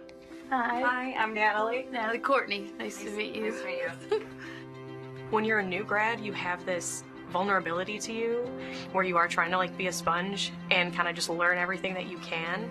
But it's a very nerve wracking time, I think, just naturally. And in general, you're trying to figure out who you are as a nurse and as a young adult. We always heard that the nurses kill their young. a lot of us, when we were graduating from school, we was kind of fearful about coming into to that environment because we didn't want to feel like rejected. We didn't want to feel like we didn't know. I think the biggest barrier for me would just be myself. I think as a new nurse, you just you don't trust your judgment sometimes. When you have patients yelling at you and you're trying to explain it, you're like, I'm really just trying to help. And, it, and sometimes it's anger, sometimes it's they can't help the situation, so they're mad. Sometimes it's just they're not nice. there were so many times where I went home and I was like, I don't know if I can cut this. Like, this is not for me. It was like nearing the end of my orientation when I was just about to be on my own. I still felt that way. My very first day on my own, everything went smoothly. Then day two went smoothly. Day three, there were some hiccups, but it still went smoothly and I handled them. And it just kept rolling on top of each other like that. And that's when I knew I'm like, okay, I can do this. I remember celebrating after my first year in the SICU going, oh, I didn't hurt anybody. you know, I did okay. Like, I'm going to make it, you know? Um, I had one nurse who I think had a really hard time with us um, transitioning over into the nursing role, those of us who were techs or nursing students on the floor. And I always kind of found like I had to prove myself to her. And I remember she just came up to me once and she's like, I'm feeling a little lost about this. Can you just walk me through what this is about? And I'm like, sure. Like, and I, so I was a little confused at the time, but it was a really nice moment for me because I felt like, okay, she trusts me. Maybe I've proved myself at this point in time. And so that was a really powerful moment for me. I, I'm amazed at how supportive we are of new nurses entering the field. And I think we need to value each other on what we offer to the profession as a whole. You know more than you think you know. Trust your education. You know, trust yourself. Be nice to yourself. Even though it was terrifying going from a small place to such a large university, it was comforting to know that I wasn't alone and there was all kinds of support available. When I actually started on my unit, it definitely was the experiences that made me into the nurse I am today. And it took the difficult times and the challenging patients to make the most progress. this job is hard and unthankful. But it really isn't just like you said. It's it's how what your perspective is. You're honored, and that's an excellent word. You're honored to be part of that for these families. Just be the best that you can be, that you can look at yourself in the mirror and say, you know, I'm doing something really good for people. I guess I would just tell myself, just do it. Get to it quick. Push through those tough times because you're going to love it. It's going to be awesome. Hi, it's a pleasure. I haven't seen you in a long time. How you doing? Good. My name is Lee. Chase. It's nice to meet you here. Hi, how are you? Nice to meet Nice you. to meet you too. yes. A really strong barrier for me was that there was not a lot of my nationality at U of M. And I was really nervous because I felt, okay, what are people going to say about me? What are people going to think about me? One of the reasons that I wanted to come to U of M was for the diversity. However, when I got here, I hung out with the same people that I went to high school with. I found that people from other countries hung out with their friends, and I just didn't really feel that like experience that I thought I was gonna get. When me and uh, the patient get to know each other, and I always trying to say, regardless where I came, came from, you know, and what language I speak, doesn't really um, change the way I want to try to provide the best care for you. And I, I don't have trying to say many things to prove that. I come from Taiwan. It's part of Chinese culture that I uh, that's my heritage. That kind of language barrier and the cultural difference really challenged me at first. Being a male nurse has been, um, I, I'd say, it's been not a horrible path, but it's, definitely had its trying times. They're like, oh, nurse wants you to become doctor, you know? And it's like, well, no, that's not what I want to do. That's not who I am. I don't want to become a doctor. And they don't understand. They think doctor is male role. They think nursing is female role. And that's a very dated, antiquated thought process. And I always hated that. In the three decades that I've been here, see much more diversity within the health system. Even though I think we're diverse, there might be some individuals that don't think we're diverse enough. But I feel that the university or the Michigan Medicine is trying. What can be done differently to have a more diverse group of people? I, I joined the recruitment and retention committee and um, I go to the job fairs. So I can see what's out there, can maybe help try to, you know, recruit people. U of M has become like a melting pot now. Uh, and I look at that and I smile because now when everyone come in, they see me, they see Darice, they see the uniqueness of the University of Michigan nursing.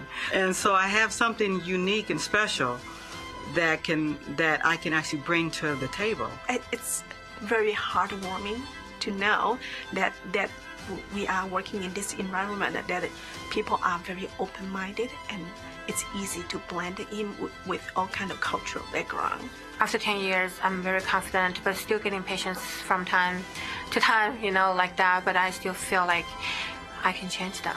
And that's the Michigan difference. Hey, I'm Marissa. Hi, I'm Brooke. It's nice to meet you. Nice to meet you. yes. Michelle. Corey. Nice to meet you. Nice to meet you too. Hi, it's a pleasure. I haven't seen you in a long time. How you doing? Hi. Hi, I'm Natalie. Natalie Courtney. Nice, to meet you. Nice to meet you.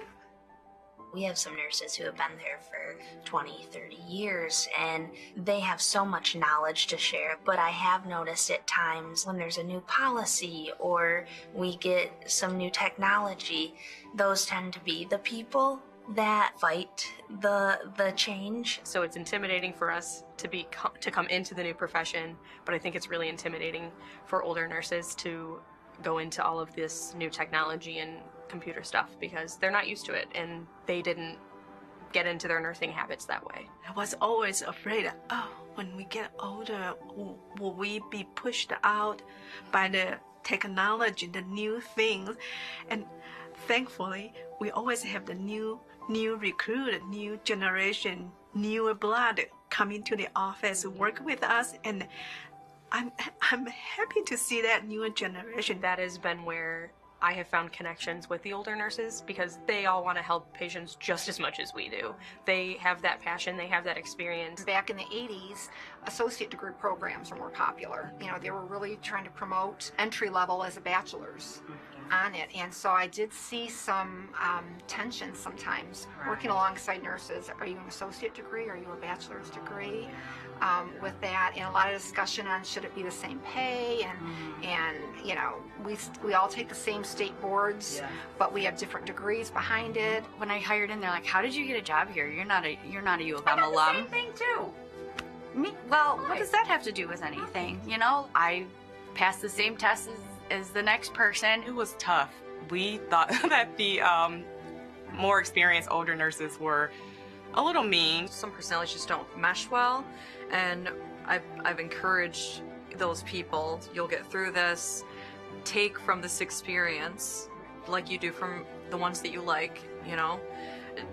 There's something to be learned from every experience. When you're in a profession that you're constantly helping others, I think sometimes it's helpful when we can say to each other, I really enjoyed how you did that, or I learned a lot from the way you handled that situation. The more I can build them up, they tend to be more willing also to come to me and say, you know, maybe I can teach you something here. Now, I, I'm amazed at how supportive we are of new nurses entering the field. And we're seeing a lot more of a mix. We're seeing people that are coming in that, like I said, are traditional. We see what we call second careers. And I think we need to value each other on what we offer to the profession as a whole. no matter where you, the background uh, is, where you come from, if you had a first career somewhere else or you did a traditional four-year college right out of high school, like no matter what your background is, you you'll fit in here. It's nice to see our workforce in a mixture of old people, experienced, but we also have young people with the energy, the, the skill in technology to help things going. And uh, I I think that kind of mixture is very healthy for our working environment. and Support one another because you're going to have a rough day. You can't make it without good teamwork. That's just the bottom line.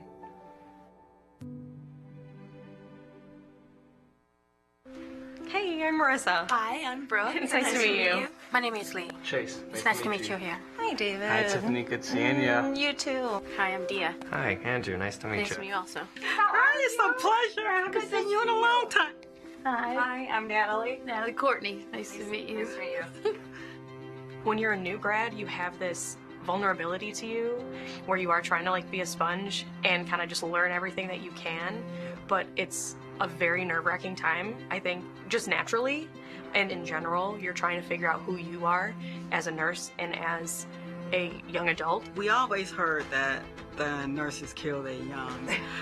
a lot of us, when we were graduating from school, we was kind of fearful about coming into to that environment because we didn't want to feel like rejected. We didn't want to feel like we didn't know.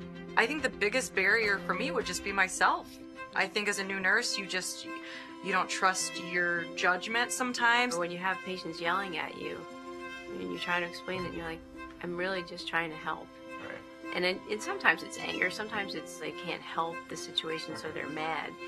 Sometimes it's just they're not nice. there were so many times where I went home and I was like, I don't know if I can cut this. Like, this is not for me. It was like nearing the end of my orientation when I was just about to be on my own. I still felt that way. My very first day on my own, everything went smoothly. Then day two went smoothly. Day three, there were some hiccups, but still went smoothly and I handled them.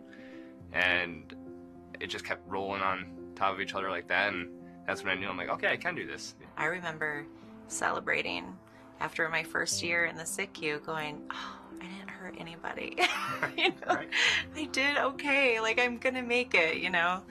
Um, I had one nurse who I think had a really hard time with us um, transitioning over into the nursing role, those of us who were techs or nursing students on the floor. And I always kind of found like I had to prove myself to her. And I remember she just came up to me once and she's like, I'm feeling a little lost about this. Can you just walk me through what this is about? And I'm like, sure. Like, and I, so I was a little confused at the time, but it was a really nice moment for me because I felt like, okay, she trusts me. Maybe I've proved myself at this point in time. And so that was a really powerful moment for me. I, I'm amazed at how supportive we are of new nurses entering the field. And I think we need to value each other on what we offer to the profession as a whole. you know more than you think you know. Trust your education, you know, trust yourself, be nice to yourself.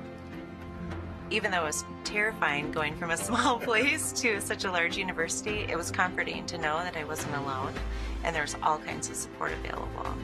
When I actually started on my unit, it definitely was the experiences that made me into the nurse I am today. And it took the difficult times and the challenging patients to make the most progress. This job is hard and unthankful. But it really isn't just like you said. It's it's how what your perspective is. You're honored, and that's an excellent word. You're honored to be part of that for these families. Just be the best that you can be. That you can look yourself in the mirror and say, you know, I'm doing something really good for people. I guess I would just tell myself, just do it. Get to it quick. Push through those tough times because you're going to love it. It's going to be awesome. Hi, it's a pleasure. I haven't seen you in a long time. How you doing? Good. My name is Lee. Chase. It's nice to meet you here. Hi, how are you? Nice to meet Nice you. to meet you, yes. A really strong barrier for me was that there was not a lot of my nationality at U of M. And I was really nervous because I felt, okay, what are people going to say about me? What are people going to think about me? One of the reasons that I wanted to come to U of M was for the diversity. However, when I got here, I hung out with the same people that I went to high school with. I found that people from other countries hung out with their friends, and I just didn't really feel that like experience that I thought I was gonna get. When me and uh, the patient get to know each other, and I always trying to say, regardless where I came, came from, you know, and what language I speak, doesn't really um, change the way I want to try to provide the best care for you. And I, I don't have trying to say many things to prove that. I come from Taiwan. It's part of Chinese culture that I uh, that's my heritage. That kind of language barrier and the cultural difference really challenged me at first. Being a male nurse has been, um, I'd, I'd say, it's been not a horrible path, but it's, it's definitely had its trying times. They're like, oh, nurse, you just become doctor? You know? And it's like, well, no, that's not what I want to do. That's not who I am. I don't want to become a doctor. And they don't understand. They think doctor is male role. They think nursing is female role. And that's a very dated, antiquated thought process. And I always hated that. In the three decades that I've been here, mm-hmm. see much more diversity within the health system. Mm-hmm. Even though I think we're diverse, mm-hmm. there might be some individuals that don't think we're diverse enough. But I feel that the university or the Michigan Medicine is trying. What can be done differently to have a more diverse group of people? I, I joined the recruitment and retention committee and um, I go to the job fairs. So I can see what's out there, can maybe help try to, you know, recruit people. U of M has become like a melting pot now. Uh, and I look at that and I smile because now when everyone come in, they see me, they see Darice, they see the uniqueness of the University of Michigan nursing. And so I have something unique and special that can that I can actually bring to the table. It's very heartwarming to know that that we are working in this environment that people are very open-minded and it's easy to blend in with, with all kind of cultural background. After 10 years, I'm very confident, but still getting patients from time to time, you know, like that. But I still feel like I can change them. And that's the Michigan difference. Hey, I'm Marissa. Hi, I'm Brooke. It's nice to meet you. Nice to meet you. yes. Michelle. Corey. Nice to meet you. Nice to meet you too. How Hi, it's a pleasure. I haven't seen you in a long time. How you doing? Hi. Hi, I'm Natalie. Natalie Courtney. Nice, to meet you. Nice to meet you. We have some nurses who have been there for 20, 30 years, and they have so much knowledge to share. But I have noticed at times when there's a new policy or we get some new technology, those tend to be the people that fight the the change. So it's intimidating for us to be co- to come into the new profession, but I think it's really intimidating for older nurses to go into all of this new technology and computer stuff because they're not used to it and they didn't get into their nursing habits that way. I was always afraid, oh, when we get older, will, we be pushed out by the technology, the new things, and thankfully we always have the new new recruit, new generation, newer blood coming to the office work with us.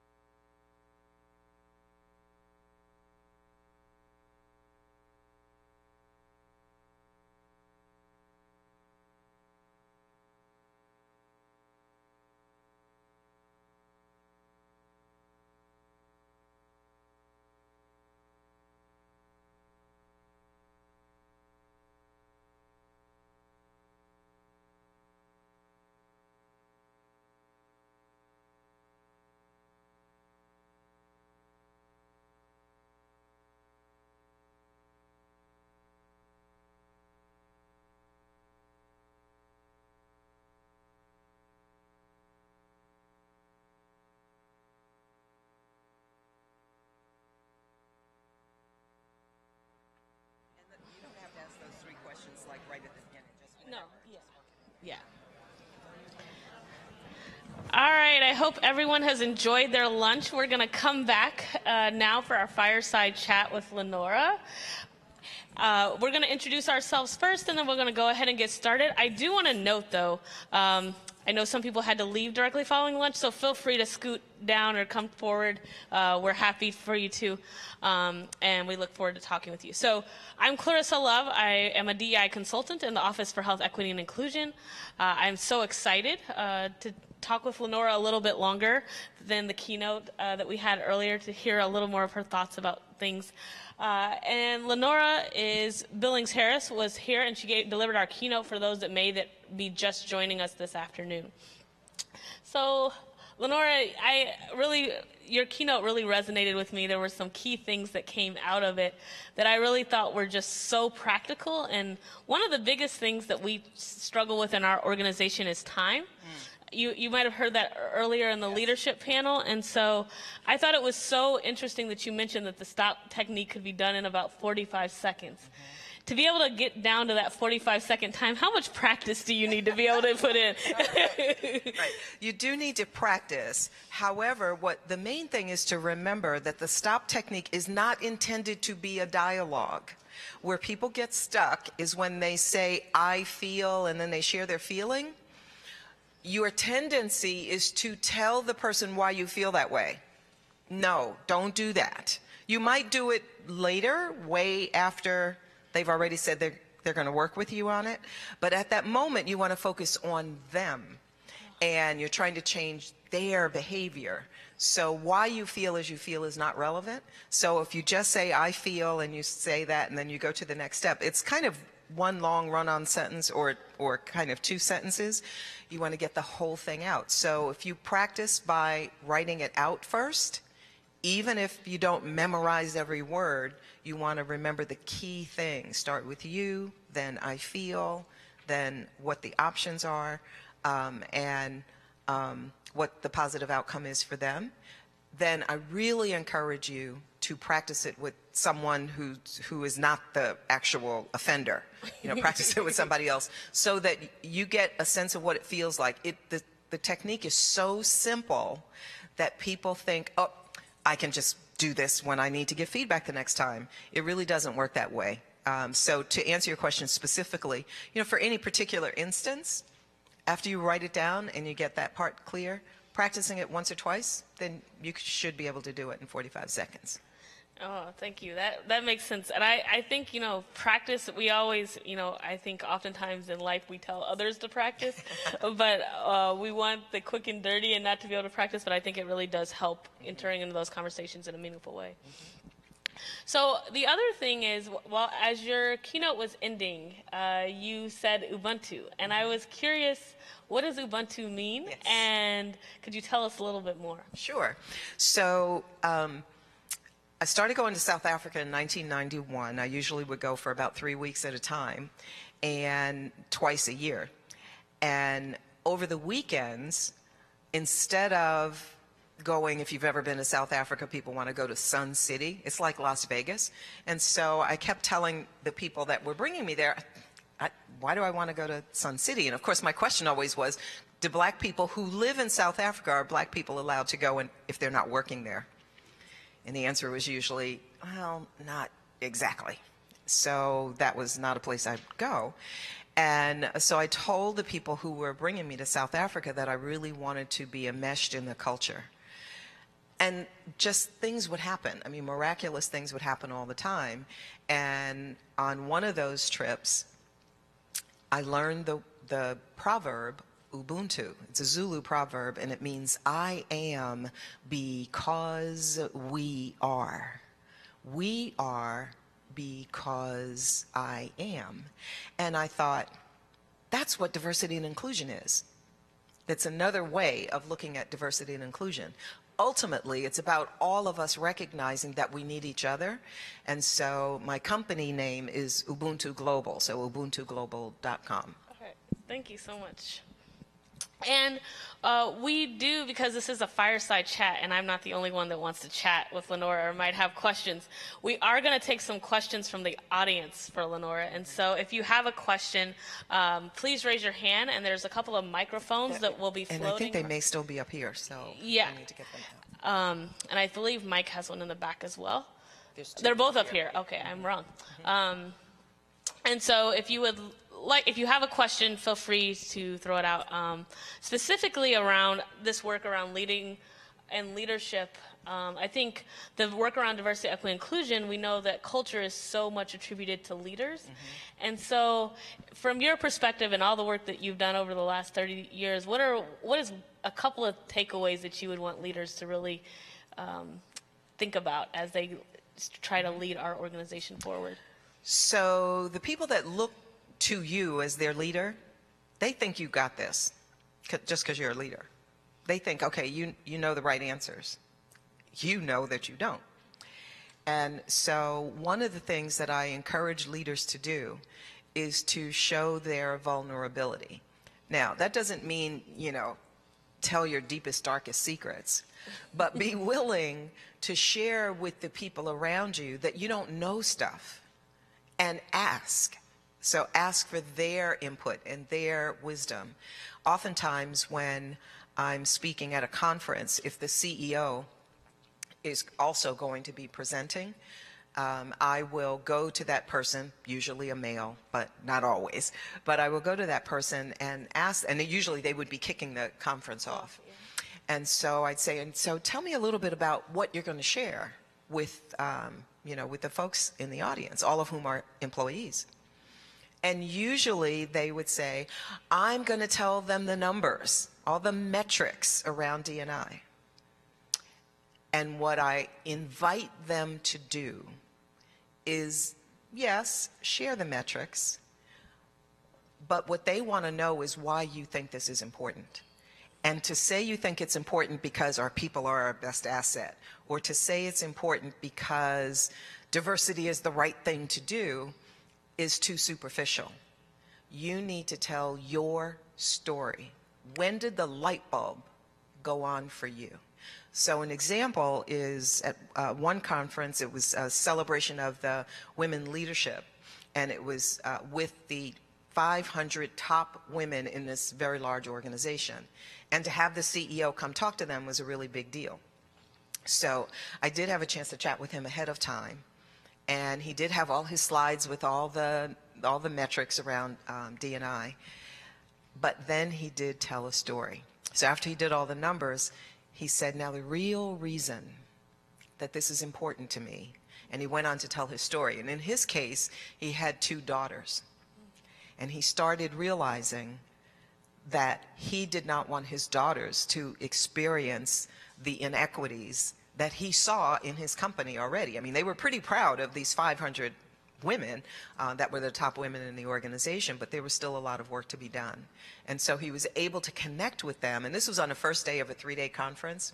When I circled back to my um, contacts well after it was over, they said they talked they said they loved what you shared me meaning what i shared they said but we were always talking about what the ceo shared about his story that's what will stick with them so as a leader be willing to share your story because we're human beings we're about stories that's how people will connect Thanks. Yes, and our, our boss, Dr. Brown, he always talks about what is the story, uh, what is the meaning behind it. And so stories are, you know, they resonate and people remember them. Like the story you shared today, I will that story will stick in my uh, brain about how how you know sometimes we have these quick judgments and afterwards we could after we have a conversation our our judgments are so far from what we would even imagine that person was thinking in the back of that room uh, exactly. in South Africa. So thank you. Any questions from the audience now?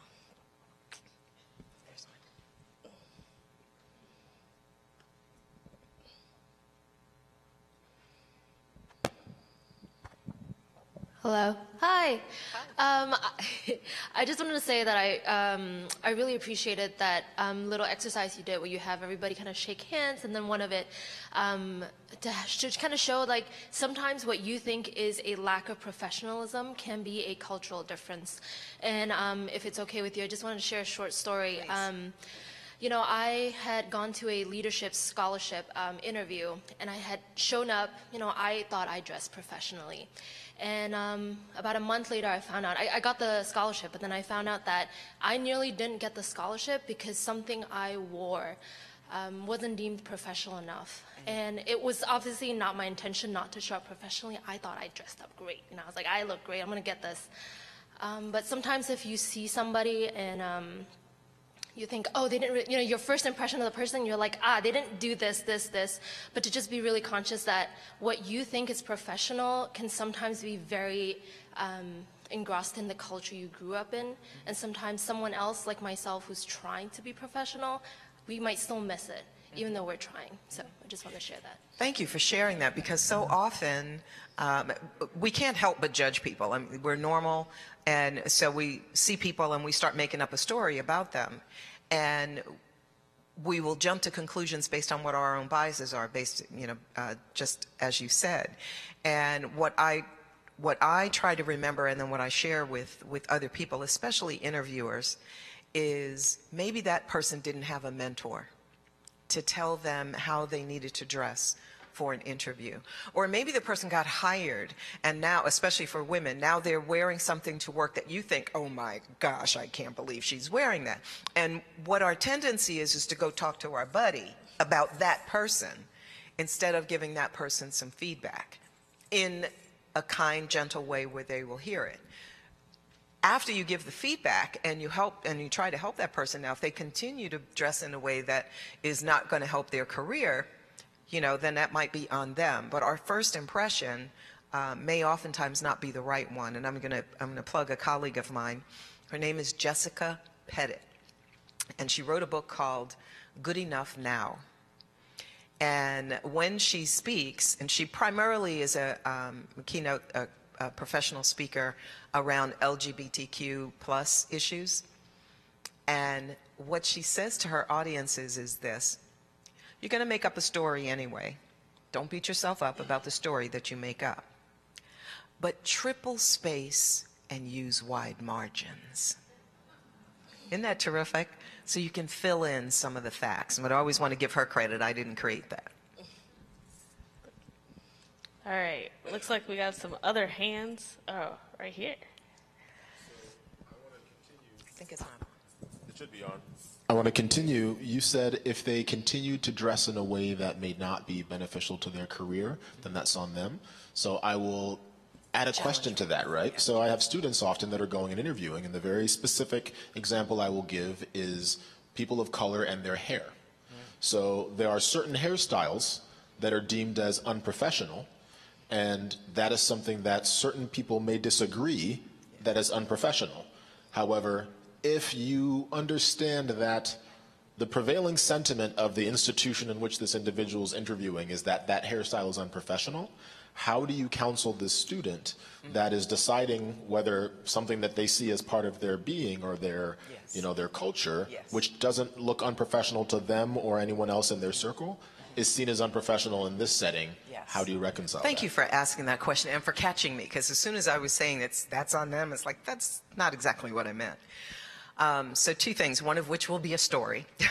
but um, the immediate answer uh, is, and, and someone earlier asked me if I, if I speak to kids, and I'm, I'm not a youth speaker, but I do like to speak to older teenagers and, and young adults. And what I say to them is this, if you're not the person in charge of the rules, you need to know what the rules are. Now, that doesn't mean you have to follow all the rules, but if you're going to break a rule, break it intentionally and have some understanding what the consequences are. So, uh, an example.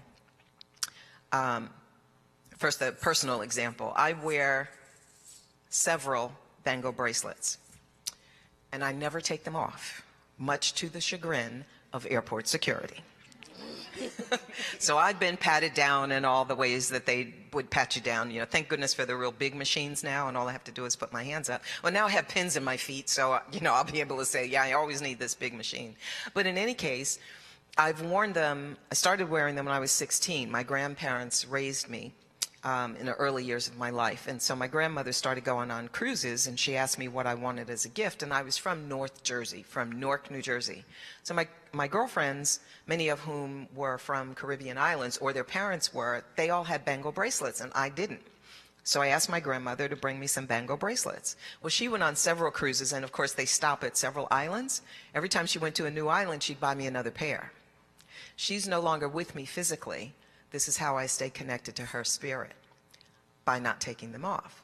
So now fast forward, I'm an adult, I'm working at General Motors. I had been there about six months and my job was to fly all over North America and run these, um, these management workshops along with a partner. This was in the 70s. So, you know, it had to be a white male partner. They were certainly not going to send out two females way back then. And um, apparently I was doing pretty well. So my boss, Jerry, called me in his office one day. And after about six months, and he said, you know, your reviews are terrific. You're doing such a great job. And he said, you know, you've got potential with this company. He said, but there's one thing. Now, Jerry's the kind of supervisor that didn't get to know the people he supervised very well, very much. He'd never asked me about my bracelets. And so he said, there's just this one thing. Now, when I was working at Michigan back in the 70s, now, by the way, I'm not old, I'm just seasoned.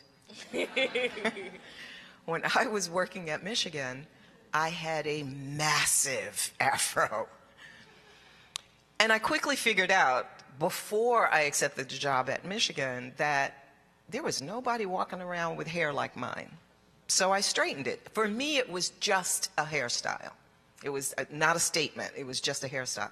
So when he's leading up to this thing that I knew was going to be negative, I thought, well, I already straightened my hair. What could it be? And he said, you know, we're a conservative company. Now, I know you don't think of automotive companies as conservative, but they are. And he said, we're a conservative company. And, and if you want to go further in this organization, you, you probably just, probably shouldn't wear all those bracelets. Now, my grandmother was still alive back then, but she was definitely channeling me because what I said as it was coming out of my mouth, I thought, I am making a career decision right now. because what I said to him was, Jerry, if I am held back from promotions because of these bangles, I'm probably not working in the right place. I was stunned as, as it came out of my mouth. He was definitely stunned that I had the nerve to say that. And what ultimately happened, though, because he started telling other people that I answered his question, I, I responded that way, is I got more respect from people because of that answer. So know the rules so that when you break them, you're breaking them intentionally. Now, specifically about hair, I was working with a um, uh, top level hotel chain. I'll put it that way. And um, I was working at all of their locations in the U.S. and the Caribbean. So they had a new property opening in, uh, on St. Thomas. And for hotels, it is critical that they open on the day they said they're going to open and they make a big deal of it, and it's a lot of uh, media coverage and all that kind of thing. And so I went down two weeks before they were supposed to open, and the general manager was in a panic. And she said, We haven't hired all of the, the staff that we need. And I said, Why is that? She said, Because we have this rule. She said, I found plenty of qualified people, but I couldn't hire them because we have this rule that the employee's hair has to be neat and clean. And I said, okay, keep talking. She said, well, you know, a lot of the really qualified people have locks. And so, oh, and the other rule was you couldn't wear braids. And this was policy written. And she said, I, I, we're not going to be able to open. Well, when I came back to the States, I was called to talk to the executives at their headquarters. And um, I- have come to know you just don't tell people things sometimes because they're not going to hear it. And so I just asked several questions. Help me know why you have this, this rule around hair. Well, because our clientele would be offended if people don't look neat and clean. And I said, well, help me understand why braids and dreads or dreadlocks might be offensive. Well, our clients would be uncomfortable. And I said, well, have you asked any of your clients? No. And I said, do your clients choose to go to St. Thomas and then choose to have their event at your facility? Or do they do it the other way around? And they said, well, we think they want to go to St. Thomas. I said, well, do you think if they're out and about just walking off property that they would see people? You see where I'm going with this, right? So it took me a while to get them to see, number one, their rule was only impacting a certain group of people and that that rule didn't make sense. It really reflected on their lack of knowledge. So they changed the rule somewhat. When I went back to the um, property on St. Thomas, I saw they did open on time. However, I didn't see any people with other than straight hair in any position that the guests would see. Then I went back six weeks, uh, six months later, because everybody in the whole property was going through this workshop that I had. So I went back six months later, and as I checked in, the front desk clerk had beautiful locks. So they eventually changed, and the policy got totally changed. So my point in sharing those two stories is some of it is about the individual, and some of it is about the structure, the organization that you talked about earlier. It has to go in both um, directions. But in today's environment where you know, there, there are people that might have um, tattoos and piercings in places that some other folks, older generally, are uncomfortable with. We need to recognize that that, me being a baby boomer, so that might be our val- values as a baby boomer, but does that have anything to do with the job that they're required to deliver? So you have to be willing to ask those questions. Awesome. Thank you so much. And I see we have a couple of, a few hands in the back. So, So I just want to speak, um, or ask you to speak on, um, you say as leaders, we're looked at as um, having all the answers, but we don't, and we talk about giving this feedback to our employees. But I'm wondering if you can speak to receiving that feedback, mm. and as leaders being able to receive the same feedback that we're giving. Yes, so what you're saying is if someone uses the stop technique on you, with you, Stop technique and all of it. I Or mean, all of it, We're right, really all right. quick to be mm-hmm. able to give mm-hmm. feedback to Yeah. others. Um, so first of all, we have to, and I say we, I'm in this too, so we have to get over ourselves because we really don't know everything. And our teams will know more the more our teams know about each other and they share. Now, again, they don't have to bare their souls, but the more we know about individuals, the less likely we're going to have stereotypes or biases about people in that group because now we know individuals. So as leaders, when people are bringing feedback to you, feedback is a gift. Patient complaints are a gift because you won't know how to make things better if they don't bring that to you. Uh, now, sometimes they may not bring it to you the way you want to hear it, but give the person the benefit of the, the doubt. Most people are well intentioned, and based on however their biases got formulated in their head from all the ways we've been bombarded, it may not come out exactly right, but be willing to at least hear it and say thank you for that feedback. And then you have to process it, depending on what it is. thanks so much. We had, I thought there was another, yes, I was like, I thought there was another hand back there. Where? There. Oh, Hi. Good afternoon. Uh, could you talk on the um, mantle or the identity of being an ally as well and the importance of that in this, just on an individual, but also on driving that change within our, our culture? Um, a couple of things. Because my collar is so big, um, normally when I speak, I have a, I wear a little safety pin, uh, but I, it was going to be way too much distraction with that and the and the collar. Um, and so one of the ways that I non-verbally show that I'm an ally is to wear a safety pin. And for those of you who might not um, know the story behind it. It's, it started many, many years ago, but present day, if a person wears a safety pin, one, it doesn't have to be fancy, but just a kind of a big safety pin so people can see it. It started out uh, over a few years ago of being a way to say you're an ally to the LGBTQ plus community. Now it's become a way of saying anyone who feels disenfranchised or excluded or needs someone to talk to and they don't know who that person might be, if they're the only one of whatever it is, uh, wearing a safety pin is a way to uh, communicate that. So organizationally, you could do that to give signals to each other. Um, the other piece, though, of being an ally is to learn not to just say I'm inclusive and I want to hear stories and I want to be supportive, but you really need to put yourself in the circumstance of being the one that is the other.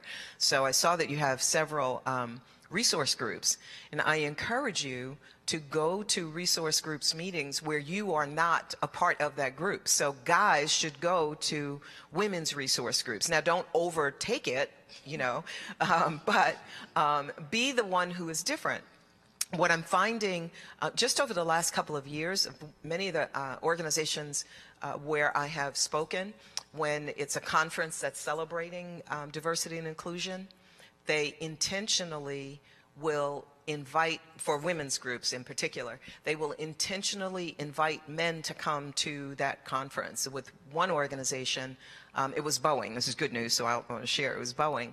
Um, they have a women's conference every year, and last year when I spoke with them, they had a goal of having 10% of the member of the participants uh, to be male.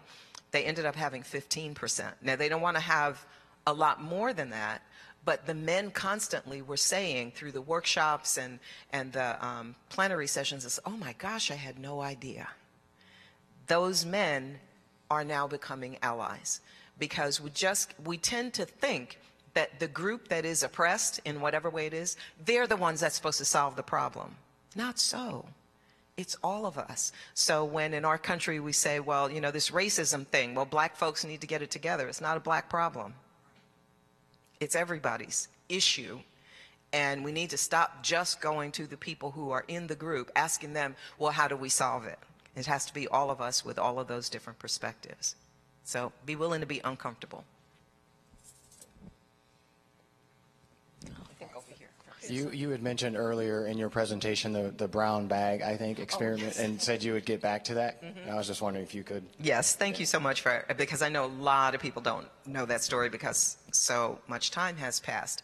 Um, so during the Jim Crow era in our country, where supposedly people were now equal, um, if a black person applied for a job and they were qualified for that job, the last step in the process would be for the interviewer to take out a supermarket bag, a grocery bag, because back then they were all paper. So they would take out a, a- a grocery bag and hold it next to their skin. If that um, African American person was darker than the bag, they didn't get hired. And it was totally okay. And it was pervasive constantly. So when, as you know, with unconscious bias, our messages come to us in all kinds of ways and we don't even know it's going into our head. So you fast forward to 2019, that particular bias is nowhere near as strong as it was years ago, but it does still exist and it very much exists around the, the rest of the country. But literally it's called the brown bag test. Thank you for asking the question. Thanks, Steve. Oh, that, was, was a her- question. that was her question. All right, we got one over here. We can probably take about two or three more questions. Hi. So we have a brand new DEI team in our department. We're starting from scratch. We've got a group that seems ready to go and raring to do things. So I was just wondering if you had any kind of getting off the ground and getting running starting tips that Clarissa and her wonderful team have not already provided for us. So part of it you may be already doing. I'm very, very impressed with all of the um, trainings and all the other things that uh, that you're doing here at the School of Medicine. Um, the learning never stops, though, and so I would encourage your team to be uh, accountability partners to each other, to help each other continue to learn, um, because now your work group are they are going to think you have the answers and you're still learning. So one is to do some things to really help your team your group truly become a team. Because when you put people together, they're a group. They're not a team until they really begin to know each other and understand each other at a deeper level. Uh, and respect different um, perspectives so you can get to that diversity of thought. And as you pointed out earlier, and it was um, mentioned this morning as well, around time, there is never enough time. So you have to make the time and make the time to get quiet and to hear. And when people come to you and you don't know the answer, be willing to say, I don't know the answer to that one, but I'm going to do my best to find out and get back to you. Because you'll get a lot of that, especially when you're first starting. All right. Any other questions? I have one more. If you Oh, want. yeah, Do you one more. All right. I, I paused hopefully long enough. I don't want to. Um, so, what about the opposite end of the spectrum? I think you've addressed that. Like we're a good group of. This is the the people who are we're all thinking about this. But how do you start the conversation with um, the late to the party team? Give me an example of what might come up. Uh, why do I need to send someone? We're already, you know, it seems like we're doing fine. Mm. So get good at asking questions because they're essentially saying, I don't need this, right? And so if they think they're doing fine, then respond in whatever, in your own words, but essentially respond with, help me understand why you think that. Tell me some examples of where we're doing well. Might there be some places we could do better? So look for ways to ask questions rather than trying to convince them based on what you know. And that might be one of the ways your team can work together on, okay, so when people say these kind of things, what are some responses we can have for them? Yeah, that's a really good one. I think being able to ask really solid questions is always really, really, really important and helps us move along. Um, what, we have one last thing. Is there any other questions before I move on? And one of the the questions that we often hear a lot about in our organization is around how do we hire people that better reflect the communities in southeastern Michigan. Um, and how do we do that in a way that doesn't make people feel like they're just being tokenized um, or just being, in, you know, asked to be a part of the process Yes. uh, because of who they are as a part of a community. And so I was curious if you had any thoughts or ideas about that. Of course. um, so just know that there are always going to be some people that believe you got your job because you're a woman, you're African American, you're whatever it, whatever the difference is. There's always going to be some folks who believe that. However, one of the things that you can do in the um, the uh, recruiting process, and it was touched on this morning, is you really must broaden. If you want different people, you need to look in different places, and so broaden the spectrum of places where you go. And I, I have this. I won't call it a debate, but a heated discussion with so many of my clients because they're saying, well, we need the best engineers or we need the best whatever it is. And so we only go to Stanford, we only go to Harvard, we only, and I said, do you think there are smart people other places? You know, so I go back to asking questions again. Uh, and of course they'll say yes. And I said, well, if you're not finding the amount of diversity that you want by only going to these five places, then perhaps you need to broaden it. And there are some schools that may not be in your mind top tier schools that have excellent programs. So find out about those programs and get involved and get visibility uh, and interview interview um, students from those schools. So that's one thing. However, the other thing is if you want diversity in whatever that way that is, know that in the interviewing process, there's always bias. So you need to do a few things. Number one, when you know you're going to interview someone, talk to your colleagues about some of the biases that come up so that it's um, front and center in your brain so you'll be less likely to rely on it.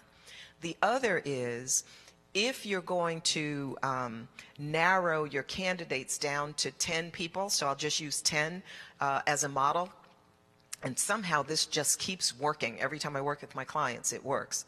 So if you're going to have 10 candidates that you interview, then you cannot have just one person who is different. whether it's one woman, one person of color, one gay person, one whatever it is. Because what happens is all of the interviewers only see the difference. That's not their intention, but their eyeballs go to the difference, even if it's not a visible difference. Two is not good enough either, because what happens, now this is if you have 10, if you have two candidates who are different, and they can be diverse in different ways, but if you only have two candidates that are different, then the interviewers compare them to each other. They're still not comparing them to the competencies you're looking for, the skills, abilities, and talent. So if you have a group of 10, you have to have at least three people that are different.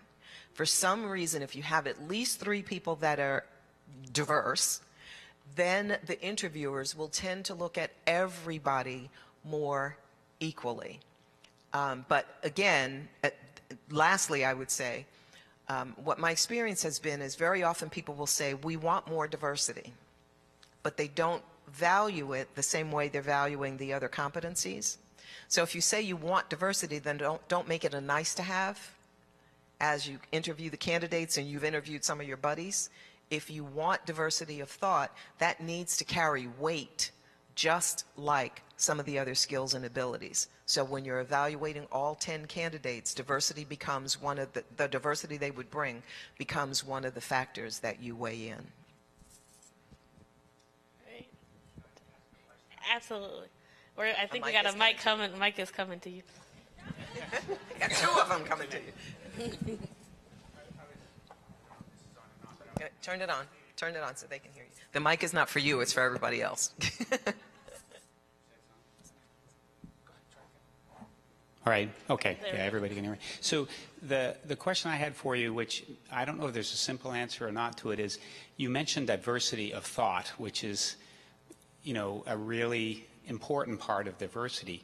How, there's, there's things we can sort of judge, at least we think we can, around diversity that are visible, easy. But if you're, if you're really interested in the diversity of thought, how do we, how do we evaluate for that? How do we make sure when we are selecting these candidates that they have that type of diversity? Is there a way that we can do that um, prior to kind of the interview process? Prior to the interviewing process. Well, because if, if we don't if we don't somehow know we're bringing in a group with diverse thought, um, you know, we might end up with a whole bunch of people that sort of still think that. the the same way. So the homework to be done before you're bringing in the candidates is to really look at where are the candidates coming from? What are the experiences that they may have had? It- Whether they're, you're recruiting from um, universities or, you know, it's people with experience already. So when you look at um, what their, their um, experiences might be, then, and again, I encourage people to talk to each other about what those experiences might mean. So, for example, and I'll use a, a university um, example. Um, people assume that folks that come to that go to University of Michigan, of course, are very smart. Now, that would be a good bias, right? At least we would all think that in this room. So, you know, people that have graduated from University of Michigan, okay, that's going to be a great candidate because they went to this school.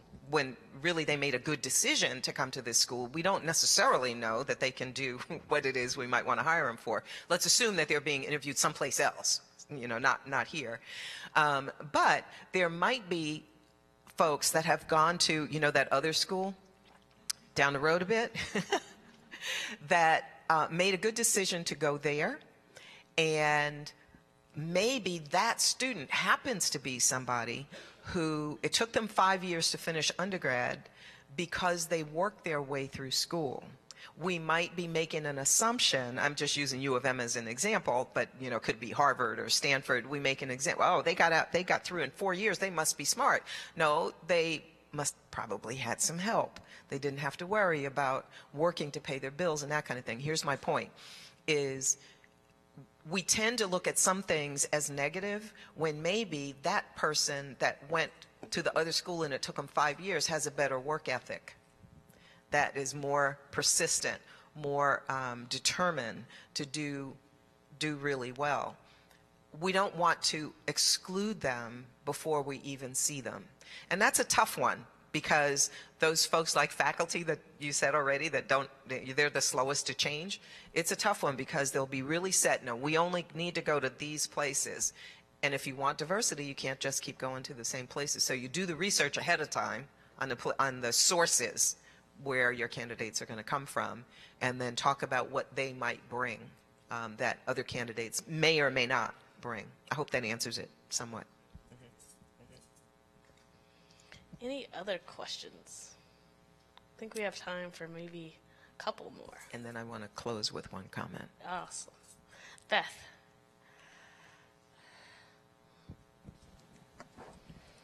One thing we also want when we're interviewing are people who are going to embrace what we're trying to do. And, you know, a cultural shift takes everybody. So, any hints on interviewing for people who may not be in a marginalized group, but you want you want them to be on board, and um, also just understanding we all have our biases, even if you're in a marginalized group, and you know that. I'm not sure I'd be very articulate, but yes, I, I you understand. Yeah. well, and, and certainly we should not assume that because a person looks like they're in a marginalized group that they're going to be more open-minded to people of difference. That's a big mistake because um, bias and prejudice and all of that kind of stuff comes in every kind of package. Um, that's where you want to work with each other to develop questions that are not easy questions to answer. So you would be asking open-ended questions. Help me share with me some experiences where you've worked with people that are very different than you, or maybe you were on a study team that was very different than you. Tell me how you handled when you had to interact with somebody who totally disagreed with you. You know, those kinds of questions to get a sense, because you might find that the person who you think is least diverse in their thinking is the one that's most diverse. Depends on the questions.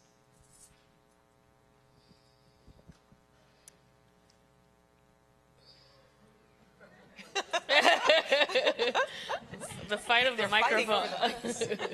So this question kind of comes from a discussion we had at our table.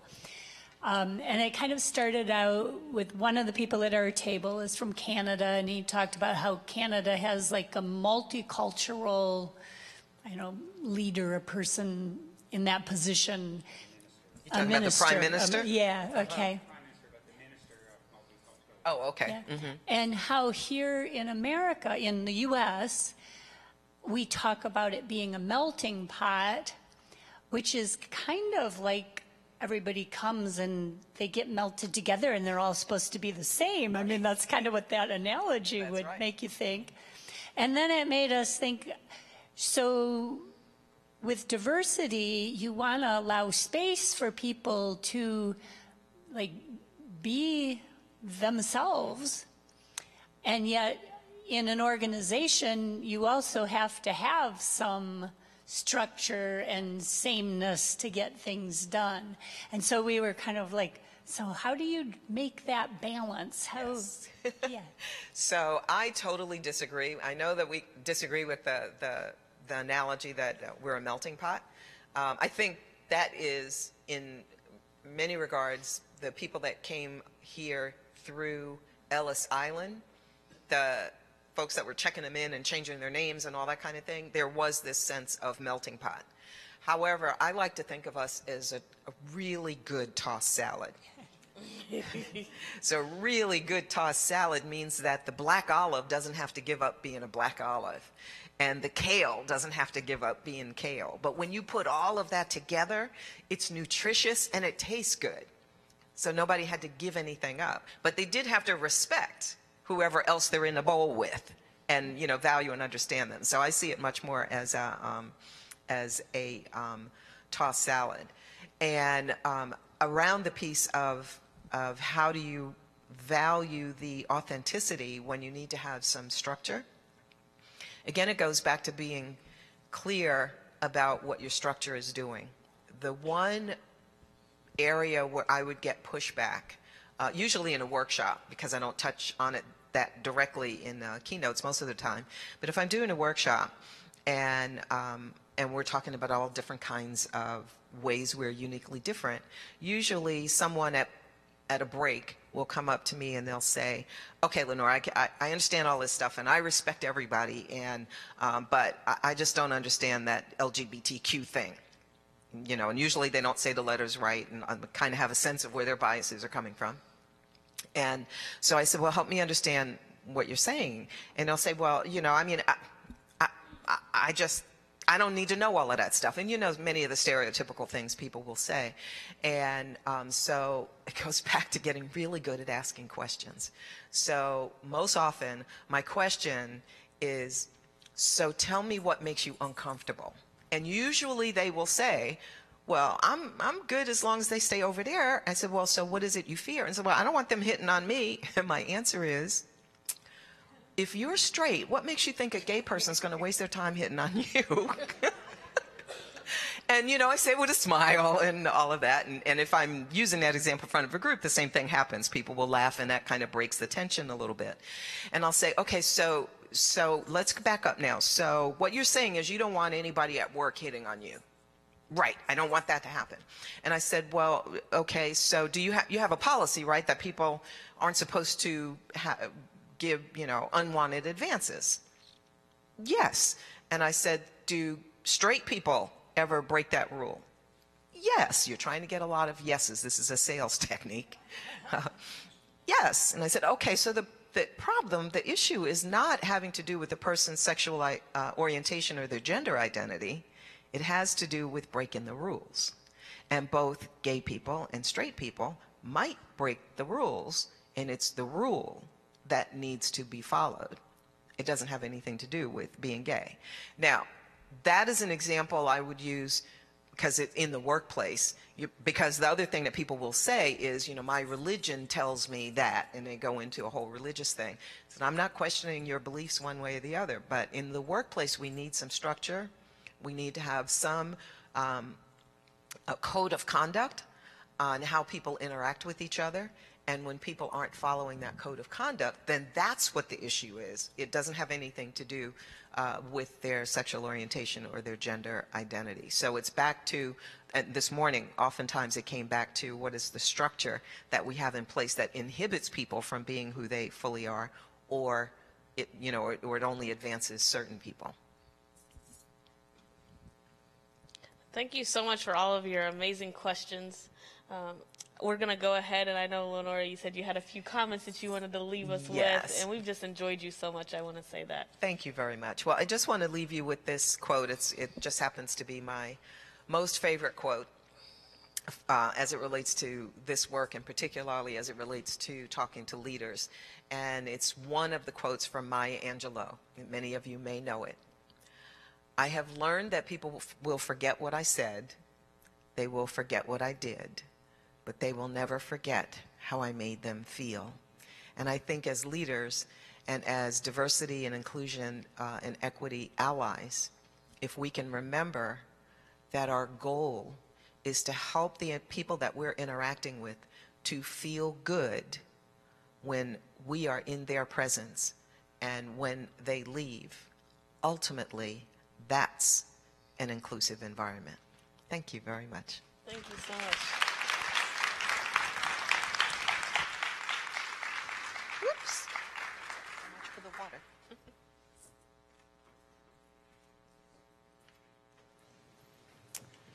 Thank you very much. And that is uh, kind of similar to the vision statement that OHE has, where we're creating a world where everyone uh, feels valued and can thrive. In fact, when we um, worked through that process, we initially said that we want everyone to be valued, but we felt it was really important that they feel valued because that is their personal uh, perception. So we'll have one more round of the uh, awards for um, promoting um, uh, the Net Promoter Score and uh, doing very well. And this is for our group of individuals with 500 or more people. And this award will go, we have uh, Patty Andreski and um, Phyllis Blackman again. This award will go to the Department of Anesthesiology Uh, and so they're huge. They're one of the largest departments in at Michigan Medicine, and the DEI leads for them are Matthew Wixon and Brittany Holmes, and their Net Promoter Score is 15.4. So someone from anesthesia here that can come up and receive their award. We will bring it to them. I think I'm in the OR in a day or two. I'll drop it off. Uh, so we'll continue to uh, to give out these awards in the future. It's really important that we are always uh, understanding where we are and what direction we're moving. Uh, and so we'll continue with the Net Promoter Score. A lot of this work that we're doing, as has been stated throughout the day, is not done alone. It's done with all of you. And it's also done with a lot of our facilitators and the relationships that we have with them. Right now, I want to introduce uh, another member of the OHE team. It's Michael Harrington, who's our training specialist lead, and he's going to talk to you a little bit more about our facilitators. Welcome, Michael. Thank you, David. Thank you, David. Yes? No? Yeah, there we go. Thank you. Hi, everybody. Um, why don't we take a minute if you feel like stretching? Just take a minute and, uh, you know, whatever works for you. Why don't, why don't we do like a 60 second stretch? And then what I'd like to do is the folks, um, do we have the list, the next slide? The list of the folks, the facilitators? If you're on, if you are present and you are one of these names, could you come forward while folks are stretching? That would be great. Thanks.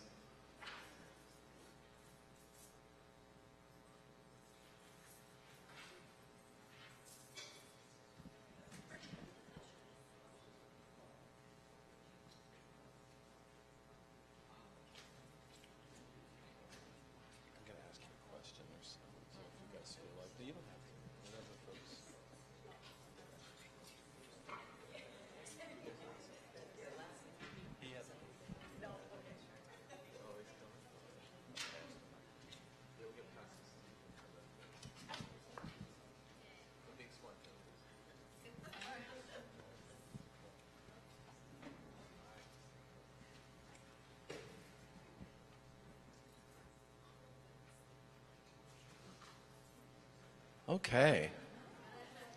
Well, thank you for coming up. So I know I know not everybody uh, could be here this afternoon. Actually, some folks are facilitating this afternoon. That's why they're not here. Um, but it is my privilege to recognize and thank this group of folks. What they do, thank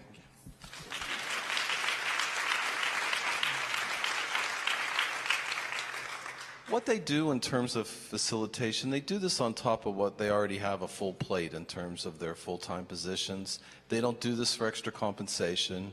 Um, and I'm, in a minute, I'm going to ask them why they do it because I want you to hear their responses as to why they do it. Say I primed you so you could think for a minute while I talk about why you do this work. Um, but this is really instrumental in terms of our mission, in terms of helping everybody uh, feel like they belong, that they can thrive the whole idea of giving people the opportunity uh, for learning, for the opportunity to think about um, their own identities and how it affects their behavior, the opportunity for awareness, uh, the opportunity potentially for change. And what a privilege it is to be in that space, to go up in front of a group of people and facilitate that kind of learning, and how exciting that is. Um, it's such an important part in terms of what we do, in terms of, and also in terms of helping build bridges you know, in terms of relationships. So I could talk on and on about why we do this work, but I wanted to ask them why they chose to, to become a facilitator.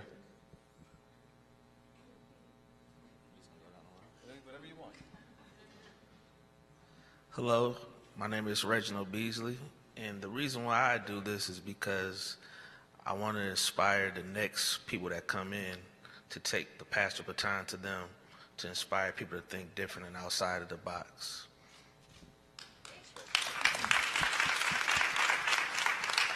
Good afternoon, Tina Jordan, and I do this work because I absolutely love people and I love learning.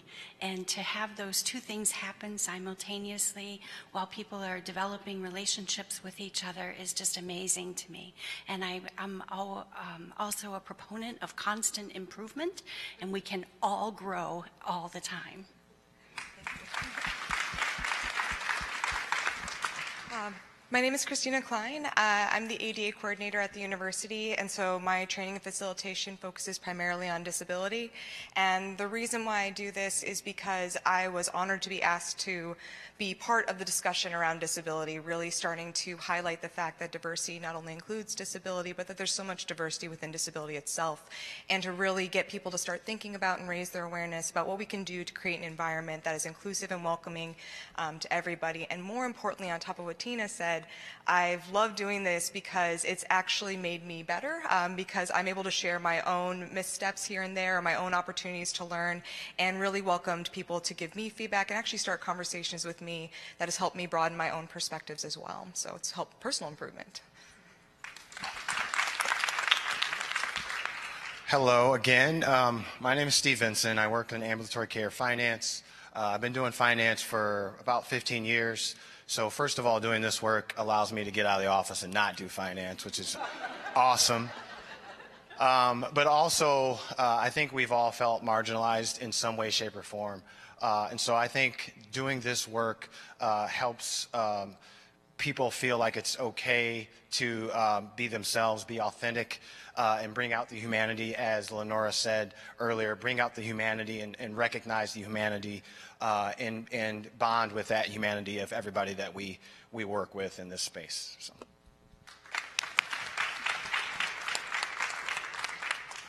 Hi, my name is Latanya Berryhill, and I'm the office manager at the Michigan Institute for Clinical and Health Research. And to be honest, I have a total fear of public speaking.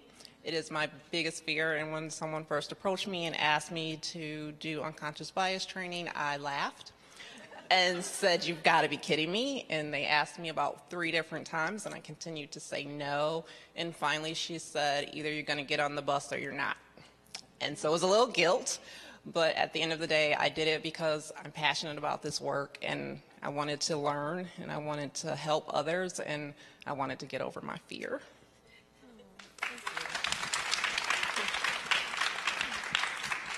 I'm not really sure what to say. My name is Candace Myers. I work with Gifts of Art here at the health system. And when I was approached with this idea, I realized I had some experiences that had proven to me my ignorance. And I thought, well, if I'm coming from a position of privilege, I owe it to everyone to educate myself. And I can be effective then because there's a certain population that will look at me and listen to me that may not listen to everyone else. So I'm owning that. Thank you. Thank you. Thank you so much. I appreciate that. And they were not prepped for this, by the way. So this was a spontaneous thing. And there's some folks that aren't here. Um, Tanisha McLaughlin, Grayson, um, Catherine Galora, uh, also Denise Williams, Charmaine Ward, Janet Palmer, Pedro, who you met this morning. Uh, and uh, yeah, that's it. And so, and, and of course, Clarissa Love, who just does uh, an incredible amount of wonderful work and facilitation very much, and our partners at Org Learning that are here, and how how that partnership is so important to us. And so, thank you to our partners from Org Learning, and our partners from Org Effectiveness. Uh, really appreciate you. And while I'm thanking everybody, I also want to thank our training coordinator, Catherine Pearsall. Without her, uh, she is the backbone in terms of, of, of, all the organization of fielding all your requests and getting the scheduling and doing some consultations with you. So I want to thank Catherine. Uh, and we have certificates for folks, so before you leave, make sure we want you, we have a little token of our appreciation.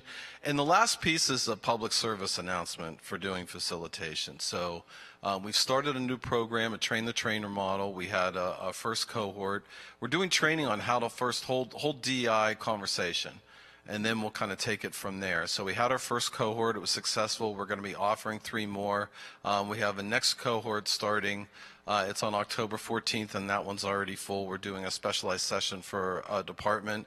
Um, there's also going to be an opportunity to do facilitation on LGBTQ plus awareness, uh, a session that we're looking to build our bandwidth with facilitation. So um, I hope I hope there's a few out there that what these folks have said have garnered some interest from you uh, moving forward. And again, a round of applause for these folks and the wonderful work that they do.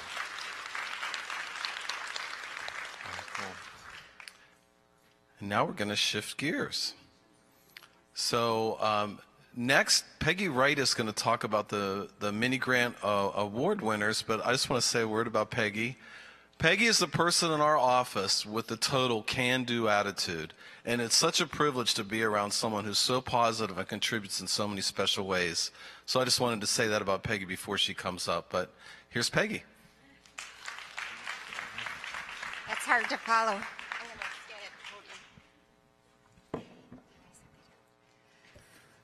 Hi, everyone. I'm thrilled to be in, um, included here in announcing our sixth round of Michigan Medicine DEI mini grants. And first, I would like to introduce to you our leadership of our mini grant committee, um, Ms. Phyllis Blackman, who is the director of the Office for Health Equity Inclusion, and um, Ms. Alfreda Rooks, who I don't think could is on her way. And she's the director of our um, community health programs. So, um, yeah. Okay. When Alfreda comes in, we'll just welcome her. So I'd like to thank our reviewers this round. Every round we try to engage um, different reviewers, and their names are up on the screen. We had uh, Dr. Yolaine Seville, Dr. Angela Elam, Dr. Daniel Whitney, Dr. Nana Sifa, Dr. Monica Colvin, Dr. Polly Gibson, Steve Vinson, Wayne Millette, Ann Murphy, Latanya Berryhill, Dana Habers, Ann Smith, Reggie Beasley, Maureen Fasson, and Fitz Tavernier, and our own Yvette Harris. So I want to say uh, thank you very much to all of them for their time and talent.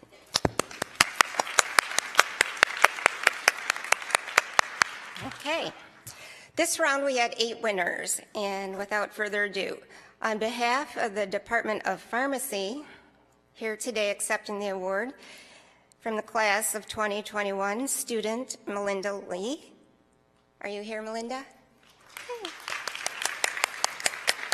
And Melinda brought her advisor, Annalise Sheehan. Thank you. This award was in the amount of $3,868 and will be used to increase accessibility of our anticoagulation education materials to patients with limited English proficiency.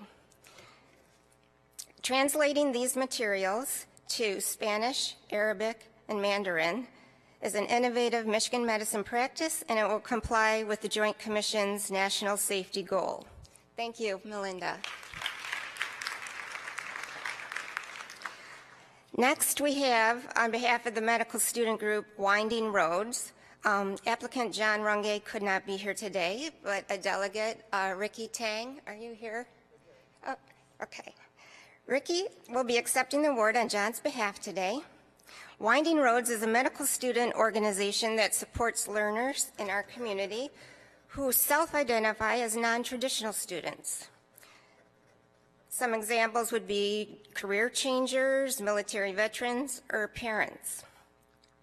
Acknowledging the value of these diverse experiences outside of medicine can add to our medical school la- landscape. This mini grant will fund an inaugural half-day retreat to promote wellness for these students and others within our Michigan Medical School community. The funds for this pilot will launch an annual event of networking, host a speaker from an outside institution to broaden personal and professional networks for students. Congratulations.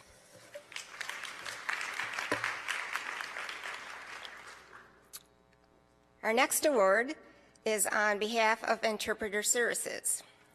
Applicant James Check is here to accept the award and the amount of $3,600 to create short informational videos for limited English proficiency patients and their caregivers at Michigan Medicine.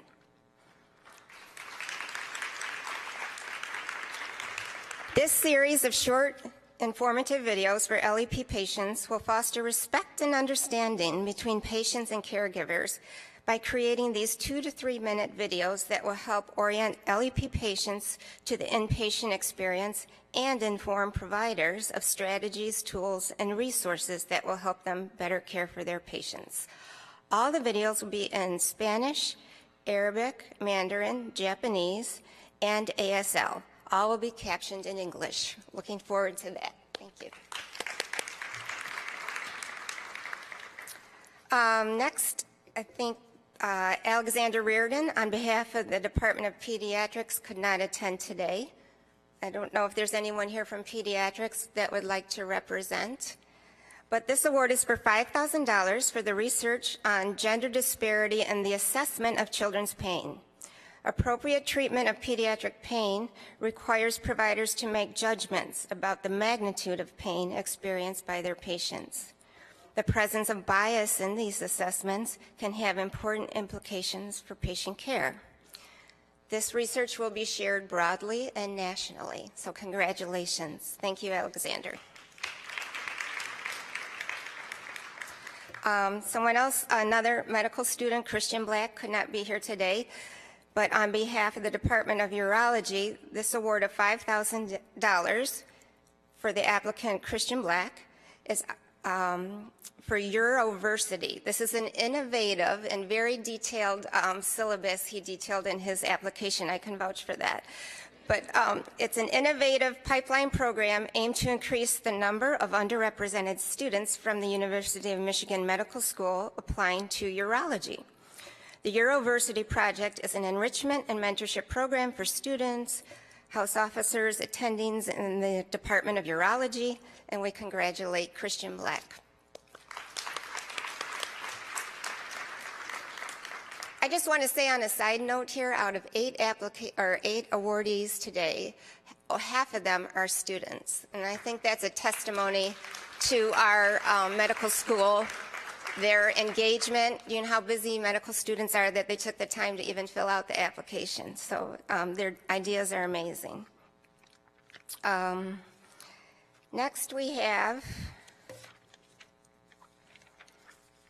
On behalf of Fast Forward Medical Innovation, applicant Candace Stedging. Is Candace here? Hi, Candace. Candace will be accepting the award in the amount of $1,450 for the Innovation and Entrepreneurship Workshop. This program will offer a three-hour workshop that focuses on social entrepreneurship and its implications. Dr. Ted London will be the keynote speaker. He is a fellow for the William Davidson Institute Scaling Impact Initiative here at Michigan. He will focus on designing enterprise strategies and poverty alleviation approaches for low-income markets, developing market entry capabilities, building cross-sector collaborations, and assessing poverty reduction outcomes of business ventures. Thank you, Candace.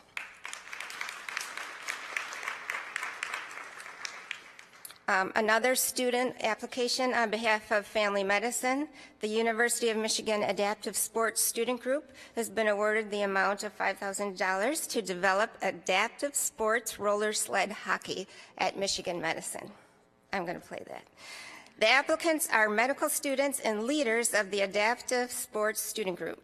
Maureen Fasson, Quentin Solano, and Brendan Ellsworth were the um, students who filled out the application and represent. Unfortunately, they're, or fortunately, they're on their rotations and working hard. Noting that half of all adults with disabilities do not get even 10 minutes of aerobic activity per week, the roller sled hockey program will benefit students, patients, and community members able-bodied and disabled by promoting healthy living and social inclusion for all. Uh-huh.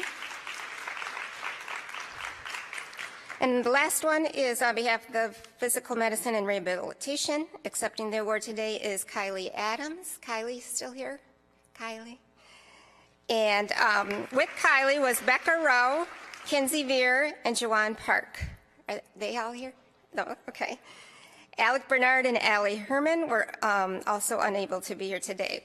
Thank you, Kylie. The Department of Physical uh, Medicine and Rehabilitation has been awarded the amount of $3,175 for a trail wheelchair to provide medical students access to CAMP. Sorry. CAMP stands for Creating Adventurous and Mindful Physicians. It's a pre-orientation student-led wilderness program offered by M-Home for incoming medical students. While this trip is a great opportunity for medical students, it wasn't accessible for all those with disabilities, and now they'll be buying a trail wheelchair. Thank you all.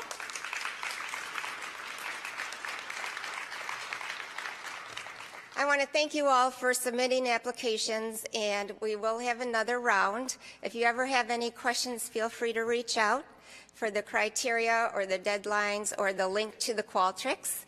Um, it's been a great honor to be part of this. We've had over 50 mini grants now that we've um, awarded over the past three years, and I've just been proud to be part of it, and I'm proud to work at an institution that is so innovative and inclusive. Thank you.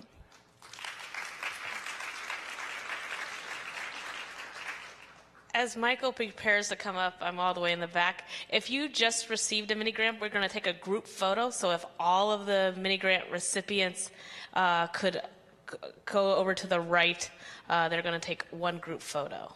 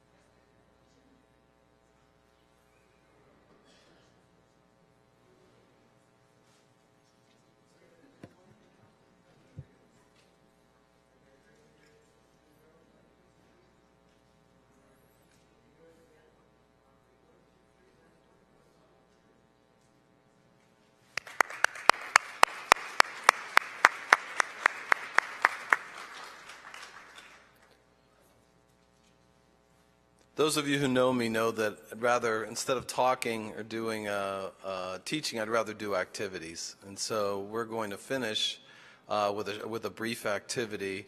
And this is really modeling the whole idea of building relationships. Really, the cornerstone in terms of our own learning around diversity, equity, and inclusion isn't really the classes that we take. Uh, it's really how we endeavor to interact with other people and the opportunities there are uh, to build bridges. And so that's where we're going to spend the next uh, 15 minutes doing an activity doing just that. So without further ado, what I'd like you to do is find somebody in the room that you have not met yet or you don't know very well. So go ahead and take the time to do that. Find pair up with somebody that uh, you don't know very well or um, haven't met yet.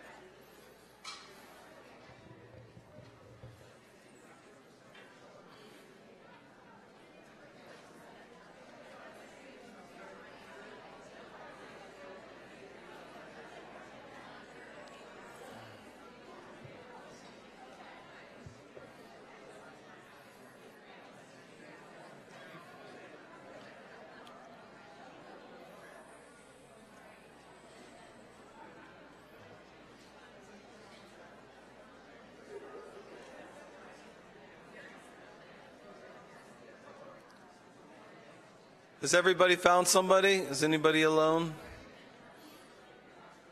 Okay.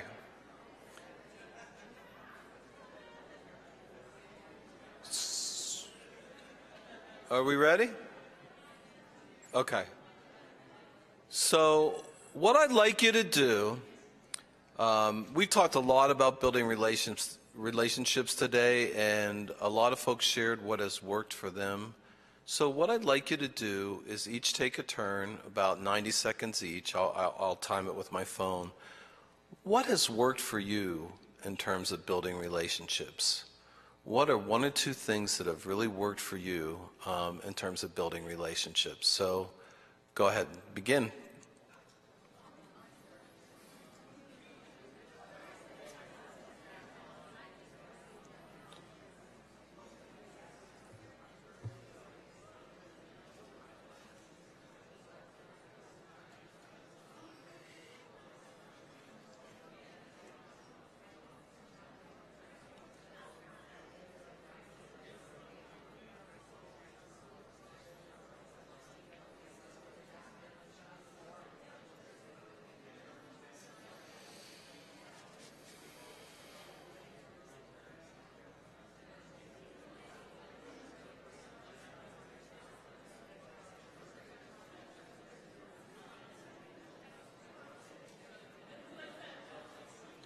the energy to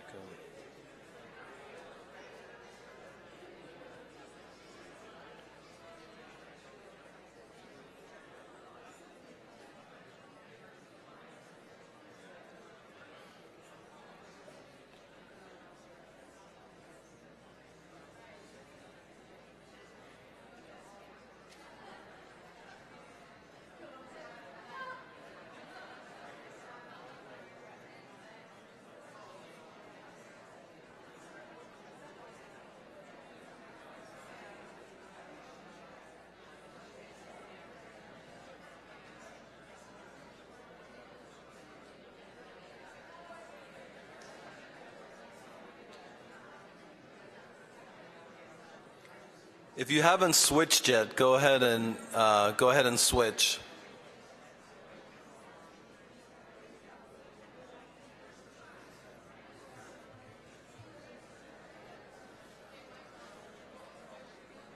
Uh, the question is one thing that's really worked in terms of building relationships, one or two things.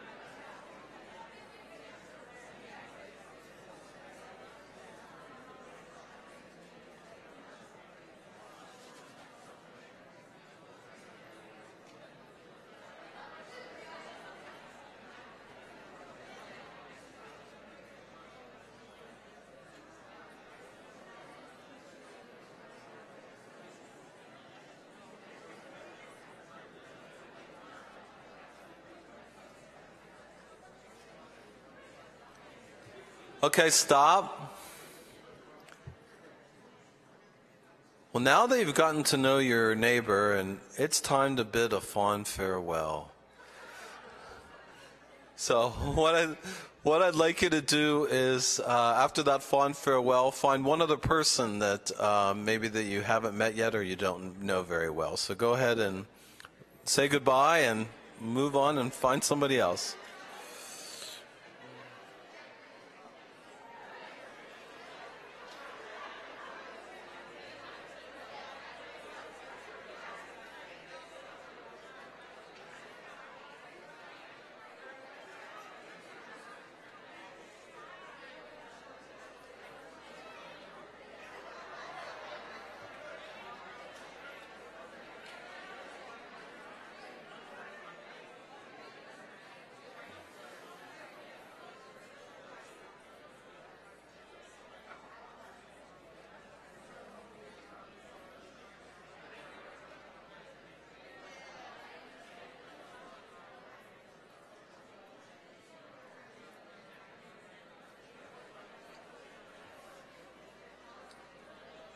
Has everybody found someone?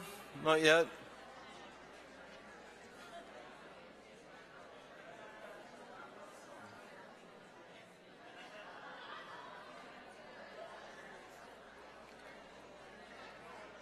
Okay. Okay. Okay. Here's the next question. We had fun coming up with this one. So, you remember from school the show and tell? So, think about if you could bring one object from home that represents you.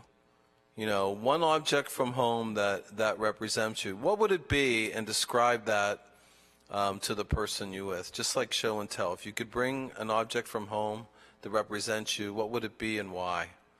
Okay? Ready? Go.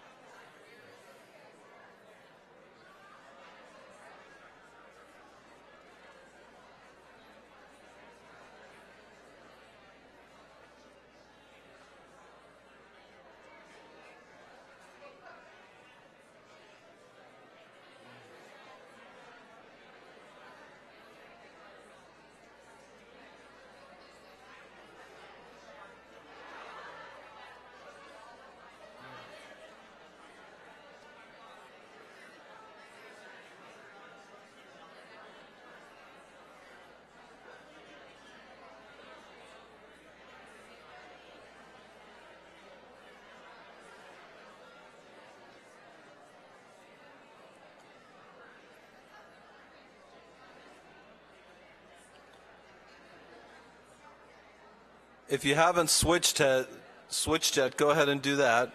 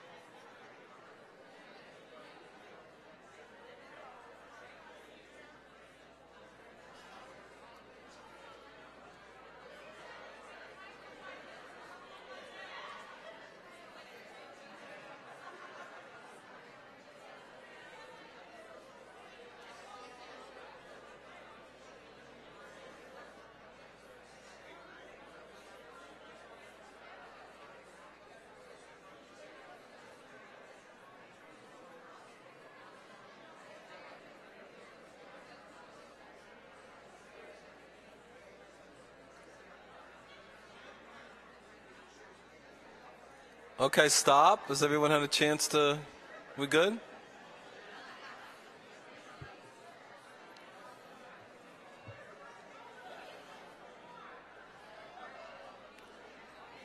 Okay. So this last question is a question uh, for you with yourself. So if you you can either go back and sit if you're if you're standing now if you'd like or stay where you are it doesn't matter. But this last question is the commitment piece and this is for yourself.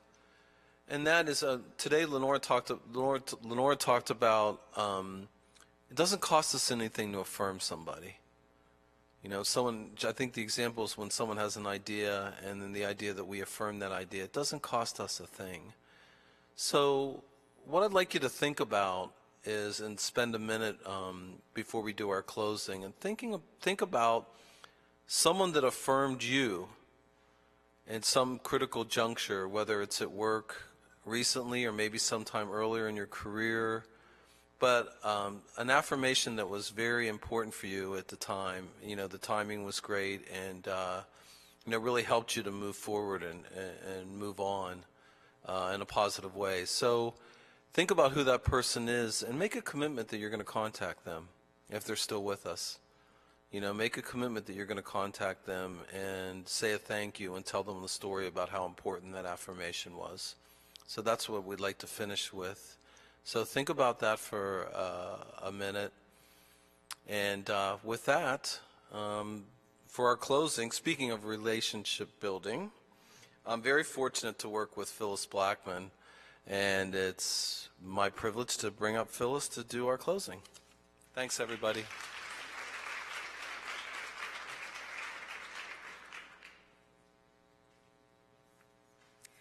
Wow, what a day. It's been a great day, and I thank each and every one of you for participating today. And thanks to all of you who were able to stay the entire day.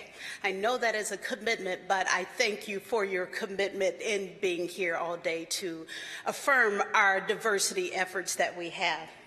So, as I said, we are grateful for your participation, not only today, but every day as you champion for more, a more inclusive environment. As we, as, as we go forward, please remember the criticality of respect, civility in your daily interactions. Use your DEI and high reliability efforts as a working example to inspire those who have yet to participate in the numerous activities across campus. Remember that the OHE website is a great point of reference when looking for events and learning opportunities. Share this information and encourage your audiences to attend. These events and workshops are opportunities for us to continue to work together. When we collaborate, we reinforce better working relationships to strengthen the DEI principles that we have worked so diligently to implement. We want your voices at the forefront of the conversation surrounding inclusiveness at Michigan Medicine. Continue to bring your voice to our community conversation and open forums held every Friday, every first Friday, and every third Thursday. I encourage you to participate your and your commitments and to and concerns that reflect accurately in the feedback of our leadership. We want to make sure that your voices are heard and we can carry it forward to our leadership. In closing, I'd like to thank our keynote speaker, Lenora Billings Harris, for your wonderful presentation. We learned so much. Thank you for the resources that you provided for us. Yes. I'd like to also thank Drs. Runge and Brown and Tony Denton for your leadership and continued support of all of our DEI efforts. Thank you to our panel for sharing your perspectives on leading across difference. To our presenters, thank you for showing how we're building bridges for sustainable change. To our many grant reviewers, thank you. To our many grant recipients, we look forward to hearing the journey of your accomplishments so that we can come back next year and share. To our trainers and facilitators, thank you. This work cannot be done without you. I encourage you all to be part or even step out of your comfort zone and to be a trainer or facilitator or how you can be engaged in some of the work that happens in our office. And thank you for this commitment that you've made, the strong commitment for diversity, equity, and inclusion.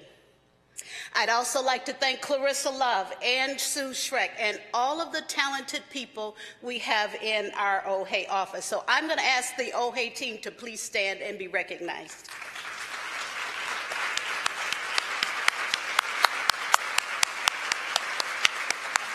Remember these faces. They can all help you in one way or another or direct you to the resources. So thank you, Team OHE. Makes me very proud.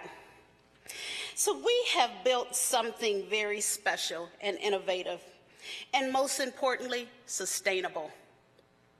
We measure, we change, we measure again, and we actually have the opportunity to share with you the changes that we made. So the sustainability is important. This is not just the end of our diversity work five-year plan and we're done. No, we are on a mission to change the culture at Michigan Medicine and you help us to do that. So, thank you. We want to make sure that you remember that we want to make Michigan Medicine a place where everyone feels valued and can thrive. I welcome you to join us next year, April 13th, 2020, for our next DEI Summit. Please put that on your calendars.